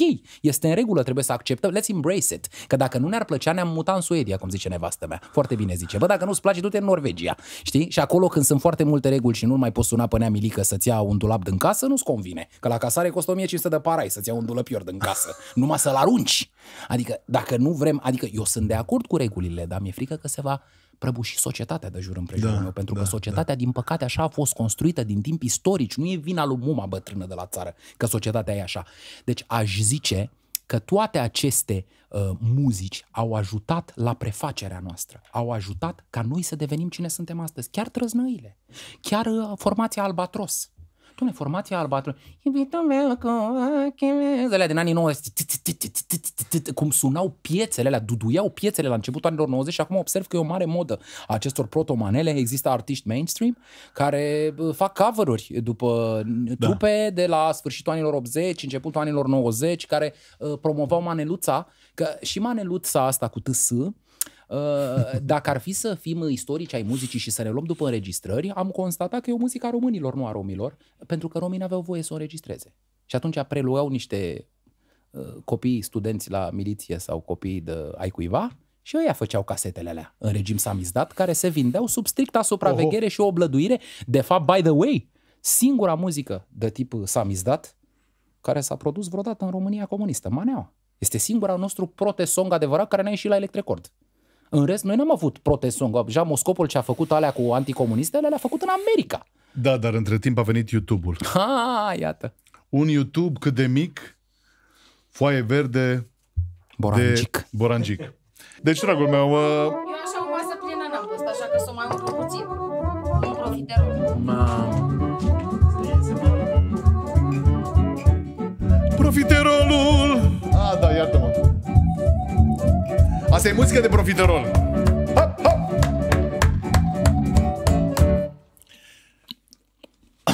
Îți spun, din când în când mă, mi se naște un gând nerostit pe care mi l-ai inoculat astăzi și îți spun foarte clar. Uh, Faptul că noi am spus astăzi lucruri, ele, sperăm noi, se vor fi înțeles de un tânăr care, la rândul lui, va face revoluție. No, ce drăguț, nu știu, oricum cuvântul e duh. Nu știu cum începe Scriptura. Dumnezeu a zis să se facă lumină și s-a făcut lumină. Ar fi putut să înceapă Dumnezeu a făcut lumină. A zis. Este important, eu cred asta din tot sufletul meu, că e extrem de important să verbalizezi lucrurile care te zgândere. De asta nu sunt foarte prieten cu corectitudinea politică până în capăt. Pentru că cred că dacă ceva te freacă, dacă ceva te, te zguduie, te face să, să nu-ți convină ceva, mm. e mai bine să verbalizezi decât să taci. Asta e părerea mea. În general în viață. Mai În zilele desumflăm noastre, dacă vrei supapele. să închizi o discuție, spui politically Da, corect. sigur. A, de, de ce? De ce? Poate, cine, poate vrem să cântăm ceva. De ce ai plecat de aici?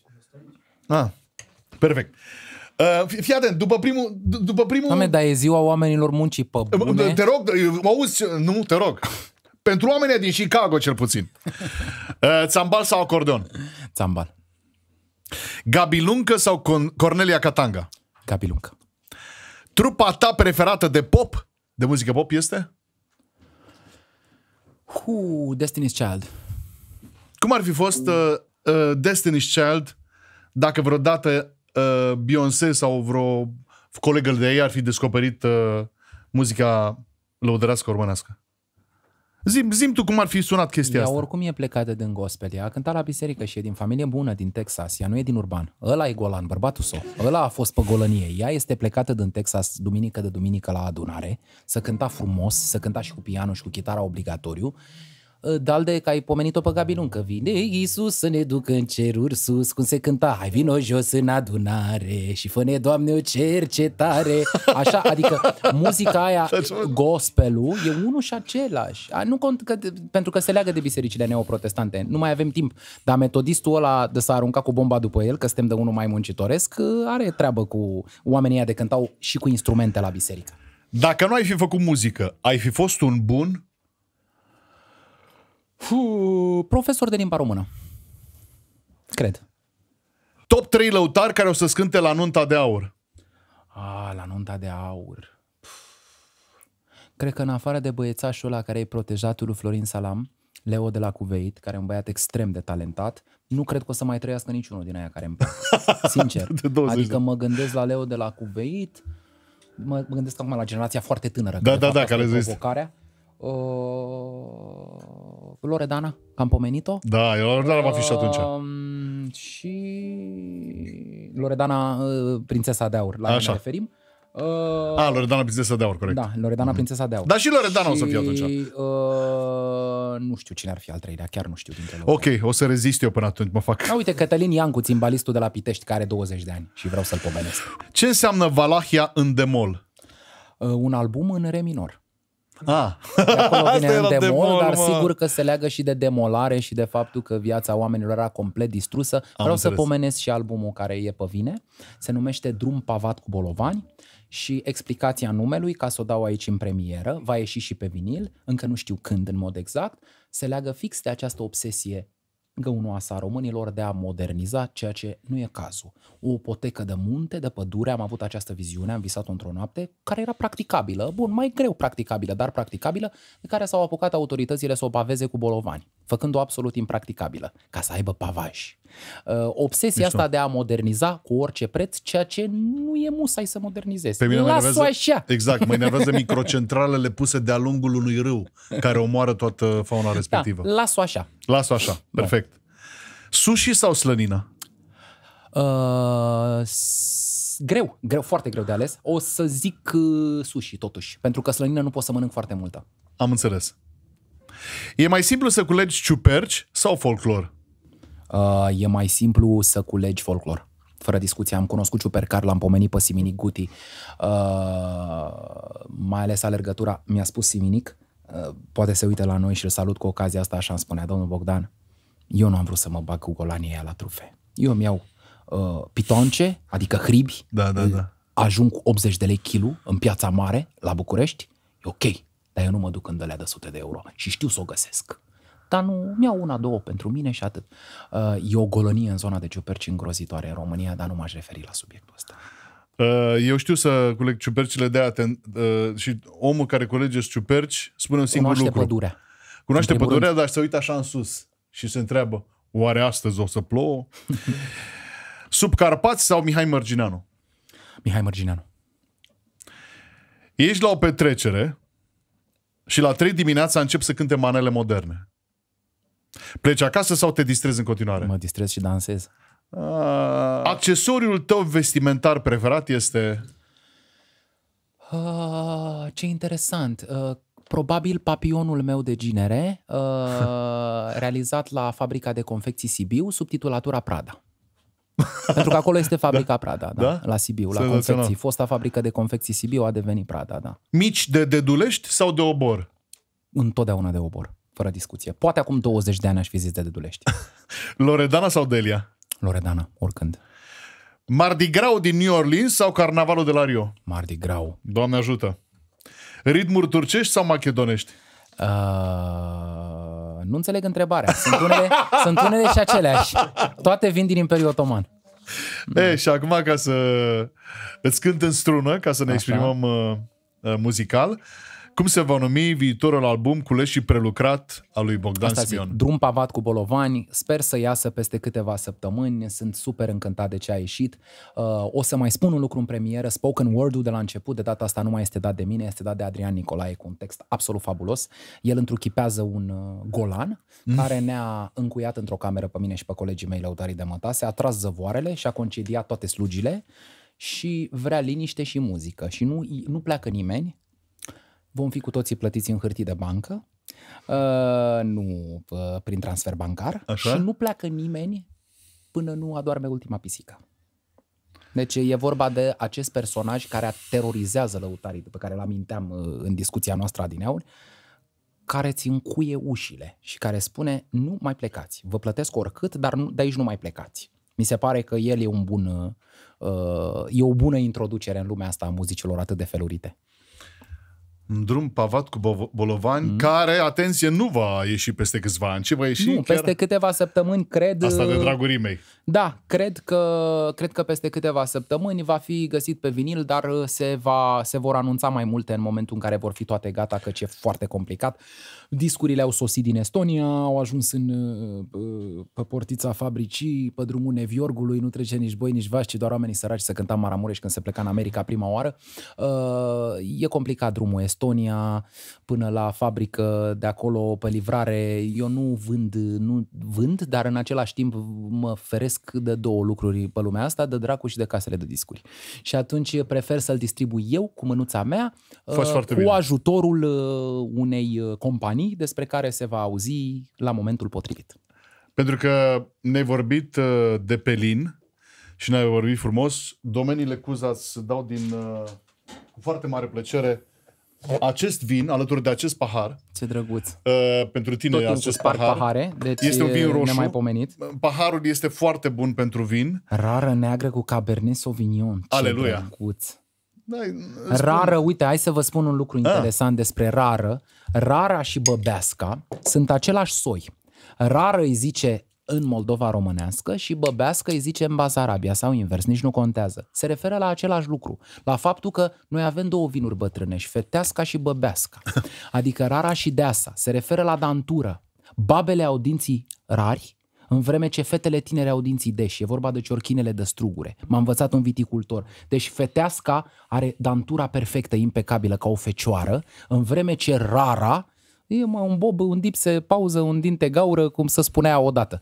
Deci rara și băbeasca desemnează unul și același vin. Sunt unele din puținele soiuri de vinuri de pe această planetă din Europa care au supraviețuit uh, bolii vinurilor de la 1857, celebra filoxeră care a distrus toate viile A distrus bătrânești. multe, dar nu ne-a distrus nouă. Rara, în niciun caz. Bravo. Uh, Noi, uh, chiar dacă una e perfectă și una e imperfectă, noi ne le gustăm pe amândouă și Excelent. le combinăm foarte bine. Uh, Păi am băut Iran cu România, aici e România-Franța, e alt meci, altă Îți distracție. spun, da, te ori te duc eu prin toată lumea, oricine. um, eu cred că a fost un 1 mai mult mai complex decât credeam la început. Reușit. Și eu zic. Um, acestea, acestea sunt versurile ultimele noastre melodii. Ah, sper că nu ultimele noastre melodii, ci ultimele bă, de astăzi. De astăzi, de astăzi, pentru că um, o să mă arunc, mi-ai făcut o poftă nebună să mă arunc uh, în spațiu interbelic Ah, Ce drăguț. Uh, și mi-aduc aminte de primele înregistrări și trebuie să știe lumea cum s-au făcut primele înregistrări la în pâlnia gramofonului, pentru că acum toată lumea se pozează cu aceste microfoane. Mm-hmm. Iar pâlnia aia cu, cu orchestra lângă, nici măcar uh, separată fonic, erau toți acolo Într-o cântând. goarnă, da. Într-o Solistul goarnă, mai e- în față și în spate îi țipau ăia cu Ori, trompețele. ori, ori lucrul ăsta ar trebui să se facă la fiecare școală. Nu și știu cum atenție, să dacă greșeai, greșit rămânea. spun. Așa, Cristian așa rămâne. Vasile are câteva discuri că l-ai pomenit, în care și-a dat seama că tonalitatea nu-i bună, dar nu te puteai duce la Heinz Zandauer sau la Frank Fox Orchestra, bă, dați-o mai jos sau mai sus, că e... Uh, și atunci, pe părțile unde e prea sus, recită. Când noaptea s-a lăsat pe cerul fermecat, când luna înflorește. Da, da, noi da, și da. de abugini. Da. Și o dai cumva, o dădeai, aia era, era dată. Bă, astea trebuie astea cu recitativele. Mie îmi plac pentru că te scot din, uh, din probleme. Da, clar. Uh, Bogdan, dragă, îți uh, ținem pumnii pentru orice căutare de fragmente din lumea Doamne asta. ajută, Doamne ajută. Îți mulțumim, mulțumim foarte mult că ai, ai degustat un mic alături de noi. Eu mulțumesc pentru invitație și vreau să spun că m-am simțit absolut teribil. Le mulțumesc și instrumentiștilor minunați pe care i-am avut alături. Îți mulțumesc ție pentru invitație și să știi că merg destul de rar la podcasturi, dar la ăsta chiar am venit cu inima plină. Cu mare drag, mulțumesc frumos. Uh, Da, acum vom trece... Concertele brandenburgice mi-au făcut mare plăcere de fiecare dată. N-au nicio legătură cu ceea ce am făcut astăzi, dar eu cred că ne putem, putem intra în profunzimea lor. E un Iosif Sava acolo, nu? O, Dumnezeu. Okay. Dar să știi că și pe Iosif Sava l-am privit când eram contemporan cu el. Îl priveam ca un fel de om care spune ceva, dar eu nu înțelegeam pe vremea respectivă, dar încet, încet Știi că fiecare om și-a lăsat amprenta asupra noastră și cred că într-adevăr suntem suma tuturor experiențelor noastre, Clar. dar ar fi interesant să facem și noi experiențe la rândul nostru, știi? Asta, așa să ne ajute Dumnezeu. Uh, salutări acasă! Oare Mădălina, ce frizură o fi încercat astăzi? Nu știu, dar sunt sigur că voi descoperi. Asta e, a fost întâi mai lăutăresc. Întâi mai muncitoresc. Și ca să ca să cânt ăsta cum l-am mai cântat niciodată. Da! Doar și domnilor, a fost întâi mai.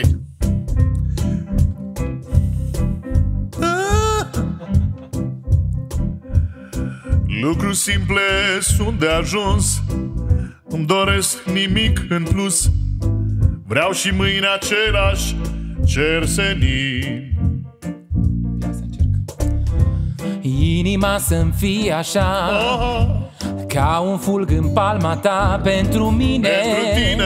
N-ar fi prea puțin. Oh. Nu ca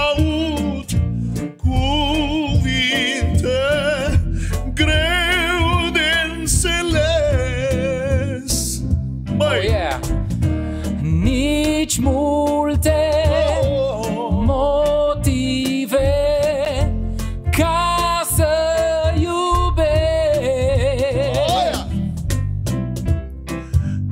Orice vise aș avea Lucruri simple voi păstra Cer albastru Eu și tu Tu și eu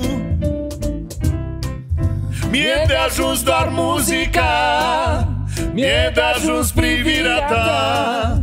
Lucruri simple voi păstra. Stimați eh, telespectatori Au fost alături de noi Binecunoscutul cantautor din Craiova Cristiano. A bătut la cajon astăzi Delicat Din Târgu Mureș. Bali Bine, Vali. A stat alături de noi din Slatina și Alin, iar din Târgoviște, trăind alături de lăutăreasca noastră, Marius, din turnul Chindiei.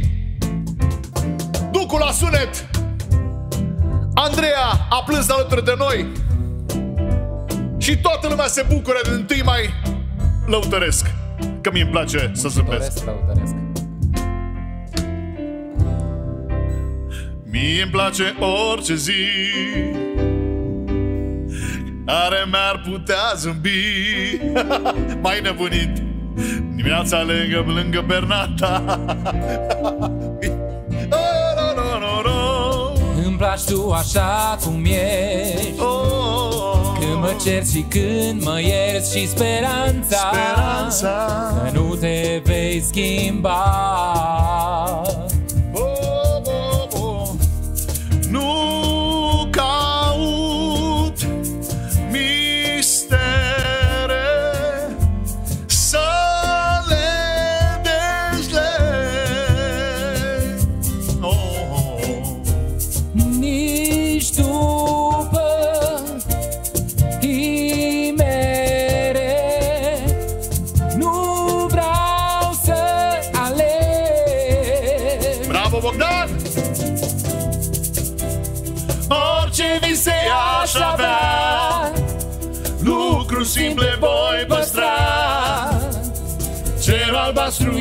și tu.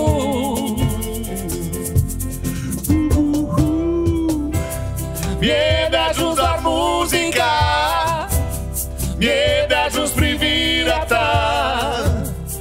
Lucruri simple voi păstra Lucruri simple voi păstra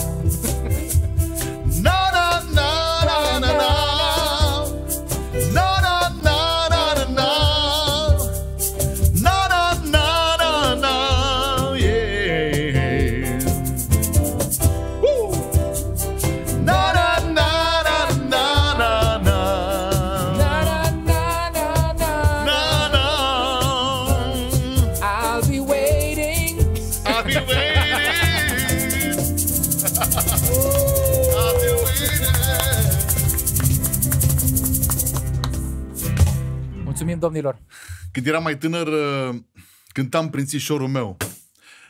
Dar asta în altă ediție. Excelent Când eram mai tânăr. Mama, dar cred că o să dureze două ore jumate, trei, nu? Adică e genul ăla de format, nu? Patru sau nu știu câte ore ați stat? Cinci, Pe bune? da? Nu te cred așa ceva. Hai de capul meu și se dă tot, hă? Vreau să-mi spui Hai să schimbai veste. Așa cântați.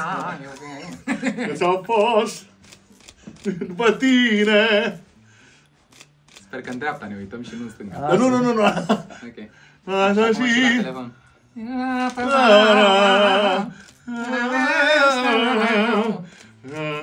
Um, Gura ta? Nu.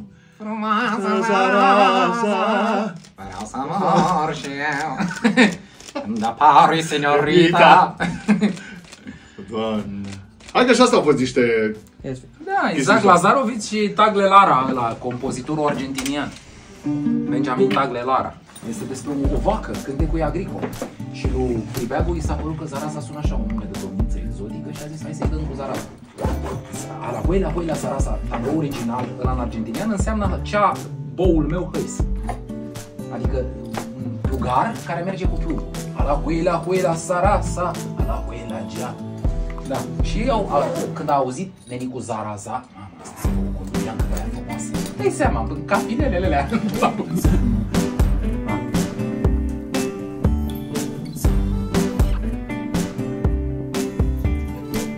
Urma să